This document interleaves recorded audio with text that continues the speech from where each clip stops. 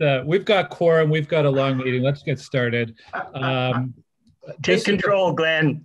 I'm calling this meeting to order. Yes, enough about cycling and scooters. Um, this is a public meeting to consider the proposed comprehensive official plan and zoning bylaw amendments listed as items one to seven on today's agenda. For the items just mentioned, only those who make oral submissions today or written submissions before the amendments are adopted may appeal the matter to the Ontario Land Tribunal.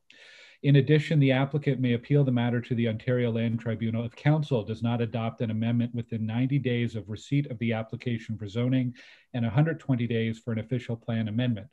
To submit written comments on these amendments prior to their consideration by council, please email or call the committee or council coordinator. And council, as a reminder, if you have any motions for any of the items today that you haven't yet uh, shared with the committee coordinator, please do so.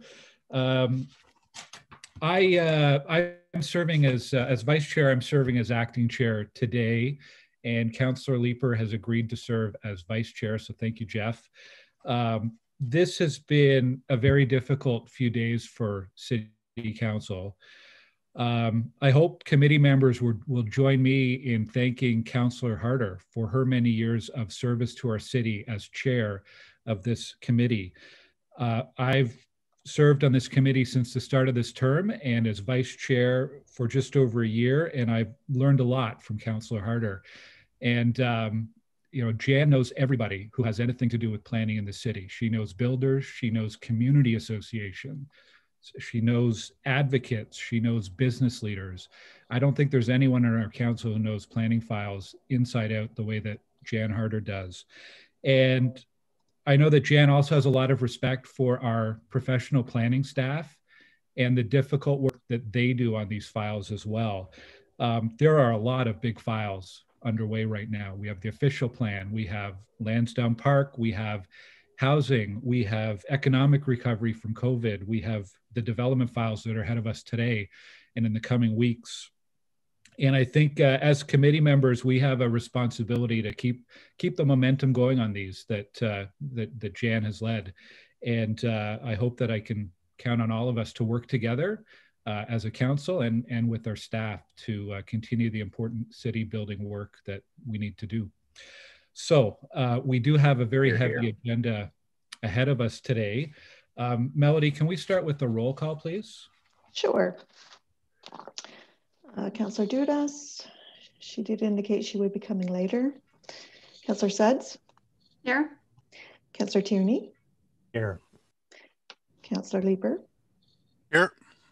Councillor Brockington? Here. Councillor Cloutier? Présent. Councillor Kitts? Here. Councillor Moffatt? Here. Councillor Hubley? Here.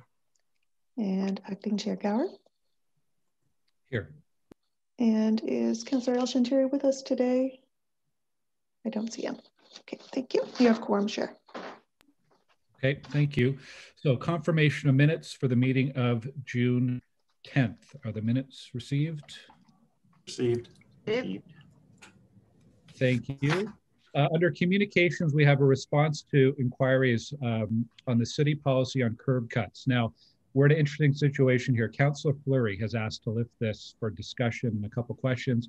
Councillor Fleury, though, is attending uh, important uh, funding announcement with the mayor and with uh, CMHC. So he has asked if we can hold this for discussion later on, but because it's a response inquiry, I need to have the uh, concurrence from our committee members to do that. Are we okay to hold that till later on? Yes. Yeah. Carried. Carried. Thank you. Okay, so moving into the uh, the other agenda items, um, we have uh, delegations and a presentation for the first item, two Montreal Road and three Selkirk. So we will hold that item. On item number two, zoning bylaw amendment 319, 325, and 327 Richmond Road and 381 Churchill Avenue North and 380 Winona and Kitchissippi. Um, there are no public delegations, but the applicants are here. Um, are there any uh, questions, uh, any need to hold this one? No, Chair, I just want to say the uh, developer has sort of gone out of their way to make sure that they assembled enough property that they can have a, a, a very sensitive transition to the low-rise neighborhood in behind. And they are only seeking uh, nine stories, where in Westboro, uh, you know, 12 is the new six. Uh, so I, I, think it's a relatively um, sensitive application. Uh, and I want to uh, thank staff for, for their work on this as well. I'll be supporting it. Okay. And for the representatives of the applicant, if the committee is prepared to carry this, do you need to speak this morning? Uh, no, we do not. Thank you. Okay, thank you. Is this uh, is this report carried? Carried. Carried. Carried. Thank you.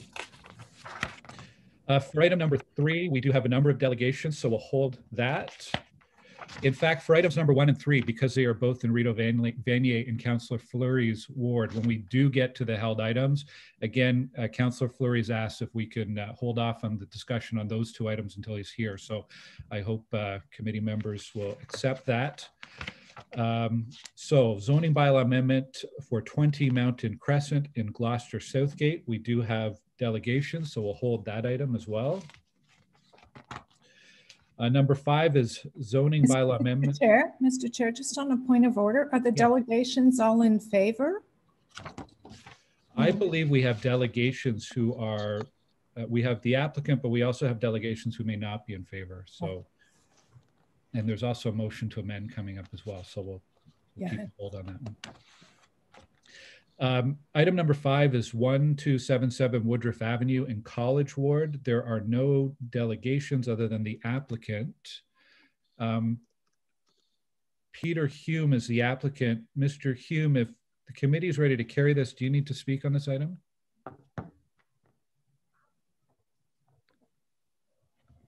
Uh, no, Mr. Chair, thank you very much. Okay, thank you. Is this report recommendations carried? Carried. Carried. Carried. Carried. Thank you. Thank you, Mr. Chairman.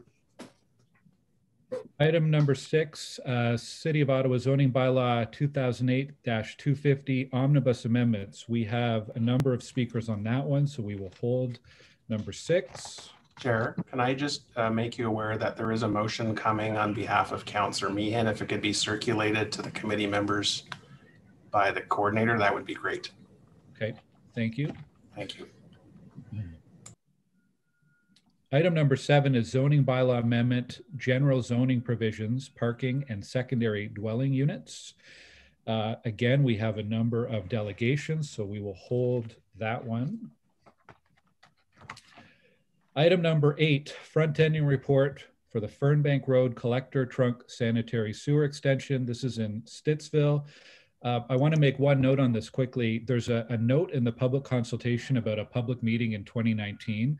That was a, an error in the report, although since it doesn't affect the recommendations in front of us, um, there's there's no need to uh, to amend that in any way. But I just want to note that we will be uh, working on some notification uh, and with with the applicant for the uh, for the community going forward. Um, but if there's uh, if if the committee's ready to carry this, we have John Riddell from Novatech. Mr. Riddell, do you need to speak on this item if the committee is ready to carry this one? Uh, no, I don't. We're in favor of it. Thank you. Thank you. Is this uh, are these report recommendations carried? Carried. Carried. Thank you. Thank you very much.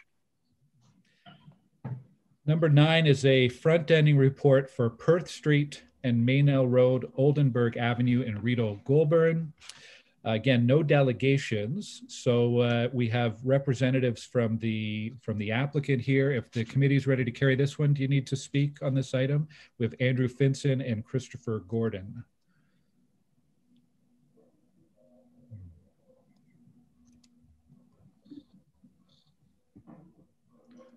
Are they here today, Melody? They are. Sorry, I'm here. I was just muted. Um, I do not need to speak. Thank you. Okay. Uh, are the report recommendations carried? Carried. Carried. Thank you. And number 10 is a status update planning committee inquiries and motions for the period ending June 10th. Is this report received? Received. Received. Received. Thank you. Okay, so we will go back to the held items. As I mentioned, we are going to skip number one for now until Councillor Fleury can join us. And we will skip number three for now until Councillor Fleury can join us. So the next held item was 20 Mountain Crescent.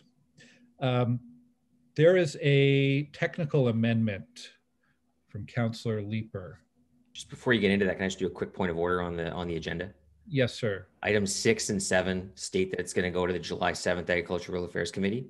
There is no July 7th Agricultural Affairs Committee. That meeting is actually on June 28th. I'll make that correction. Thanks. Thank you. Okay. Thank you, Scott. Councillor Leiper with the amendment. Thanks. And I'll ask Melody to get that on the screen. We have a lot of motions today.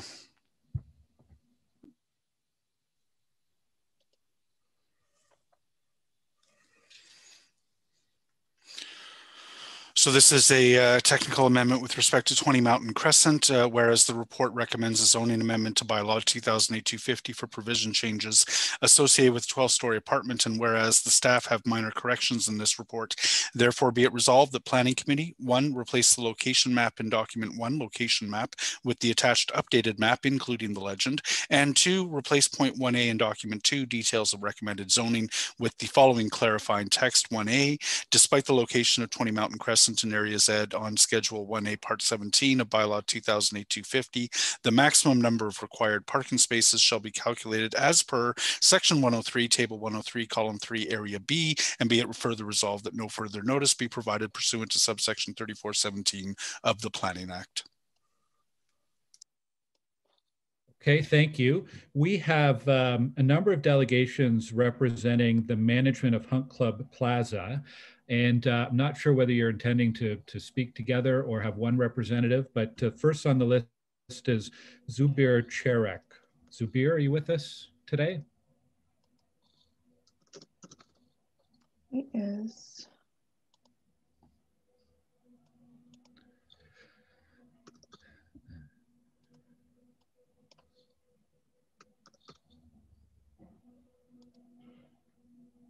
I think he's just having an issue on muting his microphone.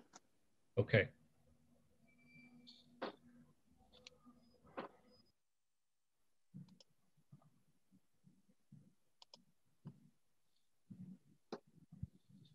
Well, I'm wondering if we should uh, give Zubir just a few more moments to uh, address the microphone. As Ali Fala is next on the list. Ali, are you ready to speak?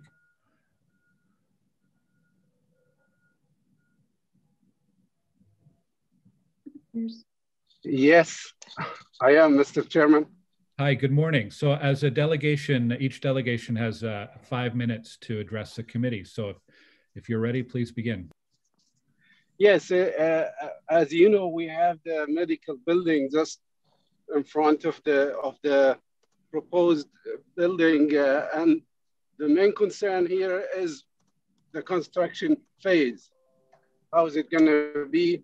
How do we guarantee that everything is going to be preserved, like the environmentally and like who's going to guarantee our building structure is not going to be affected with this? I know they have a management like uh, a plan, construction plan, but uh, that's the question here. Who's going to guarantee that things will be in order? Is it going to be a third party? Is it so, somebody's going to be with the applicant himself or somebody else is going to be? Uh, and how could we follow up with that uh, management plan? Is there an access to that? Or is it something just we're going to know about or hear about with no say in that? That's my concern. Thank you. Okay, thank you, Mr. Fella. After we get through delegations, we will ask staff to, to address that. Um, Zubir Cherak, is Zubir ready to speak? Or, or I know we have four speakers from the management of the building, the medical building. If it's all on the same issue, um, do you all need to speak? Or if we have staff uh, speak or address those concerns after the delegations, is that sufficient? Are you asking me or? Uh, I- yes, Ali, you're, you're on the microphone. So if everyone from your group has the same concern, um, yeah, I don't Well, think we, uh, yeah, uh, as far as I know, yes, that's the main concern for us. We welcome the new building. It's just that uh, uh, as a precaution for us to know how is the process of the, while building uh, the construction itself, how is it going to be and how it's going to affect our building. You know, it's uh, the condo we we have. It's not only the building, the medical building. It extends to another plaza that has like. Uh, restaurant and stores and musical uh, uh, there. So it's it's a big plaza. So it's gonna affect like the the you know the dust, the dirt, the the shaking of the building. I know that this is a high-rise building. It might affect uh, you know our construction. It's a steel uh, building we have. The you know vibration and all of this is the the concern I think most of us have for now. Okay. That's uh, yeah. Yeah, I understand. Okay, so here's what we'll do. We have representatives from Fotenn here to speak on the item. So I'll go to them next and perhaps they can address some of those concerns, but we'll Uh, also, uh, we'll also No, give no, no. I need, uh, I need to, So this is confusing in the Zoom format. This is where Zoom is a lot more difficult than live meetings. Uh, I see Ahmad has his hand up. I don't want to skip over delegations without giving them the opportunity to speak. Ahmad, um, Ahmad Albarazanchi, I hope I'm pronouncing that correctly. Um, do you have additional comments? ah, yes, please. Okay, please go Uh, ahead. uh, Everybody hear me? Yes, we can. Yes. Uh, good day uh, to everybody. Uh, my concern is like this is first time really we participate in City of Ottawa. Like we welcome uh, for City of Ottawa to, for sure. Like this is a benefit for everybody to have a high-rise building, but at the same time we need to protect the neighbor, and this is part of the city job.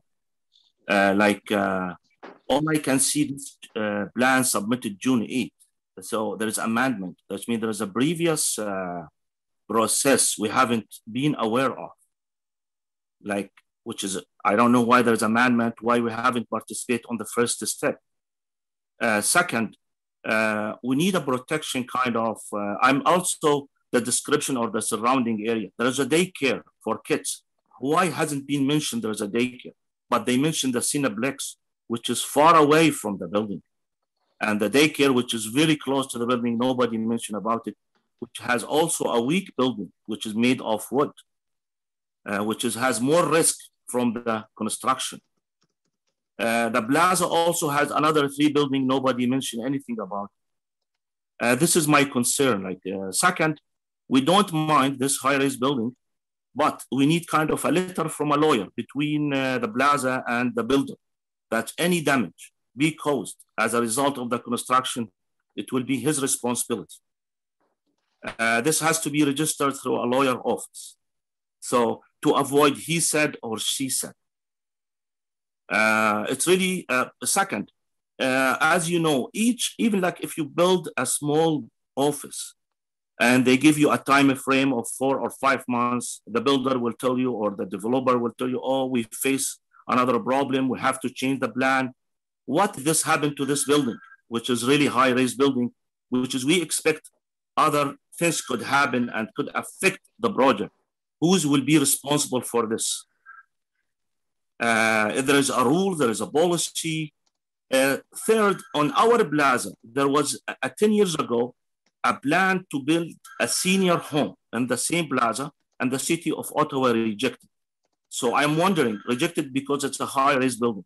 Why the city of Ottawa reject uh, this senior planning home, but they approve this high-rise building in the same area? So it is, there is a few concern really. We are not engineered to see the all defect, but we're really interested of this process. Uh, dust, uh, you know, like sometimes we work on the building and a bus, OC transport bus, or a lorry or a truck pass the building and the build shake. So what about a construction trucks comes and load and dig posts on the ground, what's going to happen?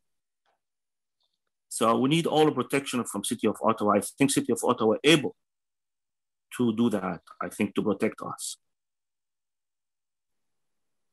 Okay, thank you, Ahmad. Uh, Councillor Deans has a question. Thank you, uh, Mr. Chair. Good morning, Ahmed. I'm the member of council for Ward 10, which is where this uh, proposal is. And I just wanted to answer one of the questions that you had posed about a prior application in that general vicinity for seniors residents. Um, that uh, particular residence was rejected because of the um, uh, road infrastructure wasn't sufficient to carry the the needs of that uh, retirement residence.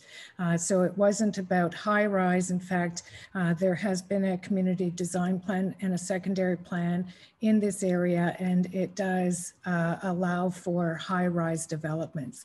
Um, I think all of us understand the issue that you're raising here today in terms of ensuring the uh, well-being of the existing buildings and uh, I think we can get you some answers as to how they will make sure through the process that uh, your buildings are protected. Uh, so thanks for coming out today. Oh, thank you so much. I much appreciate, but uh, please, we need everything written. I don't accept as a verbal.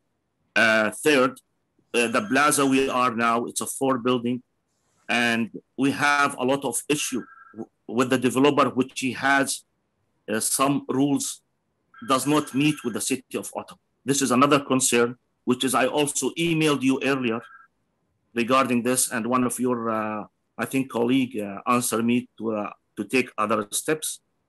So that's why we need really since we have a concern we have a lot of problem with city of ottawa on the same building how they pass the rules how they did this one uh, plan does not matching and you give the approval all this need to be discussed. Also it's in a lawyer office now. So we don't need this keep happening every time with each building. And i think this is a benefit for everybody. Okay thank you.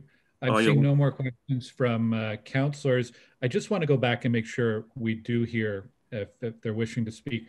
Zubair cherak do you want to address the committee?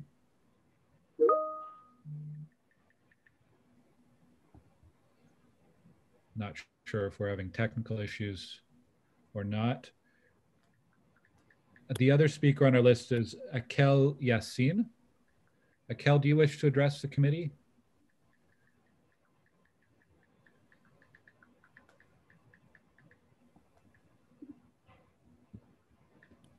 See both of them are lined, but perhaps microphones aren't working.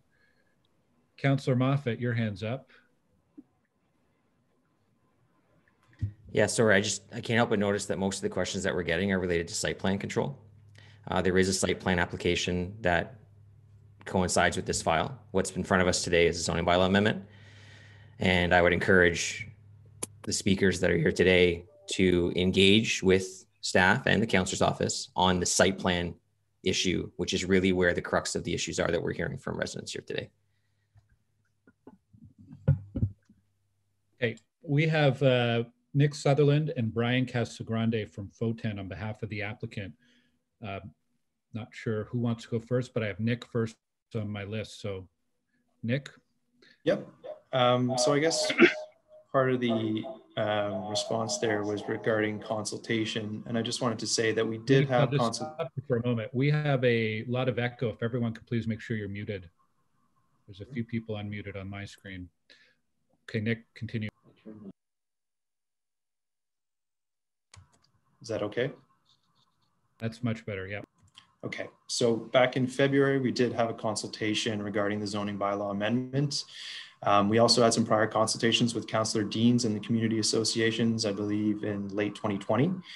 Um, with regards to, I guess, more so the construction site plan um, issues, there will be, as part of the building permit process, site plan and control process, a construction management plan that will have to do pre-surveys for the surrounding buildings, um, ensuring that if there was damage, it would be uh, recorded um, and would also be addressed by the developer themselves.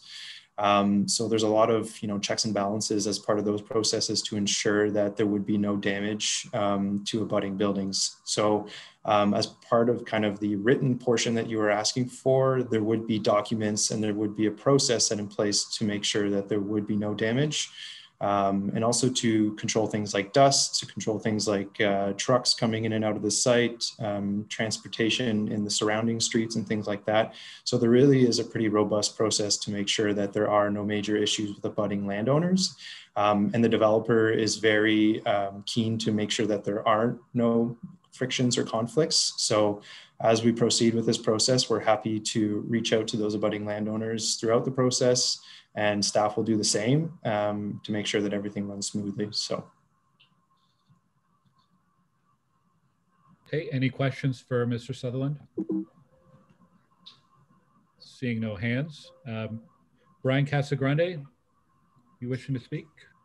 Uh, yes, I just, I hope I'm not getting echo as well. It sounds better now. I just had one um, comment. Uh, this the motion, uh, which I think was introduced by staff, neither Nick nor I were made aware of it before now. And um, I just, I wouldn't mind hearing from staff as to, just to make sure that it's not um, limiting something important like the proposed amount of parking for the project. I'm hoping it's just more of a, um, a cleanup issue, um, but we would like to know a bit more about that. Okay, we'll go to staff afterwards. Uh, Want to make sure any questions for Brian from the committee? I'm seeing none. Okay, thank you. So we'll move on to questions. Questions for staff. Any questions for staff from our committee members? Well, uh, Councillor Leiper's hand is up. Jeff? Thanks. And I will just ask uh, staff on behalf of Brian to uh, explain the intent of the uh, technical amendment, please. Yes, acting chair, the staff's amendment was more a technical cleanup. It doesn't change the uh, intent or the details of the proposed zoning. Thanks. Uh, I think we still have a couple of weeks before this goes to council, so we'll just ensure, uh, Brian, that uh, it's it's meeting what you what you need on that. Thank you. Any other questions from committee members? Councillor Deans. Councillor, you're on mute. Mr. Chair, maybe just a brief comment as the ward councillor in this area. Um, I can tell you that um, there has been a community design plan and a secondary plan for the area, and uh, this meets the spirit of the intention of this land use. Um, um, the, the change in the setback does require, it triggers a urban design review panel um, assessment. They took a look at it and agreed that it's fine. The community association has weighed in and is in support of the application. Um, so I have no issues with, uh, uh, with this application today. And uh, I will make sure that uh, as we go through the site plan process, I reach out to the um, abutting property owners that we heard from this morning about their concerns around uh, site plan control. Okay, thank you. I'm not seeing any more hands up. So um, is the uh, technical amendment from Councillor Leiper carried? Carried. Carried, thank you. And the report recommendations as amended, carried? Carried. Carried, thank you.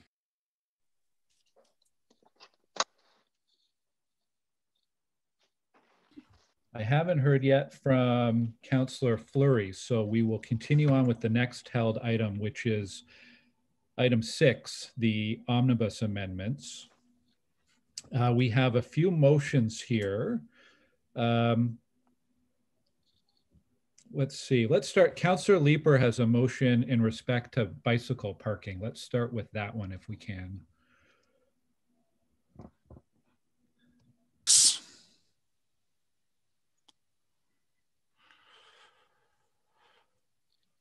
Yes, thanks. Uh, so this is a, um, uh, a motion that arises out of discussions I was hearing from residents, I was hearing from planning consultants um, and others. Whereas in response to public comments received after the report was made public, it is desirable that document four, zoning details for review by Planning Committee and Agriculture and Rural Affairs Committee be amended to correct and clarify certain wording. Therefore, be it resolved that document four be amended as follows. A, by adding the following to the row concerning stacked bicycle parking renumber section 111.8 to section 111.8a and add a new provision in section 111 as follows. 8b, despite table 111b, in the case of stacked bicycle parking, the minimum width of a bicycle parking space is 0.37 meters. B, by replacing the text 11a, a maximum 50% of the bicycle parking spaces required by this bylaw may be vertical or on the upper tier of stacked bicycle parking. The rest must be horizontal spaces at ground level with the following. 11, a minimum of 50% of the bicycle parking spaces required by this bylaw must be horizontal spaces uh, at ground level and be it further resolved that no uh, further notice be provided pursuant to subsection 3417 of the Planning Act. I'll just add, I believe the intent of this motion from um, uh, that was crafted by staff is to ensure that builders are able to use um, while they're able to count uh, bicycle parking that's in horizontal stacking, that they are able to use commercially available stacking systems uh, rather than uh, creating something from scratch. So uh, I, I, hope members will uh, uh, approve the, the, the very small change. Okay, thank you. Um, Councillor Brockington, you have a motion you're moving on behalf of Councillor Meehan, I believe. That's correct, Chair. Regarding the Jock River, perhaps I will read the motion and then I will yield, with your permission, the floor to Councillor Meehan to introduce it, if that's okay. Um, so, uh, whereas comments have been received concerning proposed amendments to the floodplain overlays that affects lands north of the Jock River to implement new floodplain mapping received from the Rideau Valley Conservation Authority, whereas further time has been requested to allow for public consultations concerning this amendment. Therefore, be it resolved that the amendments proposed to the floodplain overlay for lands north of the Jock River in documents one and two be removed. Therefore, be it further resolved that committee recommend that council direct staff to engage in consultation with the relevant community associations and bring forward a separate report to planning committee and council in September 2021 or as soon as possible thereafter with respect to the aforementioned updates to the floodplain overlay for the lands north of the Jock River. And be it further resolved that no further notice with respect to report, this report as amended be provided pursuant to subsection 3417 of the Planning Act. And if we could allow uh, Councillor Meehan some introduction, that would be appreciated. Yes, Councillor Meehan. Good morning. Thank you. Well, thank you very much, uh, Councillor Brockington, for reading that motion, and thank you to uh, the acting chair, uh, Councillor Gower. Um, this really is a, a, technical amendment to the motion, and it is really to allow our community association to have uh, more of a, a, consultation with staff over this. And I, I believe that we do have a delegation here today. Is Jeff Dawson uh, available to talk about this? He is here. So we have one more. Um, we have one more amendment to introduce, okay. and then we'll go to delegations because okay. we, we, have a, a, couple on this issue, and then we'll go to a discussion uh, after delegations. Okay, well, that's basically it. Uh, the community association who feels that uh, they might be affected by the proposed changes or the changes that uh, staff have uh, are, are put forward feel that they would like to have uh, more of a consultation on this before we pass it. So that's what this is about. Okay, thank you. And we have one more amending motion. Um, Councillor Leiper I believe has one on behalf of Councillor Menard, a deferral motion.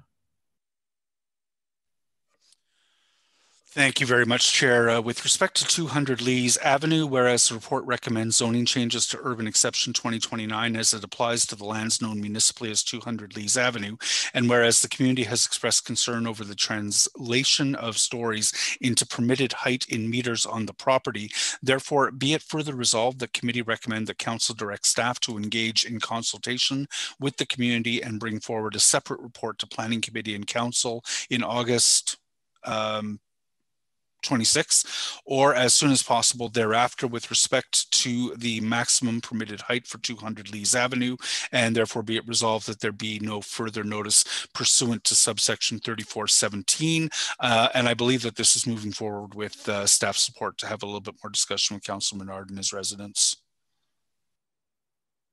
Okay, thank you. Uh, I believe that's all of the amendments introduced. So we do have uh, a few delegations. First up is Jeff Dawson from the Heart's Desire Community Association, speaking about the Jock River floodplain issue. Jeff, are you with us? Yes, thank you. Can you hear me? Yes, I can. So you have five minutes, Jeff. Welcome. Thank you. Thank you very much. Yeah, I'm the president of the, uh, the Heart's Desire Community Association. We are a community located between um, Longfields and Prince of Wales along the north shore of the Jock River. We have approximately 20 properties that uh, are directly impacted by water levels in the Jock River. Uh, we just found out a week ago that uh, there were changes to the Jock River floodplain upstream of our community that potentially could have an impact on the community uh, we were able to pull together a little bit of information related to this issue, which are uh, which have been submitted uh, to the planning committee. I understand you have copies of them. Um, we don't claim to be experts. We're not necessarily against anything that's happened, um, but the information that we did find uh, raised several questions of concern for us. Uh, there's reference in the provincial in the information we provided to a city uh, technical review, which says that uh, increased flows in, uh, in the river will result from uh, floodplain changes. There's reference to a loss of 291,000 cubic meters of floodplain storage, uh, again, which could have an impact on flows in the Jock River. There's also a question as to whether proper analysis was done related to the flows based on OPA 212 and the use of two zone planning, uh, two zone policy in the review.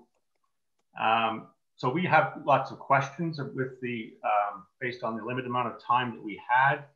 Uh, we also have issues around the, uh, the RVCA's process uh, for hazard mapping, which we understand requires public consultation. Uh, we are not aware of any consultation with our community over over this issue and its potential impact on the community. Um, so we have a, a concern over that. Uh, just a slight bit of history. In April 2017, our community association worked extensively with the RVCA over the removal of the Heart's Desire Weir and the installation of the Rocky Ramp, which would have an impact on the Jock River flows in our community. Uh, part of that was an open house uh, which was well attended, and the results went to the RVCA board, and um, things were dealt with in, in an open, uh, transparent process, and uh, things were worked out. Two years later, in 2019, the RVCA has, has a, uh, granted two permits for work in the Barrhaven Conservancy land with potential for similar issues to our community. Uh, for whatever reason, there was absolutely no consultation that we are aware of, and that is our basic concern. We are looking to uh, get our questions answered and to be able to ensure our community members that in fact the, the changes that have been uh, done and proposed are in fact not going to have any adverse impact on the community. Uh, it's, it's unfortunate that it's unfortunate that we're looking at these items after the changes have already been made when prior consultation would have seemed to be a more proper way to deal with them, but we are where we are. So uh, as, as Councillor Meehan said, our community association is only seeking information to be able to reassure our residents that their safety is not going to be impacted by changes to the Jock River floodplain. And we feel this is a reasonable request for the planning committee to consider. Thank you. Okay, thank you. Uh, Councillor Moffatt has a question. Uh, thank you very much, Mr. Dawson. Um, so you this is a matter that was was quite well documented about two years ago. So the what's before us right now is is merely the the zoning piece to recognize the floodplain mapping that's already changed, correct? So, and we have to do that, right? That's that's something that's as the RVCA updates their floodplain mapping, and they're the sole authority for floodplain mapping in our area. Um, we must recognize the changes in the zoning. Otherwise, we have houses that are technically in the floodplain zone, but they're not actually in the floodplain, uh, which can create some some oddities for homeowners. Um, so in this case, we know what the floodplain mapping has been changed to, and the RVCA has done that. Have you reached out to the RVCA at all? I mean, I sit on the, as you may know, I, I sit on the board of the RVCA. We actually have a meeting tonight. Um, have you reached out to the RVCA to discuss this? Uh, we have not, as as as I as I mentioned earlier, we only became aware of this a week ago, so we've been very rushed, just trying to figure out what the heck's going on and what we can do uh, about it. We have obviously the RVCA is the um, ones who need to, um, or we would hope they between them and the city, they would be the ones to address the questions and concerns that we have. Absolutely, yeah, and and the zoning has no bearing on that. So if you, I mean, let's say even if we approve this zoning uh, today and at council in in two weeks' time, and if the RVCA did come back and make changes to the the floodplain, those changes would still be valid, and then would have to be recognized by the city. Um, because again, they're, they're the only ones that can make these changes to the floodplain and can answer your questions. We we can't here. Um, but if you'd like, I mean, this is a matter that comes to council in two weeks' time. I'd be more than happy to set the Hearts Desire Community Association up with a meeting as soon as possible with the RVCA. I know we discussed this matter at the RVCA Board of Directors um, at least two or three times uh, because it was an application that went to the Executive Committee. I know it was discussed at length with the board and uh, to because obviously some board members had similar concerns to what you're expressing here.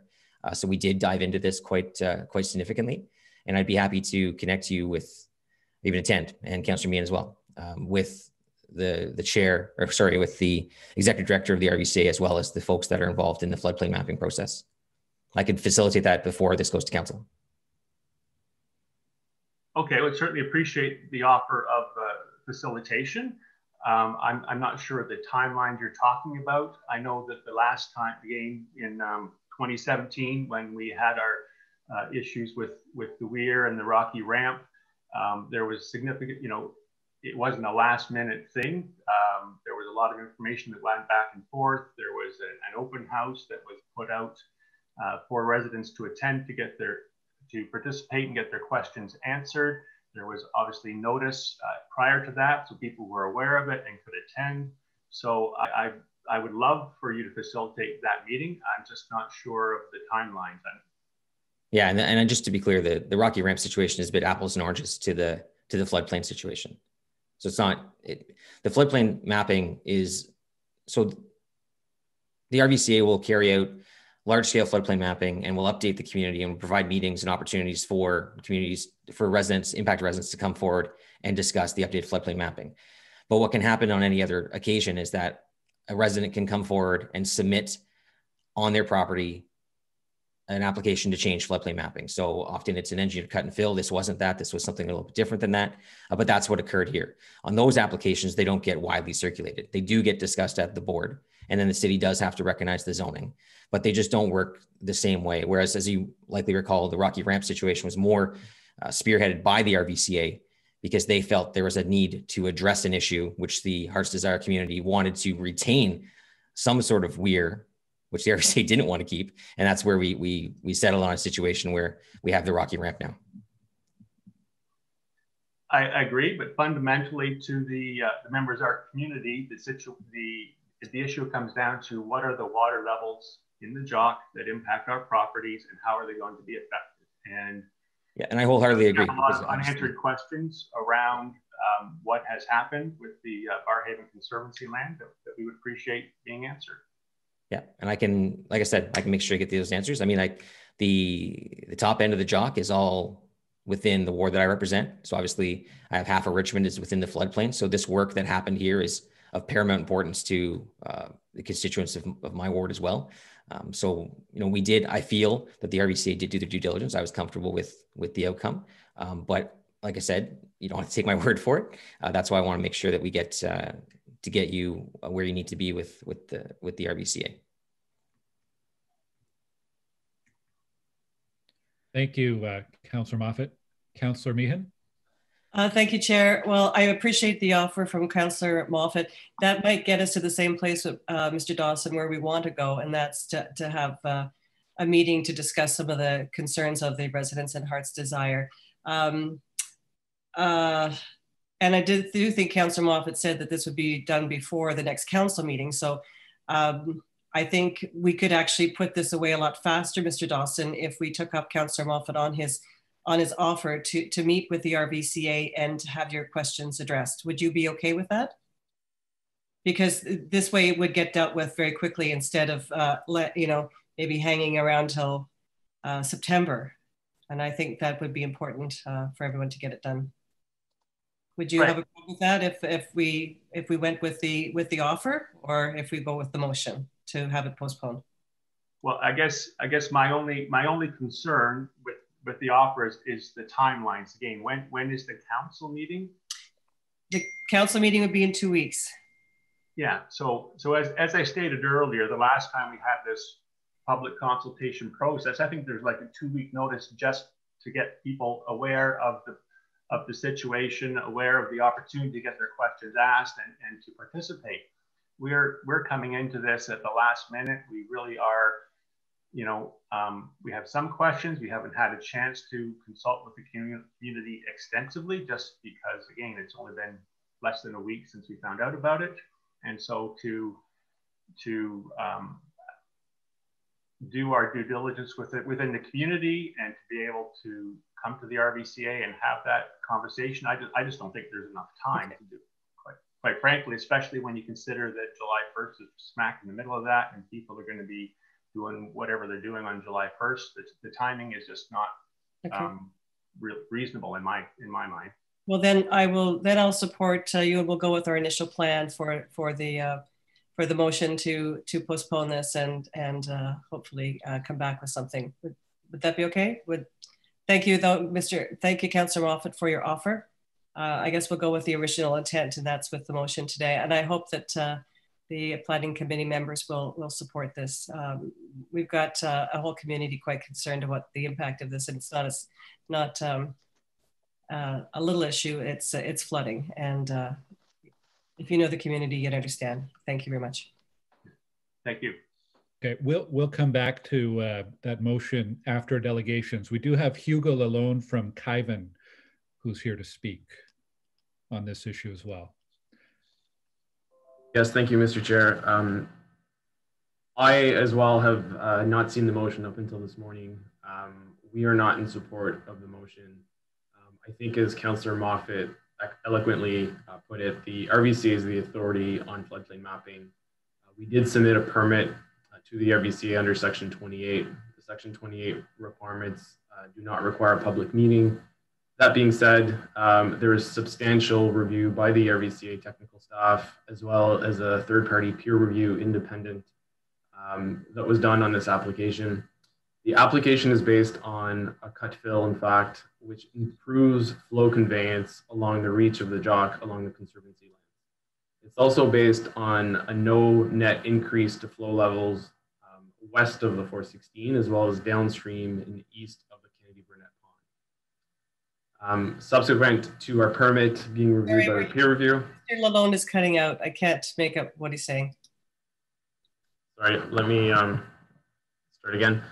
Um, subsequent to the peer review, the executive committee issued um, a permit for the work. The work was undertaken. Um, the work on site was certified by engineers, reviewed by the RVCA, and confirmed to be out of the floodplain. And accordingly, um, the RVCA updated their floodplain mapping for this reach of the Jock River. That was done in the summer of 2020, um, subsequent to their letter to the city of May 2020. So what we have here is really a housekeeping exercise of, of the city now having to uh, reflect the Conservation Authority's floodplain mapping, which again, they are the authority on. And um, the decision has been made by the RVCA. And so I, I, I don't I don't understand what delaying this decision would do because, because frankly, um, we went through the proper channels, we followed law, Um, it's been certified by the RVCA, and it, it's now the city's um, duty to now reflect that in their zoning bylaw. This is not a, a rezoning of the lands. This is merely a removal of the overlay that's applied by the city, reflecting the RVCA floodplain mapping. Thank you. Councillor Leiper. Thank you. And uh, it's only in the past couple of days that I've been getting uh, notes about this particular um, uh, piece. There are questions as to whether or not it's suitable to be done through uh, through an omnibus. And you know, with the RVCA involved uh, and the different authorities that different uh, regulatory agencies, including the city and the RVCA, have, uh, it does start to get very complex for for residents. And I would suggest councillors to understand as well. just help me understand the the baseline of of what we are dealing with here. Uh, Caivan is uh, the the owner of the lands in question. Barrhaven Development Corporation um, is the owner of the lands, and, and Caivan is the development manager for that corporation. Yes. Okay. Um, how how large a parcel is this? It's several hundred acres. Um, yeah. Okay. So and the the intent of asking to remove the overlay in the zoning bylaw is to permit development, I assume, of, of a subdivision there? Yes, ultimately, um, that will lead to development. We do have an active development application on those lands. Okay. Um, as a requirement to develop the lands, we had to undertake um, significant efforts to evaluate the floodplain, and that was uh, the purpose of our Section 28 permit and the conclusion of the RVCA that we have done that appropriately um, through the issuance of the permit and subsequently through their approval of the as-built reflecting site conditions certifying that the lands are now no longer in the floodplain.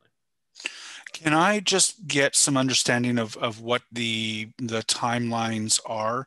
Because um, people are asking questions of me about the regulatory authority that the city has vis-a-vis the RVCA. Um, and I, I, think that's complex to try to understand. And I, I, think it's particularly complex for residents to try to understand. Um, what is the need to address um, the removal of the overlay today? Well, Thank you, uh, Councilor Leiper, and, and, through you, Mr. Chair. Frankly, um, the RVCA is the authority on, on setting that floodplain boundary and on establishing the floodplain mapping. The city has always and continues to reflect that mapping in their zoning bylaw. Uh, this is no different than any other um, Section 28 permit where an owner applies for a localized cut fill, and, and once that work is completed and certified, um, it is to be updated by the city. And so um, certainly, yes, we're talking about a larger area here, but um, we have gone through extensive review and um, process with the RVCA to get here. And you know, the, the, mapping was sent to the city in, in July 2020. Um, it is about time that the mapping gets up, updated. Uh, but perhaps, uh, sorry, if, if, I may add, Councillor, and through you, Mr. Chair, um, it might be um, worthy to have staff uh, explain here what the typical process is for, for these sorts of updates. I think uh, Councillor Meehan's motion uh, put forward through Councillor Brockington is suggesting, and, and forgive me, it, it, went by fast, but that this would come forward as a separate report to council rather than be dealt with in an omnibus. Um, I think I'm seeing uh, Councillor Meehan nodding. Um, and, and so rather than try to get a um, rather than try to get a, a, comprehensive understanding of the, the floodplain mapping and how overlays are removed, uh, I, I, I'm seems to me that you know a few more weeks bring this forward as a separate report because we are talking as you said about uh, you know a, a, very large parcel of uh, of land. Uh, so i'm going to support uh, uh, councillor meehan's motion to take a little more time with this add a little bit of process behind it. Um, but I appreciate your perspective, uh, Mr. Lalonde. Thank you. Okay, thank, thank you, Councillor. Councillor Meehan has a question. Well, it's more like a comment. Um, I, I, would just disagree with uh, Mr. Lalonde. It's uh, not just a standard uh, take it off and, and file new um, floodplain uh, boundaries. It, it I, I, don't. I think that uh, that's really too simplistic. This is a large chunk of land for the cut and fill. And uh, the, the floodplain map was there for a particular reason. The residents at Heart's Desire have a concern about what this ultimately means. And I think if it just takes a couple of weeks to, to allay their concerns and get them to understand exactly what has happened, I think that we owe the community at least that much. So I would appreciate it if the uh, planning committee members would support this. Thank you. Okay, Councillor McKenney. Uh, thank you, uh, thank you, Chair. Um, I'm not sure if my questions should be directed to Mr. Lalonde or to staff. So I throw them out and I know we're not with staff now, but if they're staff related, I'll come back on after whatever is the, the best method. But um, if we're talking about the, the removal of the, the floodplain overlay, um, is I see that, you know, the Heart's Desire Community Association is out today and for, for good reason. Uh, you know, we raised this a few months ago that flooding downriver is, uh, is certainly a concern. It's a concern that, uh, that was raised um, uh, back when we um, allowed this to, to go forward as a council. Um, but I wonder if all downriver residents uh, who will be uh, and owners who will be uh, affected by this uh, have been consulted. And is that not a, a requirement before lifting the, the floodplain overlay? Thank you, uh, Councillor McKenney, and through you, Mr. Chair. If I may, I'd like to defer to staff perhaps to answer this question. I think um, they, they could perhaps better respond to the question. Okay, thank you. Well, let's go to staff at the end because we do have one more delegation on this. Okay, this, uh, okay, so happy to. Yeah. Any other questions, Councillor? No. Uh, to, just to staff later. Okay. Okay. Okay, thanks. So I see no other hands up for uh, for this delegation. Uh, originally, we had Paul Johannes on our delegation list, but I understand he can't attend today. So the next speaker on the list is Dave Robertson from Bike Ottawa. Good morning, Dave. You have five minutes. Hi, good morning. Um, hello, members of uh, Ottawa's Planning Committee. Uh, thanks for the opportunity to uh, speak today about the proposed changes to the zoning bylaw concerning stacked bicycle parking. If the City of Ottawa wants to get people out of their cars and provide bicycles as an alternative to reduce traffic congestion, air and noise pollution, greenhouse gas emissions, make for healthier residents and a more livable city. Removing barriers to using bicycles as a mode of transportation is critical. We need to make using a bike easy, safe, and convenient. Good bike parking at someone's residence and at their destination is vital to this formula. Stacked bicycles parking is a more accessible option compared to the commonly used wall-mounted racks. It also allows for the parking of a greater number of standard bicycles while not taking up as much space. Typical wall-mounted racks require a person to lift the full weight of a bicycle at an awkward angle in order to store their bike. This is not physically possible for many people. This type of bike parking removes yet another barrier for residents using their bicycles as transportation, and therefore Bike Ottawa supports this change. While this amendment is a step in the right direction, we also need to look forward to making further changes to the zoning bylaw to provide parking for non-standard bicycles that won't fit on wall-mounted racks, nor stacked bicycle parking facilities. These types of bikes might include heavier e-bikes or cargo bikes often used by families, as well as recumbents and tricycles for those who might have mobility issues. And this is a good time as any to remind everyone that bicycles are accessibility devices. So to sum up, let's continue to make positive changes like this by removing barriers and make using bicycles more accessible to more residents. Thank you for your time. Thank you, Dave. Any questions for Dave, committee? Okay, thanks for your presentation. And thank you to all the delegations on this item. We'll move to questions for staff. Councillor McKenney, I don't know if you need to re-ask, but uh, is there someone from staff who can answer uh, Catherine McKenney's question from earlier? Uh, Thank you, Acting Chair. I'd be, I'd be pleased to uh, respond to that question. Um, So I think Councillor Moffatt actually outlined the process that the Conservation uh, Authority takes uh, with regard to applications such as this. In terms of the city's responsibilities, um, in terms of notice, uh, they were, they were followed in terms of the Planning Act requirements.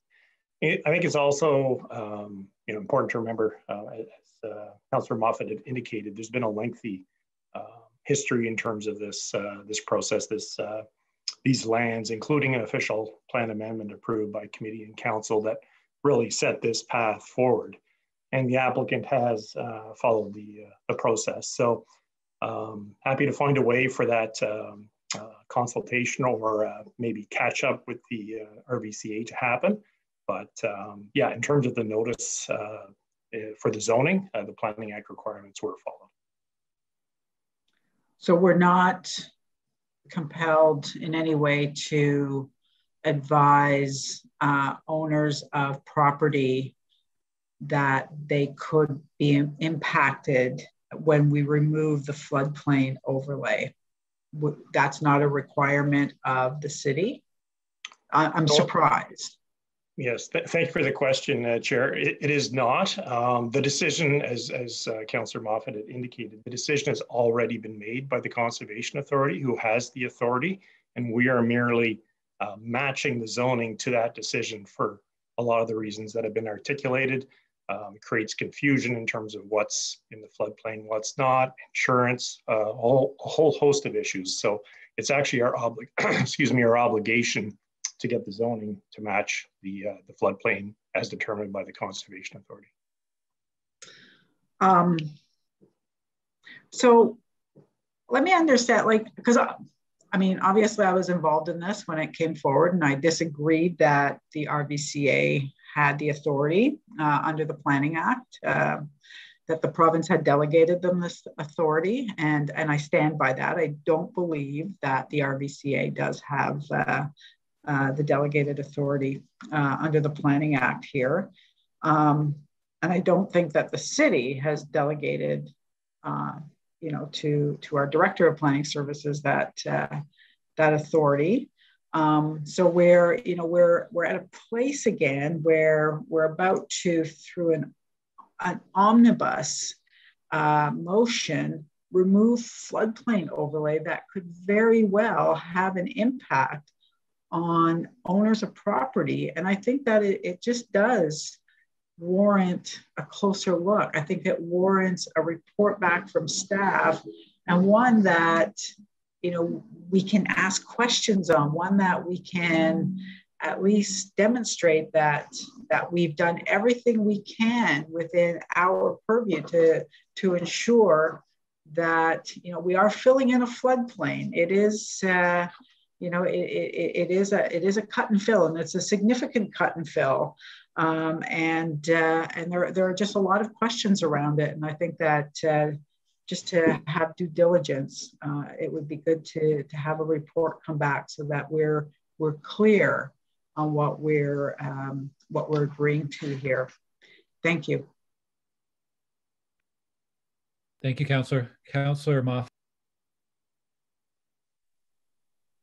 Uh, thanks. Just to that last um, piece there, it's not the Planning Act, it's the Conservation Authorities Act, and it's Section 28 of the Conservation Authorities Act that gives the RVCA the power here and the regulatory authority to cover flooding and floodplain mapping and flood control. Um, what I would suggest, just based on the conversation I had previously here, is that um, I don't think this is a planning matter. This isn't a zoning matter. Um, the zoning has no implications for anyone downstream because the zoning is merely recognizing the floodplain mapping that's already in place. This is an RVCA matter. Uh, but I don't want to go and close the door right this instant on Councillor Meehan's motion. What I would suggest is that we refer the motion to the council meeting of, what is it, July, tell me, July 6th? 7th. July 7th. Okay, thanks. So we refer it to July 7th, and then between now and then, we facilitate that conversation, just only because um, we're asking staff to undertake more work on something that isn't really their issue. Um, the zoning report isn't going to change anything for residents in the floodplain. It's not going to change anything for residents in Heart's Desire. It's not going to change anything for residents in Richmond. Um, it's just the floodplain mapping itself, which is the sole authority of the Rideau Valley Conservation Authority. Um, so I would suggest that we, and it's not that, again, not trying to stop anything from happening. I'm just trying to make sure that we take the Heart's Desire Community Association, send them in the right direction, and not mislead them to think that we're that the zoning piece is the is the the be all end all here for them. Um, the zoning doesn't make a difference. We could approve it, we could not approve it. It doesn't change anything on the ground for the residents of Heart's Desire. Um, so again, um, I would move referral uh, to council, and we can have that discussion then, following what will hopefully be a uh, fulsome discussion with uh, the councillor as well as the community association and the RVCA. Okay, thank you, Scott. So Councillor Moffatt has the motion to uh, to refer to council to the next council meeting. Councillor Brockington. Thanks, Chair. I, I, think I heard the answer to the question I'm about to ask at the very end of Councillor Moffatt's uh, comments, and that is what I hate to be. I hate to be a procedural jerk, no. but we're on we're on referral. Are we only debating that, Glen? Or Chair? Well, we were in questions to staff, and then Councillor Moffatt moved, uh, introduced a motion to refer. So uh, we, we can continue speaking. Uh, let me ask first, are there any more questions to staff on this item, either on the Jock River or the bicycle parking or anything else in the omnibus? As I don't think there are. Okay, so we can continue. Councillor Brockington, you, you have the floor. Uh, if you have questions to staff, you can ask that. I imagine they'll be relevant to Councillor Moffatt's motion anyhow. So at this point, I'll let you proceed, Councillor Brock. Well, I I don't want to arm wrestle over procedure. What I'm most interested in is I want to ensure that the community's expectations will be met. So it doesn't really matter, matter under what situation, whether we refer Councillor Meehan's motion to council. I want to make sure that between today and July 6th or 7th, that the community is able to have the sit down that they need and want. And so, who's going to facilitate that, even though it may not be directly under planning? Can we still have planning representation there? There may be planning questions that come up as part of that normal conversation. Can we, we at least have planning staff commit to join uh, the authority and the local councillor and the community association and if we all say yes, then I can I can support the deferral. But I just want to make sure that community conversation happens before the city council meeting. So would planning staff agree to at least join Councillor Meehan, the community association, Councillor Moffatt's going to help get the authority to sit down. And if, if we can agree to that, then I'm happy. Thank you. Uh, certainly, staff are prepared to commit to uh, uh, support Councillor Moffatt and the Community Association and attend those meetings for you know background and support. Okay, thank you.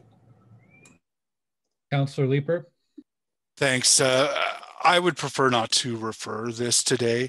Uh, I think there are a lot of questions. It's a complex topic, uh, and I would like to be voting on a uh, on a report that has background, um, outlines the pros and the cons, uh, rather than dealing with an omnibus item. Uh, I just think that this planning committee would benefit from a bigger explanation than um, than voting on an omnibus item. Give us a report to consider uh, and uh, the opportunity to uh, to pose questions to staff um, with a, a, an otherwise very busy agenda rather than um, just sort of punting this into a, a, conversation between residents and planning staff one on one. I see Leanne Snedden has her hand up from staff. Leanne? Uh, thanks, Acting Chair. I just, uh, council with the uh, request for a report forward and just in support of my colleague, Mr. Herwire. They're right in the midst of the official plan and dealing with that new OP, and it's his team that would be responsible for this omnibus report. And as we've heard through the discussions today, this is an administrative matter uh, with respect to bringing the zoning into conformity. Currently, right now, as it states, uh, Councillor Moffatt has indicated that this the decision has already been made with respect to the, the mapping. The RVCA has completed their work. The amendment's been made. So this is just administrative. So I, I don't see that the staff resources at this point in time would be uh, applicable to establish a report. Uh, we, we, we can commit to informing and discussing and ensuring that the community association is educated on any of the issues or, or non-issues, as Hugo um, uh, Lalonde has pointed out, with respect to those applications of the, um, the decisions that the RVCA has already made. So I respectfully, I would, I would uh, be inclined to suggest that uh, if council were to discuss this at the next meeting, it would be uh, advantageous, but uh, the time that would take for a staff report would further delay something that a decision has already been made on. Thank you, Mr. Acting Chair. Okay, thank you, Leanne. Okay, we've had a lot of discussion on this item. Um, are there any other questions for staff on the omnibus report?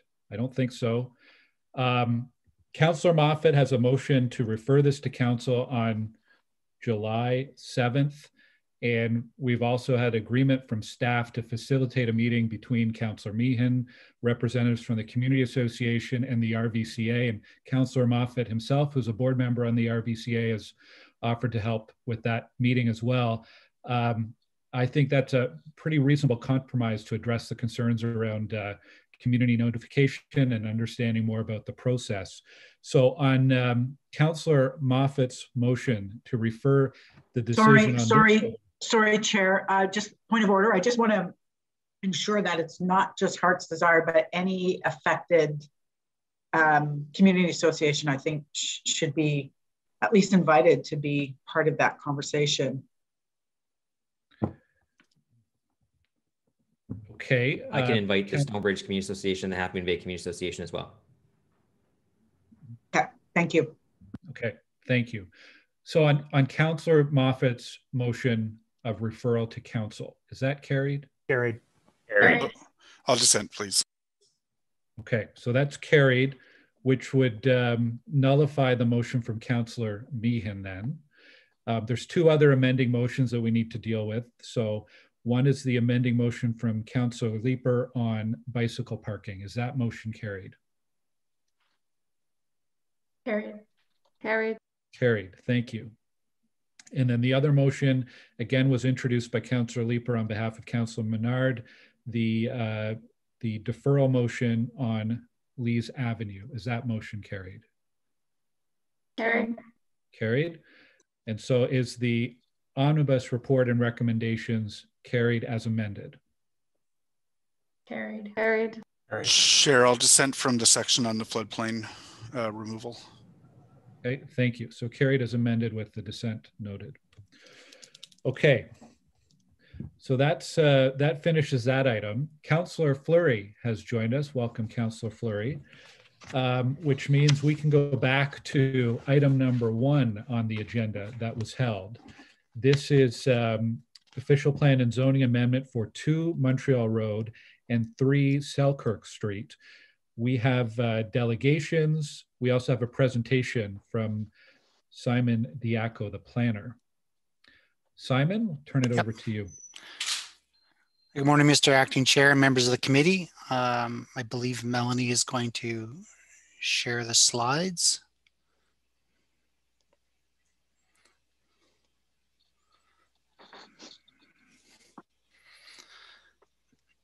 Thank you. So I'm the file lead for the applications under consideration today.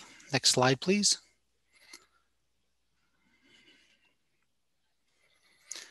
So the property is located um, east of the Cumming Bridge in the Vanier community. It has frontage on four streets, Montreal Road, which is a traditional main street, Montgomery Street, Selkirk, and North River Road, abutting the park.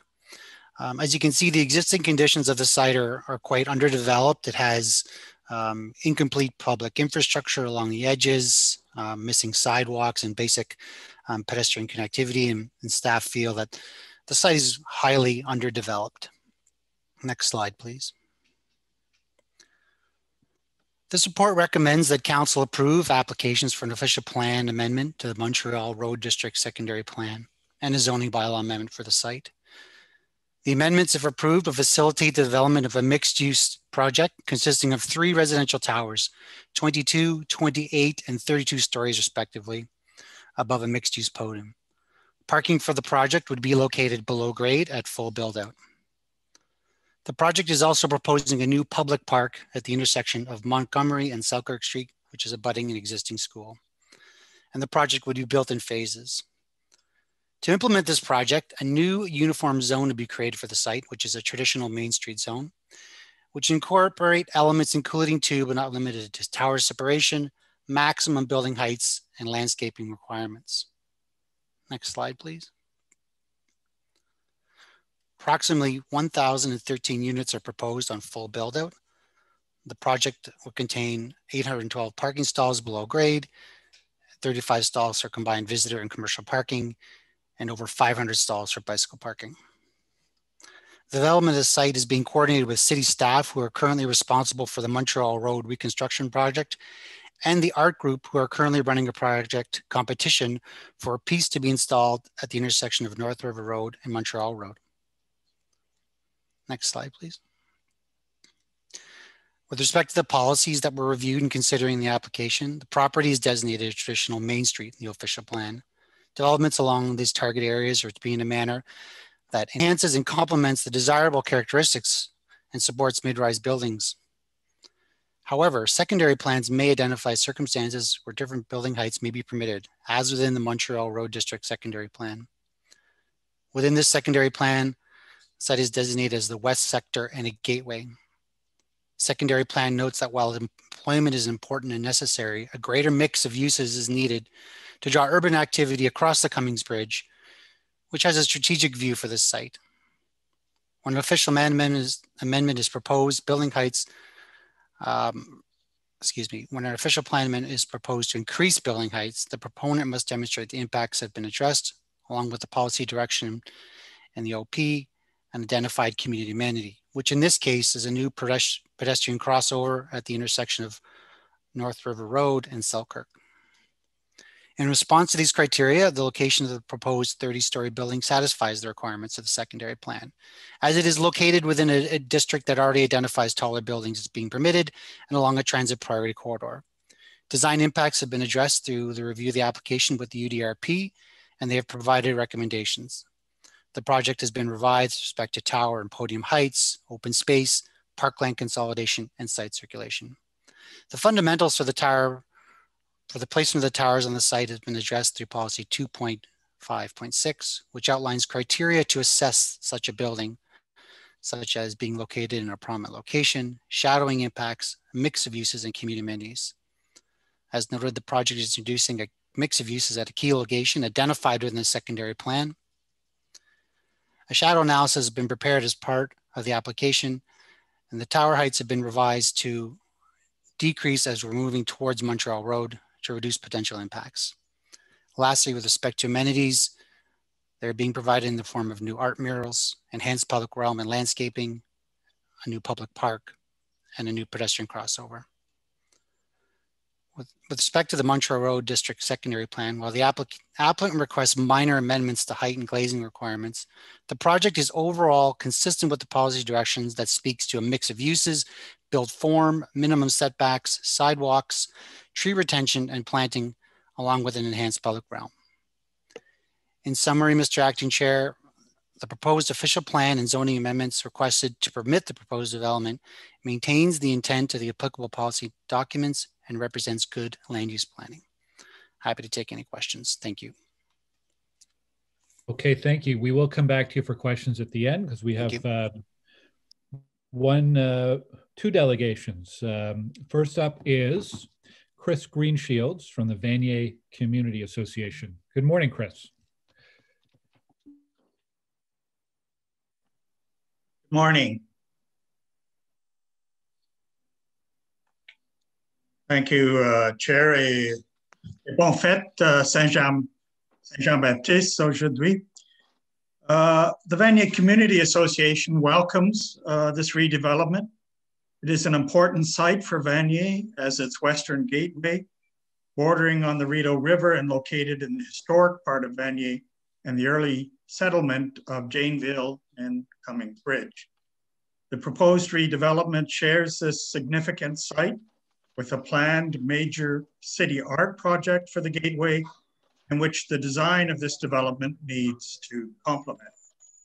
Montreal Road District Secondary Plan was an important planning tool in providing policy direction for the project. The VCA has worked actively with Main and Main over the last uh, 18 months. We have been encouraged by their efforts to reach out to the community, to engage on it, and to better integrate the project into its immediate surroundings and to reflect its history, including through a contemporary interpretation of the existing murals. UDA, UDRP played an important role in recommending many of the goals which the VCA set for the development. The VCA, however, does not support the official plan amendment to permit greater height from a 28 story limit to 32. We think it is important to respect the secondary plan, which already provides substantial height increases from the existing zoning the uh, development also needs to uh, take into account the uh, residential neighborhood to the north and its shadowing effects. This development forms part of what we call the Ring of Fire in Vanier's uh, western sector. The project is part of a dozen projects completed, under construction or planned along Montreal Road, Vanier Parkway, North River, and MacArthur. This will add about 2,300 new residential units to the immediate, immediate vicinity, adding about 4,000 new residents to Vanier's population of, of more than 17,000. Together with seven to 800 new employees at the new Canadian Cybersecurity Center on the Parkway. VCA welcomes this project's proposed new ground floor commercial space, which will contribute to Montreal Road's revitalization and promote an active and urban Rideau Montreal corridor east of downtown. We are pleased that we could get agreement on a consolidated park space, which uh, Vanier sorely lacks, and the reconfigured design to make the new community more integrated into the neighborhood and avoided, avoid a gated uh, presence. We look forward to discussing specific community benefits. All these developments will have significant impact on the Western sector and its existing residential areas. The traffic impacts need to be managed in a holistic way, and we welcome plans to convene consultations with the city to this end. We also support the increased setback along Selkirk to allow tree planting.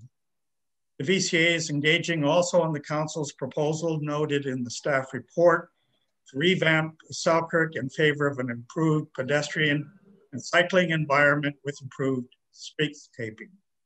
The areas adjoining Selkirk are also expected to experience significant further densification through redevelopment. And it is important that the city's infrastructure be improved to address this to ensure quality of life for residents. VCA looks forward to the continuing conversation in the context of the site plan control review process in coming weeks. Merci and thank you. Thank you, Chris. Uh, Leiper has a question for you. Yeah, thank you uh, very much, Chris. It sounds like the VCA is is largely in favor of a lot of aspects of this project. It very pragmatically recognizes that this is a lot where there's going to be a, a tall, dense development, and there's been a lot of uh, nods to the community with respect to park space, public realm, in which the uh, the developer has sought to be as sensitive as possible. It does does your opposition just come down to the height going from 28 stories as outlined in the secondary plan to 32 stories. Um, and I, I will ask the developer why why they they want to sort of poke the bear on on having to ask for that OPA. Uh, you know, four stories makes a difference when we're talking about going from a four story building to an eight story building uh, on a on a traditional main street or a residential lot. Um, but I I'm I'm trying to see what the quality of life impacts are for four stories on a building that's already you know close to 30 as it is. Is that fundamentally the opposition is is on principle going beyond what the secondary plan called for? Yes, I think so, because uh, as mentioned, um, the secondary plan is is uh, is is important, and there seems to be uh, a tendency to challenge it. You will be uh, uh considering uh, in future weeks an adjoining property proposal at 112 Montreal Road, which will go will seek um, increase in height limits from 18 to 30. So um, I think it's, we recognize that this is being described by uh, city staff as a minor uh, amendment, but uh, sometimes these minor amendments tend to be uh, interpreted in a very wide, uh, wide way. Say, okay, four, well then let's take a number, uh, take 12 stories in, in increased height. So that's, that's the, the base of our concern. Okay, uh, and it sounds like uh, you're concerned that uh, you know the additional height at this location uh, creates a a different planning context from what was envisioned that begins to open the door to greater heights uh, elsewhere in the uh, secondary plan area. And in, addition to the shadowing effects, particularly in winter. Okay. And I might add, there's another project across the river which will have the same similar impact on uh, the uh, area that I'm speaking. Okay, um, that's good. Thank you very much, Chair. Okay, thank you. I'm seeing no other questions. So thank you, Chris, for your presentation today. The next delegation is Emily Rukian from Main and Main. Good morning, Emily. Uh, good morning. I, um, I'm Emily Rukian from Main and Main. Thank you, Chair, for having me here. Um, I, I didn't have an exact presentation, but I'm available to answer any questions um, the committee members might have. Okay, uh, Councillor Leiper has a question. Uh, thank you very much, and uh, Emily, thank you. And you heard my discussion with uh, mm -hmm. with Mr. Greenshields just now. Uh, residents are mistrustful of City Hall and its intent to follow through on things like secondary plans, uh, which is going to make uh, an official plan that sees even greater densities a very controversial um, proposition. Why, why are you seeking the height beyond what the secondary plan calls for? Absolutely. Um, well, I, I, I will start by saying that we have worked very cooperatively with uh, city staff, um, the UDRP, uh, and through Chris Greenshields and the uh, Community Association, as well as Councillor Fleury over the last year, um, to address a lot of the comments that um, we've heard from, from all of those stakeholders, including the VCA. Um, and as a result, we have drastically uh, revised our massing plan and site plan design to address those comments. Uh, which is which has resulted in the plan that uh, Simon just walked you through today. So we're very pleased with with how far we've come and, and the design um, revisions that we've made to get us there. Uh, to touch on the the height um, request that we have to go from 28 to 32, I will note that we have not maximized the total GFA that we could have on this site. Um, we could have come in with with three towers of 28 stories each and and complied um, with the with the um, secondary plan, and we've chosen not to do that for many reasons. Um, we're proposing actually a lower um, per, uh, floors. We're proposing less floors than we could have uh, to comply with the secondary plan. We're providing a variation of building heights along the property, um, and as uh, sorry, but I think Simon or, or Chris Greenshields mentioned, we've actually proposed a lower height along Montreal Road to address the shadow impacts to the re low-rise residential neighborhood. Um, so by providing a variation of, of, of, building heights on the site, we have 22, uh, 28, and 32 stories. Um, it provides better, a better skyline, a better urban design, um, adherence to, to, urban design principles, and less shadow impacts. So it was a very um, deliberate um, um, variation of building heights to address all of those matters. So it's a, a rearrangement of the of the density um, into the uh, into the taller tower. Uh, could you make this work if the uh, by maintaining the existing building heights elsewhere and reducing this one by another four floors? And but we would uh, yes, but we would not be able to then adhere to you know the other principles that we've been trying to maintain on site, which is um, you know better urban design, better shadow impacts, better height variation uh, as you go along the site. It's a very large site, so as you move around the site to get that variation, um, you know we, we felt that that was really important to not just leave the community um, with you know three towering buildings in the community, but to, to have an actual height variation um, and, and better urban design. Chair, I'll leave it there. Thank you. Thank you very much, uh, Ms. Rukin. Okay, thank you. Any other questions from the committee? Uh, just uh, final words, uh, Mr. Chair, if you don't mind, not not relating to the uh, delegations. Well, uh, thank you, Emily, for your presentation. Are there any questions for staff before we move on? Okay, Councillor Fleury. You oh, I believe uh, Councillor Leiper had his hand up. Yeah, sorry, I didn't get my uh, raise hand, uh, real life one.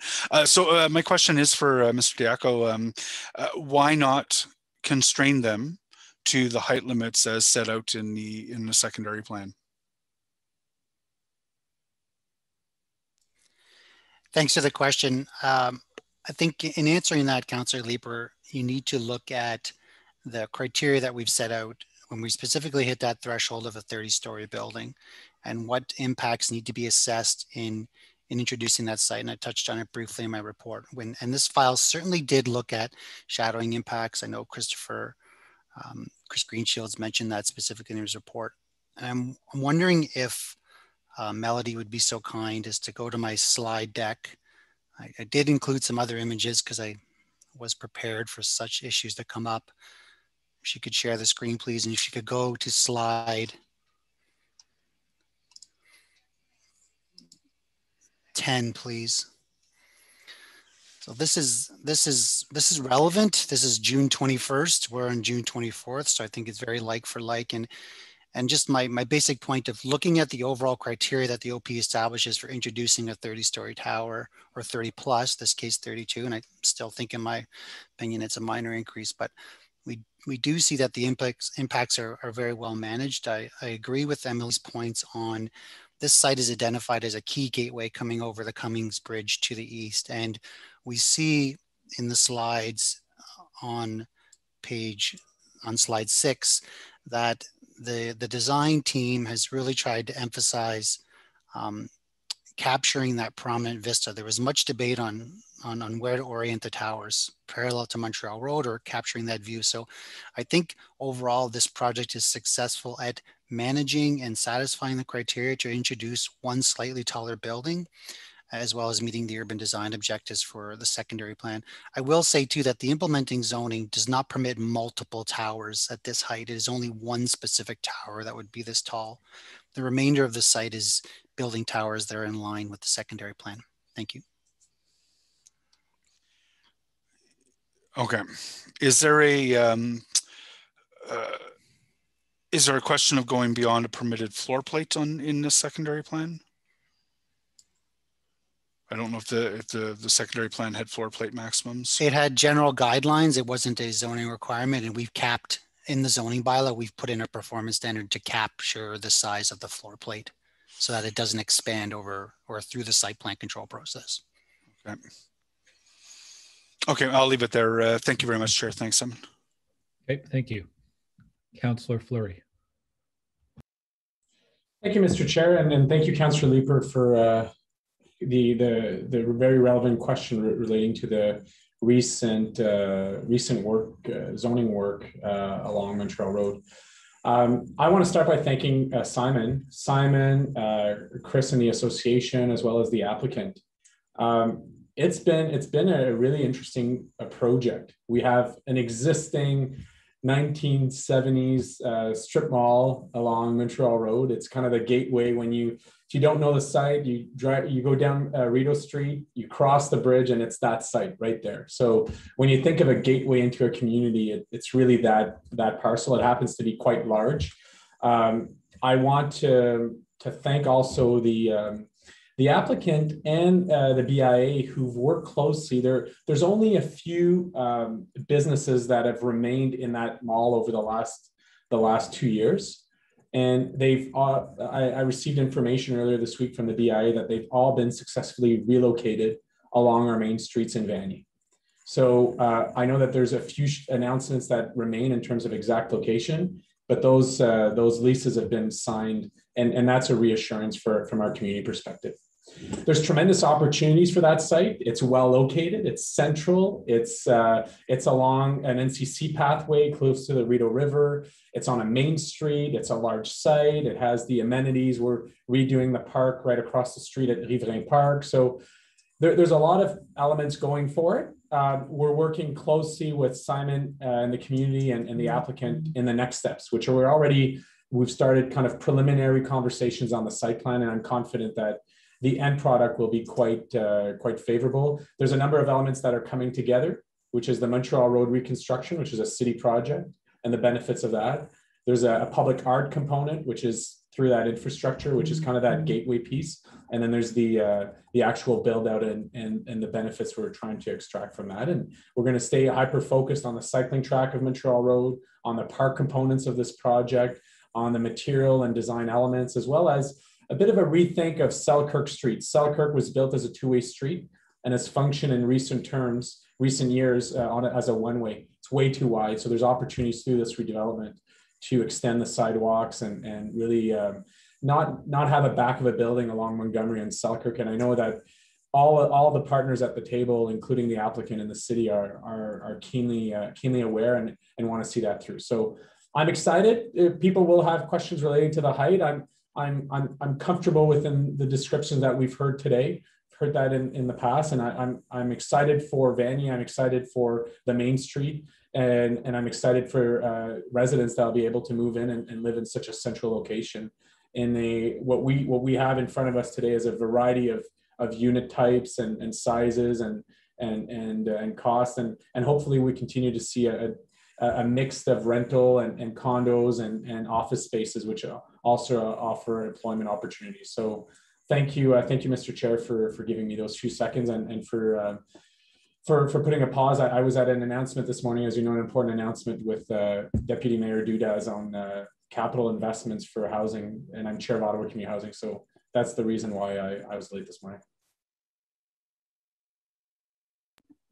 Okay, thank you, Councillor. That's a good reason, I think. Um, there's uh, no other speakers on this item, so uh, are the report recommendations for 2 Montreal Road and 3 Selkirk Street carried? Carried. Carried. Carried. Okay. The next held item is also in Rideau Vanier, and it is 216 Murray Street. We do not have a staff presentation, but we do have a number of delegations. So uh, first on the delegation list is Jeffrey Hall. Jeffrey, are you with us this morning? Acting Chair, I just sent you a message. Actually, he's unable to attend.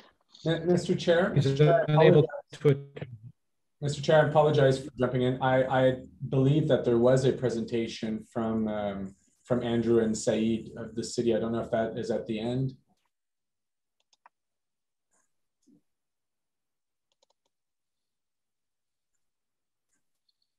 So poor internet connection right now. I think what I heard Councillor Fleury say was uh, there may be a presentation. Melody, can you confirm whether or not we have a presentation? We do have one if you'd like it, Chair.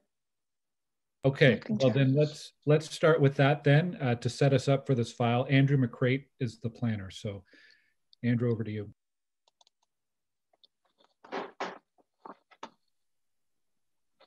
Good morning, Acting Chair. Can you hear me? Yes, we can. So the presentation that Melody has is actually a, a combined presentation um, with housing, my, my colleague uh, Saeed Saya, who I think you're all very familiar with. I think he's gonna start the presentation to go over um, some of the development proposal and how it's tied to the, the Rapid Housing Initiative. And then I'll complete the presentation on some of the planning as aspects of the proposal. Okay, welcome Saeed. Thanks, Andrew. Thank you, Chair. Okay, I'll just wait for the presentation to be up on the screen. So thank you, Mr. Chair and members of committee. Um, I'll, we'll get right into it with the first slide, please, Melody. Thank you. So what's before us today is on a proposal for an eight-story building at 216 Murray Street. It's located on a property behind the Shepherds of Good Hope shelter, which uh, fronts onto King Edward. This project is funded by CMHC's Rapid Housing Initiative and the City of Ottawa, and its purpose is to provide permanent supportive housing to individuals experiencing homelessness. Uh, Shepherds of a Good Hope is the owner and the the the um the oper- will be the owner and the operator of this specific building. Next slide. So the building really has three main components. One is uh, the, soup kitchen would be relocated from 233 Murray at well 2, 216 Murray. And one of the main key components is the addition of a low barrier drop-in center on the ground floor. Uh, this will be open to anyone in the community and notably a, a lot of the the on-street uh, homelessness that uh, many of the residents um, will likely speak about today. This will provide enhanced social and recreational programming for clients um, of Shepherds of Good Hope. It expands the security presence as well to 24 7 based out of this building. And one of the key components in this proposal that both Housing Services and Shepherds of Good Hope has agreed to is to reduce the number of permanent shelter beds um, to match the number of units being added to this site. So we've both agreed to reduce, you know, 48 shelter beds. Once um, the, the supportive housing is up and occupied and operational at uh, 216 Murray. Um, this will provide stable housing with supports for people with mental health, physical health, and substance abuse um, issues. Next slide, please. One thing I, I, would like to highlight before Andrew gets into the, the planning aspects of the of the development is that we are funding Shepherds of Good Hope as well as other uh, housing providers and supportive housing providers to build supportive housing for people, uh, for chronically homeless men and women, youth, um, etc., um, across the city. Uh, the projects listed on this slide are only the projects with Shepherds of Good Hope. They do not um, include, you know, over I think 150 units with uh, John Howard Society, Cornerstone Housing for Women, or Salus, just to name a few. Um, in this case, um, you know, we could see that Shepherds of Good Hope will have uh, near the beginning of next, next year, the first quarter of next year, over 337 units of supportive housing, of which 254 will be outside of Ward 12.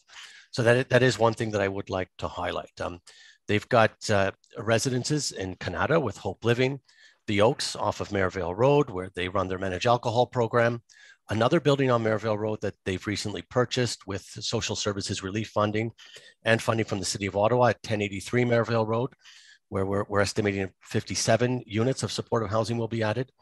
Uh, St. Andrew Street with 35 units, that, that is in this ward. Um, Murray Street, which is the one we're discussing today, and 765 Montreal Road, which is a new uh, supportive housing development, which has 42 units and recently opened earlier this year. So this is a, a key strategy that Housing Services is working very closely with Shepherds of Good Hope on to transform the, um, you know, their shelter services into permanent supportive housing. Um, and, uh, and this is, we, we believe that this is a key and vital component uh, to add to the Shepherds facilities at King Edward and uh, Murray Street that would really help with a lot of the issues that are raised by residents and also, it makes the space safer for clients uh, using Shepherds of Good Hope services and uh, emergency shelter, as well as staff who are serving the clients um, as well. And, and Deirdre uh, Freiheit, the executive director of Shepherds, could also speak to this, some of the, the benefits that um, you know that this development will provide to to both shepherds, but more importantly, their clients in the uh, in the Byward Market and Lower Town. Next slide so Andrew, I guess I'll hand it off to you at this point to talk about the uh, specifics of the zoning amendment. Great, uh, thank you, Saeed. So acting chair and members of committee, the proposal before you is for an eight story mixed use building. It contains residential dwelling units in the upper, upper floors, as well as a community health and resource center in the form of what's been referred to as the drop-in center on the, on the ground floor and second floor. The zoning amendments itself are mainly to do with uh, increase in height from 21 meters to 33.5 meters, reductions in visitor parking, some reduction in landscape area and amenity area. And those are zoning amendments that are needed to facilitate this development. Uh, the current slide is a location map. I think everyone's very familiar with the location near the corner of King Edward and Murray Street where the Shepherds of Good Hope facility currently is. And this is the one site over to the west. and it's uh, it's currently uh, has a one-story commercial. Next slide. So this image is the revamped space for the gathering area and amenity area at the front of the site. So this is the image that you see along Murray Street. The changes were made as a result of um, comments from our urban design review panel to really enhance the, the vision of that space. They've made room to add a planter, which could get a, a, a street tree there. And then you see the entrance there to the Community Health and Resource Center, as well as the second floor there's an amenity balcony there, which is, is tied to the, um, the lounge area for residents. Next slide. This is just a different perspective of that amenity area. So the applicant team can touch on it more, but they've been working very closely um, with an Indigenous consultant. And the idea was to add in some of those, those warmer colors, uh, wood tones and the yellow from the indigenous, indigenous medicine wheel. And that wall that you see framing the gathering area it starts as a low height so that it's very visible from the street. And as it wraps around the corner and to the rear of the site, it starts to get taller. So it creates a really unique design aspect of being open and welcoming from the street's perspective, but a high, higher uh, wall at the rear uh, for more privacy for the residential buildings in behind. Next slide, please. This is just uh, a, an excerpt of the site plan itself. So the two sites, 216 Murray and 235 are jointly owned by the Shepherds of Good Hope. So they have the benefit of designing the site um, as one for, for site functionalities such as um, waste collection and loading will come in off King Edward as part of this plan, go into the site, they can back up on site and pull back out onto King Edward. And at the rear, you see some more landscaping area and bicycle parking. The image is the current elevations. Uh, again, lots of changes were made as a result of UDRP, bringing in some different materiality, enhancing that gathering space, and looking at um, adding some of that red brick indicative of the Heritage Conservation District across the street. Next slide. The subject site is part of the Beechwood Cemetery view plane protection, and we did a thorough analysis of what the proposed height would mean relative to that view plane in terms of the actual view plane corridor itself, the very top of the building does um, slightly breach that view plane from a, a, metrics perspective. But if you look at these slides and the work we've done, really the, the image on the left is how you would, the, the existing view from Beechwood Cemetery. And then the image on the right is where you see the building. You'd really have to zoom in to see that building. So in our view, uh, both views from Be Beechwood Cemetery have maintained that view protection to Parliament Hill and do not have an adverse impact, which in translation satisfies the policy framework for view protection. Next slide is the second perspective from Beechwood Cemetery. Again, you can see that even with inserting the image of the proposed building, which is on the bottom right, and then really zoomed in in that circled image, does not alter the experience or view of Parliament from Beechwood Cemetery.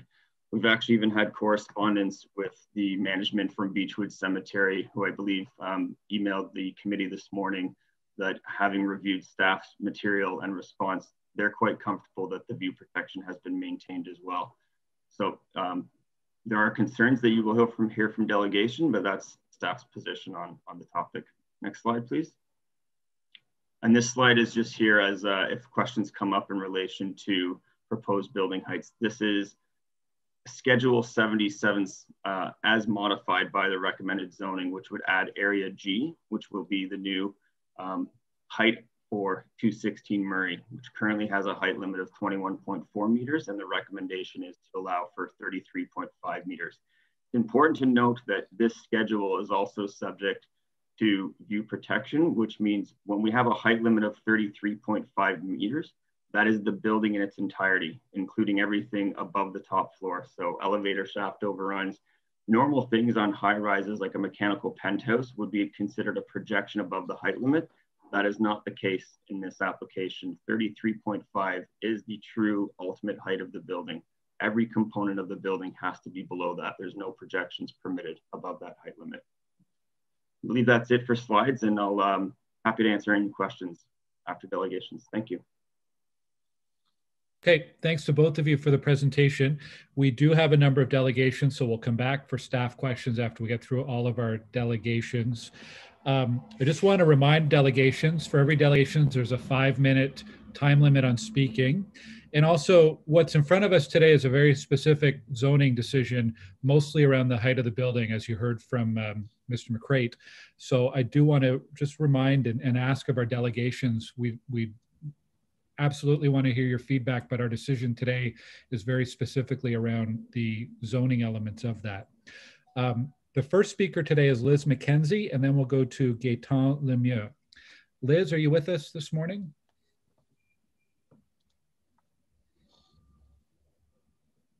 Yes. Good morning, Liz. Yes. Welcome. Good morning. Good morning. And we have your slides up on the screen. Yeah, good. Uh, good morning, Chair, Councillor, staff, and thanks, Melanie, for managing the slides for me this morning. I have just four slides, and I want to confine my comments to the safety issues.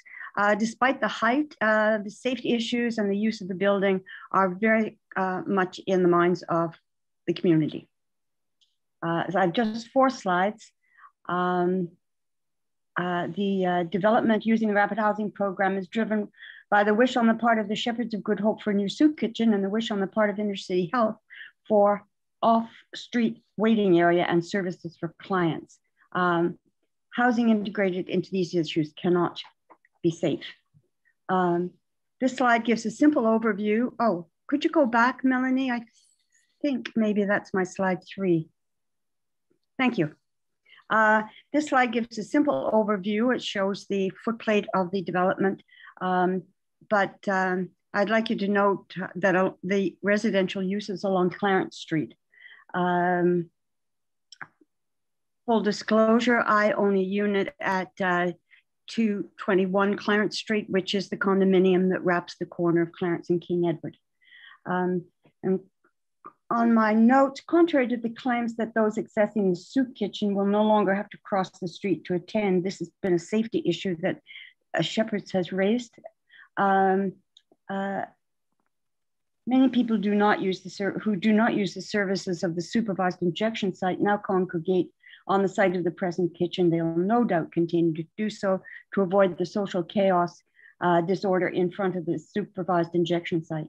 Crossing Murray Street is not a hazard for these super smart street folks. And the second item of uh, which is as uh, uh, as an issue of uh, danger uh, and unsafe practice. The danger arises because clients of the Shepherd use the King Edward Avenue sidewalk as a gathering place, often spilling across this gateway that is to be used as um, the entrance for the trucks. Um, truck traffic here will be a clear danger. The noise from these vehicles reaching the backyards and bedrooms of neighbors adjacent on Clarence Street will reach industrial levels. These issues will only be resolved if flag person is available to escort trucks in and out of the property. Next slide, please. This is a representative representation of a neighborhood under siege. If it looks like a war zone, it's because it is a war zone. We have become a gated community there's danger on the streets adjacent to the Shepherds of Good Hope and the uh, supervised injection site operation, threats to residents, violence, and property damage. It is no place for vulnerable women to be housed. The gating on all properties show clearly the level of security that all neighbors on all sides of the SIS and the shelter need. Note the secure mailboxes, an indication that personal mailboxes are no longer safe. It is clear that owners have graduated to taller and taller fences with one owner of five houses, adding privacy screens on all of his windows so that tenants do not have to experience the chaos on our street. Tenants use a rear entrance to have a safe distance from the street. Next slide, please.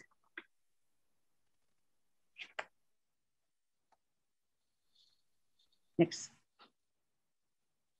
Next slide, please. Thanks. Um, Lower Town is a neighborhood where no one is safe. How will how will vulnerable women be protected in the Murray Street housing? Well, how unsafe is it really? Well, the Uber app denies service to the area. People are threatened on the street. Mail is routinely stolen. Home invasions are becoming a new threat, and discarded needles are everywhere. Um, in 2019, in Rideau Vanier, nearly 18,000 Discarded needles were collected. Uh, and uh, this is increased by 30% to 23,000 now. Um, the repeated reference to a um, uh, to a health and resource center is contrary. Oh, uh, next slide, please. The repeated reference to the um, uh, health and resource center um, is contrary to the official plan. The official plan prohibits a health and resource center where either overnight care or living accommodation is available. Such a center is a key element of this proposal. The PPS also addresses public health and safety in relation to housing options, saying growth is to be focused away from areas which may pose a risk to public health and safety. And it also says avoiding development and land use patterns which may cause environmental or public health and safety concerns. Liz, that's uh, that's the time at five minutes. So thank you very, very much for your presentation today. Okay, very good. Are there are there any questions for Liz? I'm not seeing any from the committee, so we'll go on to our second speaker, uh, Gaetan Lemieux, followed by Sandra Milton next. Gaetan, are you with us?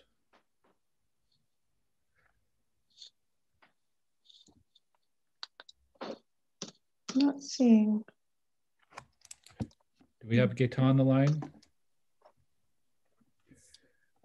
Okay, Gaetan stepped away for a second. Can we come back to him in a minute?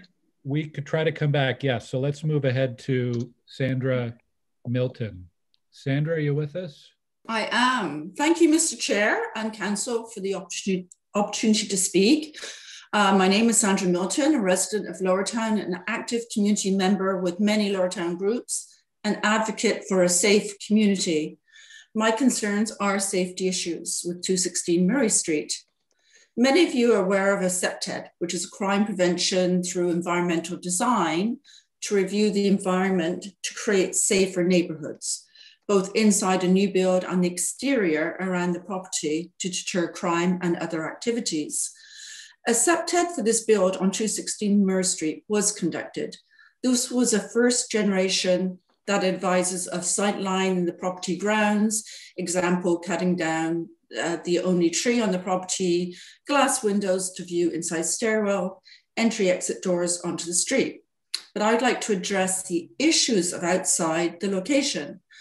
Murray Street is a main arterial road in Ottawa, used as a gathering place by the residents and visitors to the shelter and injection site. A sidewalk is not a park.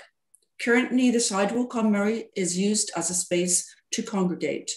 A sidewalk is not a place to line up for clients of the shelter for those requiring the new soup kitchen, required and used by street living people and those requiring a meal.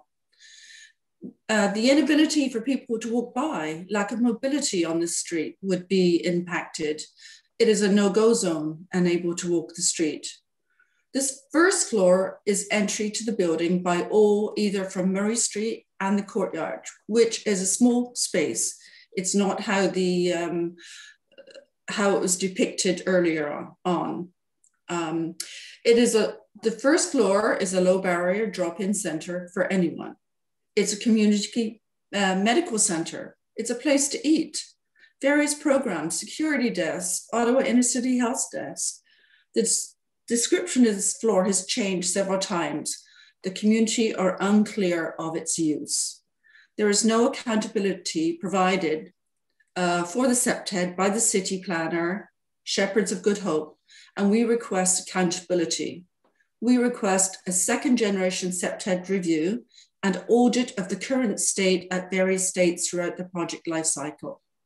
The second generation will ensure this loca location provides integration into the community, capacity, strategy to guard against land use that detract from safety in place, connectivity programs to link neighbors with other areas, um, and engage with neighbors. The 216 build combines the drop-in center and soup kitchen, plus housing.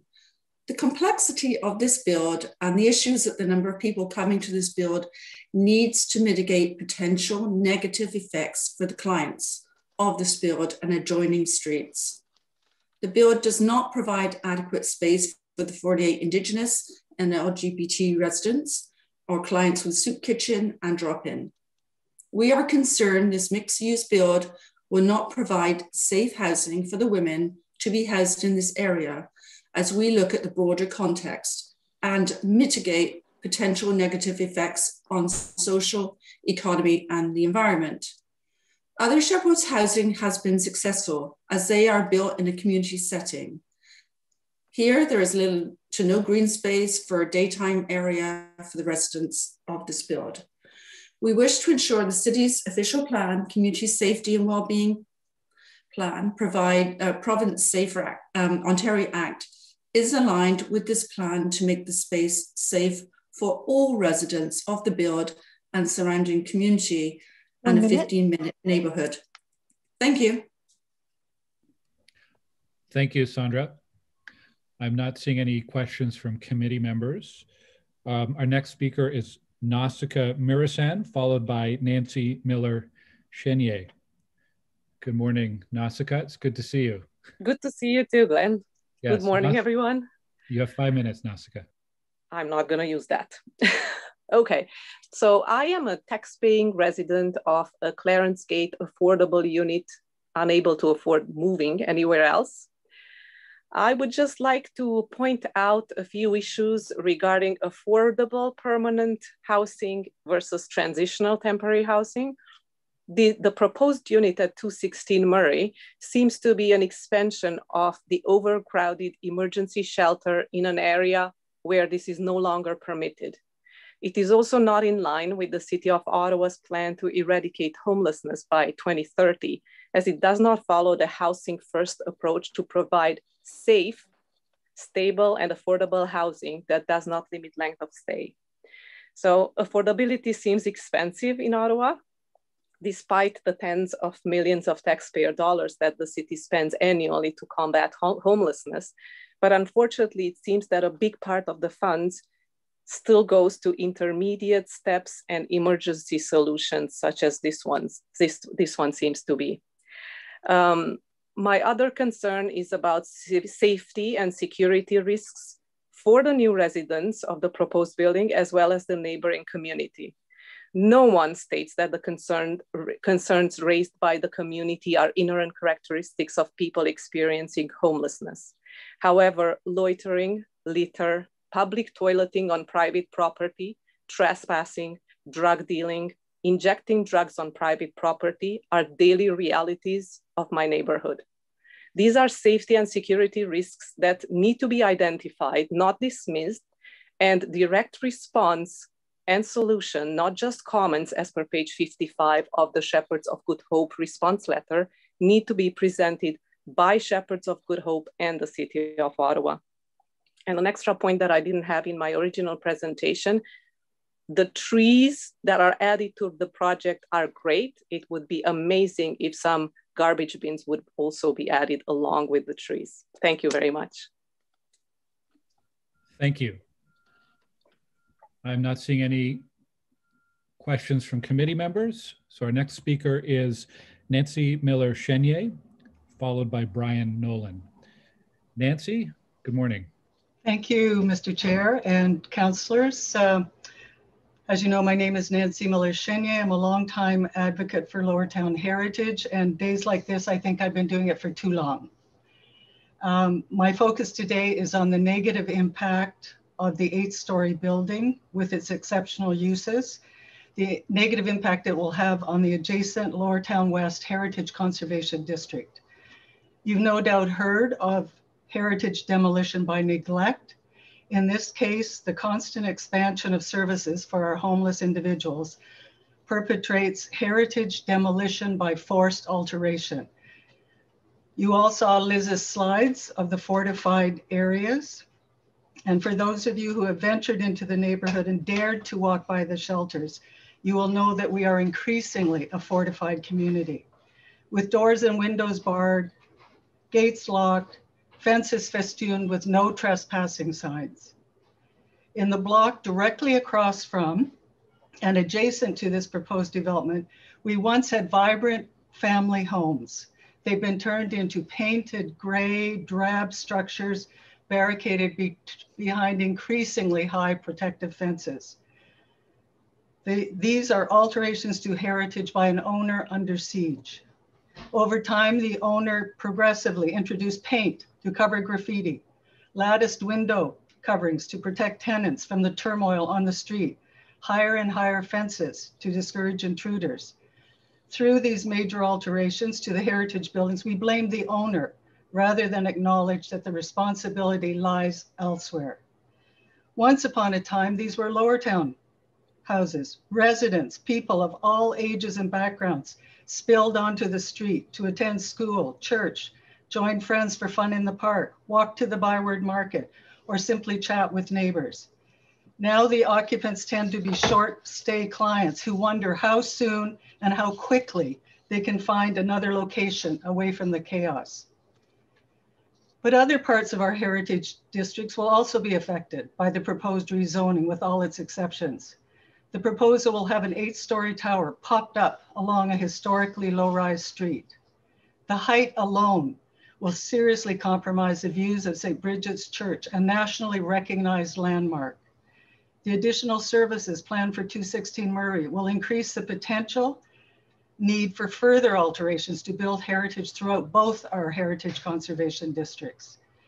This rejection of the proposed development is not about putting historic buildings before individuals.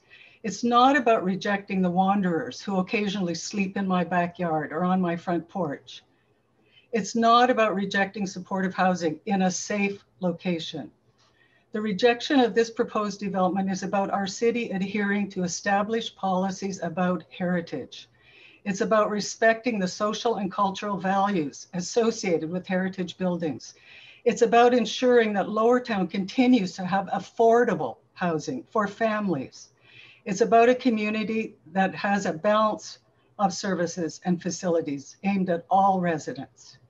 The provincial policy statement and the official plan both speak to the importance of heritage. For example, the PPS stresses long-term economic prosperity is supported by encouraging a sense of place by conserving features that define its character. It also emphasizes that planners must demonstrate that development adjacent to protected heritage property will not lead to alterations in the heritage.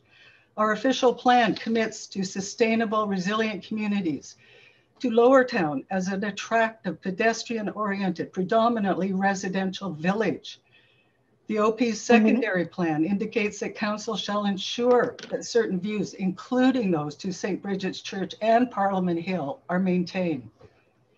As a committed longtime member of the Lower Town community, I want zoning and development that builds and sustains a neighborhood.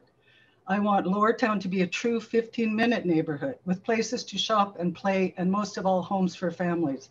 I want Lower Town to be seen by residents and visitors as a historic destination with an economically and socially healthy and stable community. Please help us on this. Thank you. Thank you very much. Not seeing any questions from committee members. Thank you, Nancy, for your presentation. Brian Nolan is our next speaker, followed by Katya Kardashova. Brian, are you with us? Yes, I am. Thank you. Um, good morning, acting chair and committee members. Thank you for the opportunity to speak today. Uh, my name is Brian Nolan. I'm a, I'm a resident of Lower Town for over 25 years, and I'm an owner for over 15 years. Uh, I want to speak today to request that you reject the recommendation of staff to, to approve the proposed development at 216 Murray Street in its current form. I'm hoping you will demand better, uh, much better for our city, our residents, and our businesses. Uh, with five minutes, I'll try to focus quickly on four points. Um, first of all, the, the, the, development application consultation process. Um, the report states that the notification and public consultation were undertaken in accordance with the public notification and consultation policy approved by council. Um, if, if this process that I've experienced is, is what is considered approved, it, it's, it's somewhat disappointing, I'll, I'll be honest. I, I, would characterize my experience here of the end-to-end process as, as being a little autocratic, opaque, and with a predetermined outcome that aligned with, with political agendas versus really focusing on the holistic well-being of the targeted clients, uh, of the project, of the city, of the surrounding communities, families, and businesses. Um, the building height, my second point, um, you know, I, was kind of shocked to see that uh, staff are satisfied with conformity statements. We're, we're, scattered throughout for pretty much everything. Um, so bylaws and zonings are we're bent in, in, in, in, different areas. So again, we already talked about the, the view plane, which there is some there is some issues where it's above the view plane, but it's approved as is. Uh, the report also incorrectly states that the proposed height is consistent with similar heights in the buildings and the immediate surroundings, which really is not the case. Everything around here is two, three stories in the area. Uh, the exception is, is that height. The second, the third point is the planned services for the building. So um, my understanding is that this is part of the rapid housing initiative. It, it's not the rapid kitchen initiative. It's not the rapid drop-in center initiative. Um, and, and, when you put all those th three things together in the same building, what, what you get is another shelter. Um, and, and that's prohibited by zoning in our ward due to existing oversaturation of shelters and social services that have made this ward dangerous, violent, and barely livable. Um, you know, even refers to this as affordable housing in, in the report. And, and, a 10 by 10 room publicly funded is nowhere near affordable housing. This is unfortunately a complex shelter. And, and this approach has led to the size ballooning from the original three stories proposed to now an eight story mega shelter complex. Um, we all know that we need housing. And if we want to do that, let's take this money and build true housing where people can heal by living safely with their families and having the appropriate green space. Um, you know, there, there, there's other options here. Um, finally, my last point is the security. What was mentioned, the, the crime prevention through environmental design, which the report says no major issues were identified. I, I, I would, I would invite everybody to go and have a walk, bring your families and go have a walk there uh, this evening on a nice warm day and tell me that there are no major issues. Uh, that, that was extremely surprising. Um, and, and, concerns have been brought forward by this out through the process, but a lot of it seems to be as put outside of the purview of this process. I don't know what purview it falls under. And, and I'll leave you with some final thoughts. Some you've heard already. Um, you know, last year, I think it's a range of 20,000 discounted, disc, discarded needles found in Lower Town.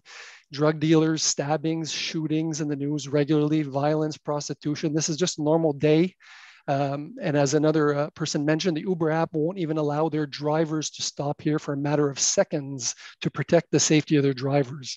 But, but somehow today we're, we're, we're talking about a recommendation that this is a good place to build uh, housing in the epicenter of, of this violent chaos, the most dangerous city in Ottawa. This is extremely dangerous for anybody to live. And to make it matters worse, this is being targeted for vulnerable Aboriginal women. Um, so when something bad happens, there's going to be answers. Um, so th thank you very much for your time today. I, I, appreciate it. But I think before talking about housing here, this the injection site issues need to be cleaned up and the whole block cleaned up to make it safe. Thank you again for your time. Councillor Fleury.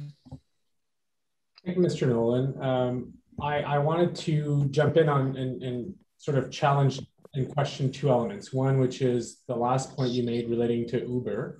Um, I've been in communication with uh, the chief of bylaw services.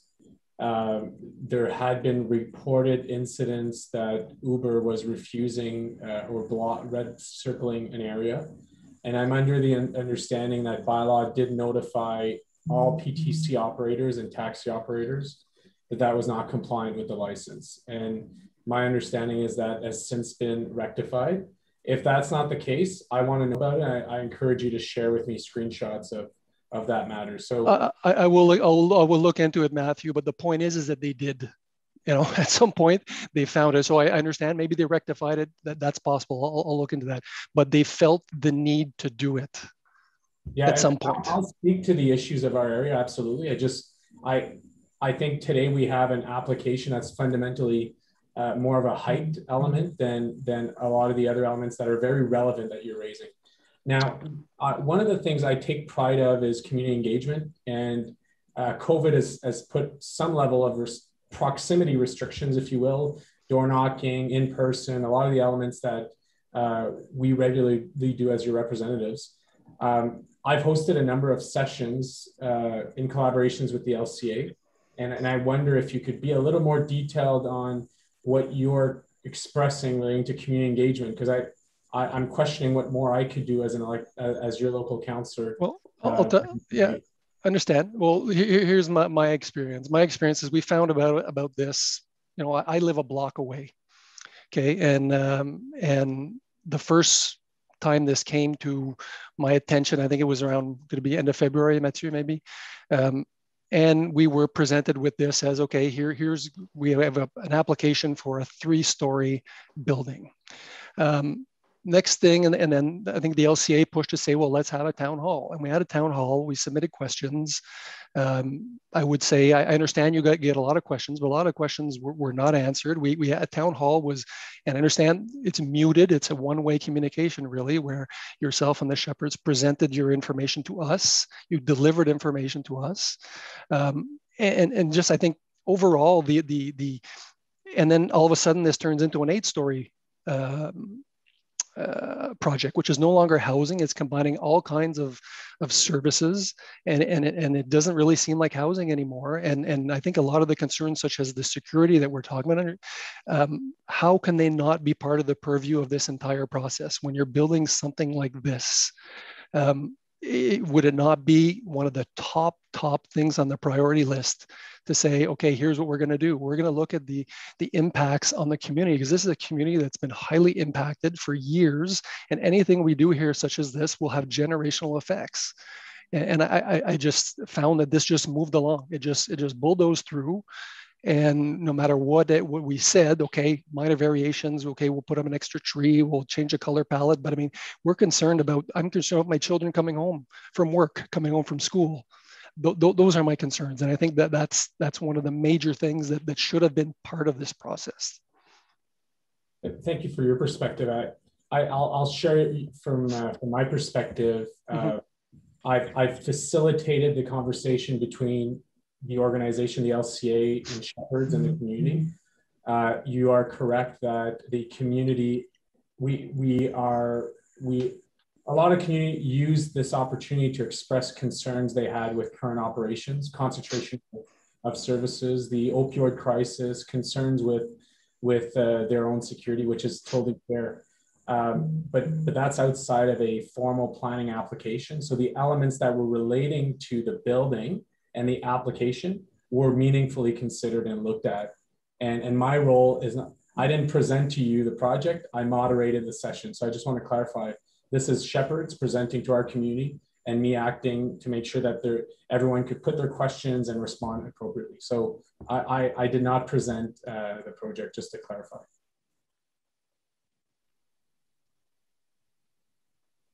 Hey, thank you, Councillor Fleury. Thank you, Brian.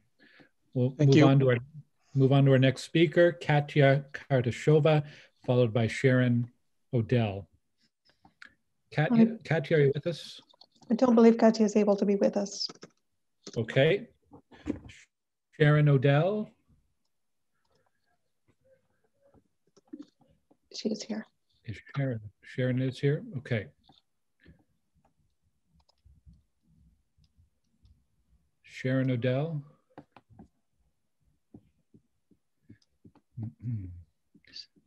Just needs to unmute her microphone.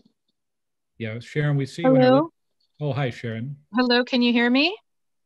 We can, and you have uh, five minutes for your comments. Okay, yeah, I'm I'm sorry. I had uh, another meeting I had to get out of to get into this meeting. So just let me have a moment here to just pull this up very quickly. Okay. Yeah, a lot of juggling of uh, many things at the same time. And I'm sorry I don't have my camera on, but I have two children behind me in school, their last day of school. Okay. so I'm really juggling. So uh, the reason why I would like to speak today um, uh, would would be to uh, on behalf of myself and my Clarence Gate um, neighbors because we did win an award in January 2020 for the best community communication with the Shepherds of Good Hope staff. And we would like to uphold that community communication today in the same respect. And due to community concern about the um, the 216 Murray Street development, I'm also speaking on behalf of the homeless Indigenous clients I've communicated with who presently use the Shepherd of Good Hope facilities and that of Shepherd of Good Hope staff who would also like to comment on this development project too, but are afraid to do so possibly uh, due to reprisal.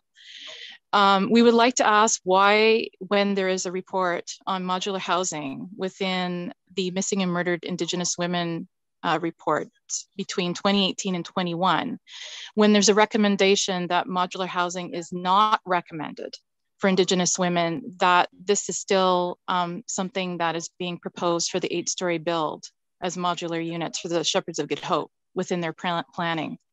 I have questions concerning the consultation process with the Indigenous and Inuk women, as it has been very vague as to what communication has happened and with whom to have the present building plan. If it has perhaps not been um, fully uh, you know, considered, then it could be conceived by the public, which it is kind of now, through the public. Actually, more often I'm hearing this, that it's a, a, product of the colonial system, pressing what others think will be good for them. The Shepherds of Good Hope has a Catholic Church background that has not had good press lately in reference to Indigenous well-being, especially with the history of residential schools also run by the Catholic Church system. And this is why I've, I've brought this up. The other thing I would like to ask is about the temporary space for the picnic tables and porta potties that is being proposed to the Shepherds of Good Hope this summer in 2021, and something that I see uh, the idea of in the plans with the Shepherds of Good Hope going forward. But it's said to be temporary space right now, and I'm hoping that this would be more permanent. And the plans that I see at moment don't have enough greenery. They just have the trees as dotted after um, site. And the space seems to be really small and the focus again is on the, the loading dock and the truck um, getting the supplies in to what would be uh, kitchen needs and a drop in for injection. So there's multi-uses here and there's a, a lacking lack of planning in this regard. The other comment I wanted to, to, to indicate is that there's dangerous exposure to vulnerable women in this area. With the concentration of crime that uh, occurs, Shepherds of Good Hope um, has not seen the other women's shelters in Canada for comparison. Other examples, such as those in downtown Toronto, Montreal, the Indigenous women housing has low rise away from the concentration of other shelters and crime hotspots. They are situated in safer areas, actual permanent green space for cultural use. And if they do lack in this, they are hoping to go in that direction.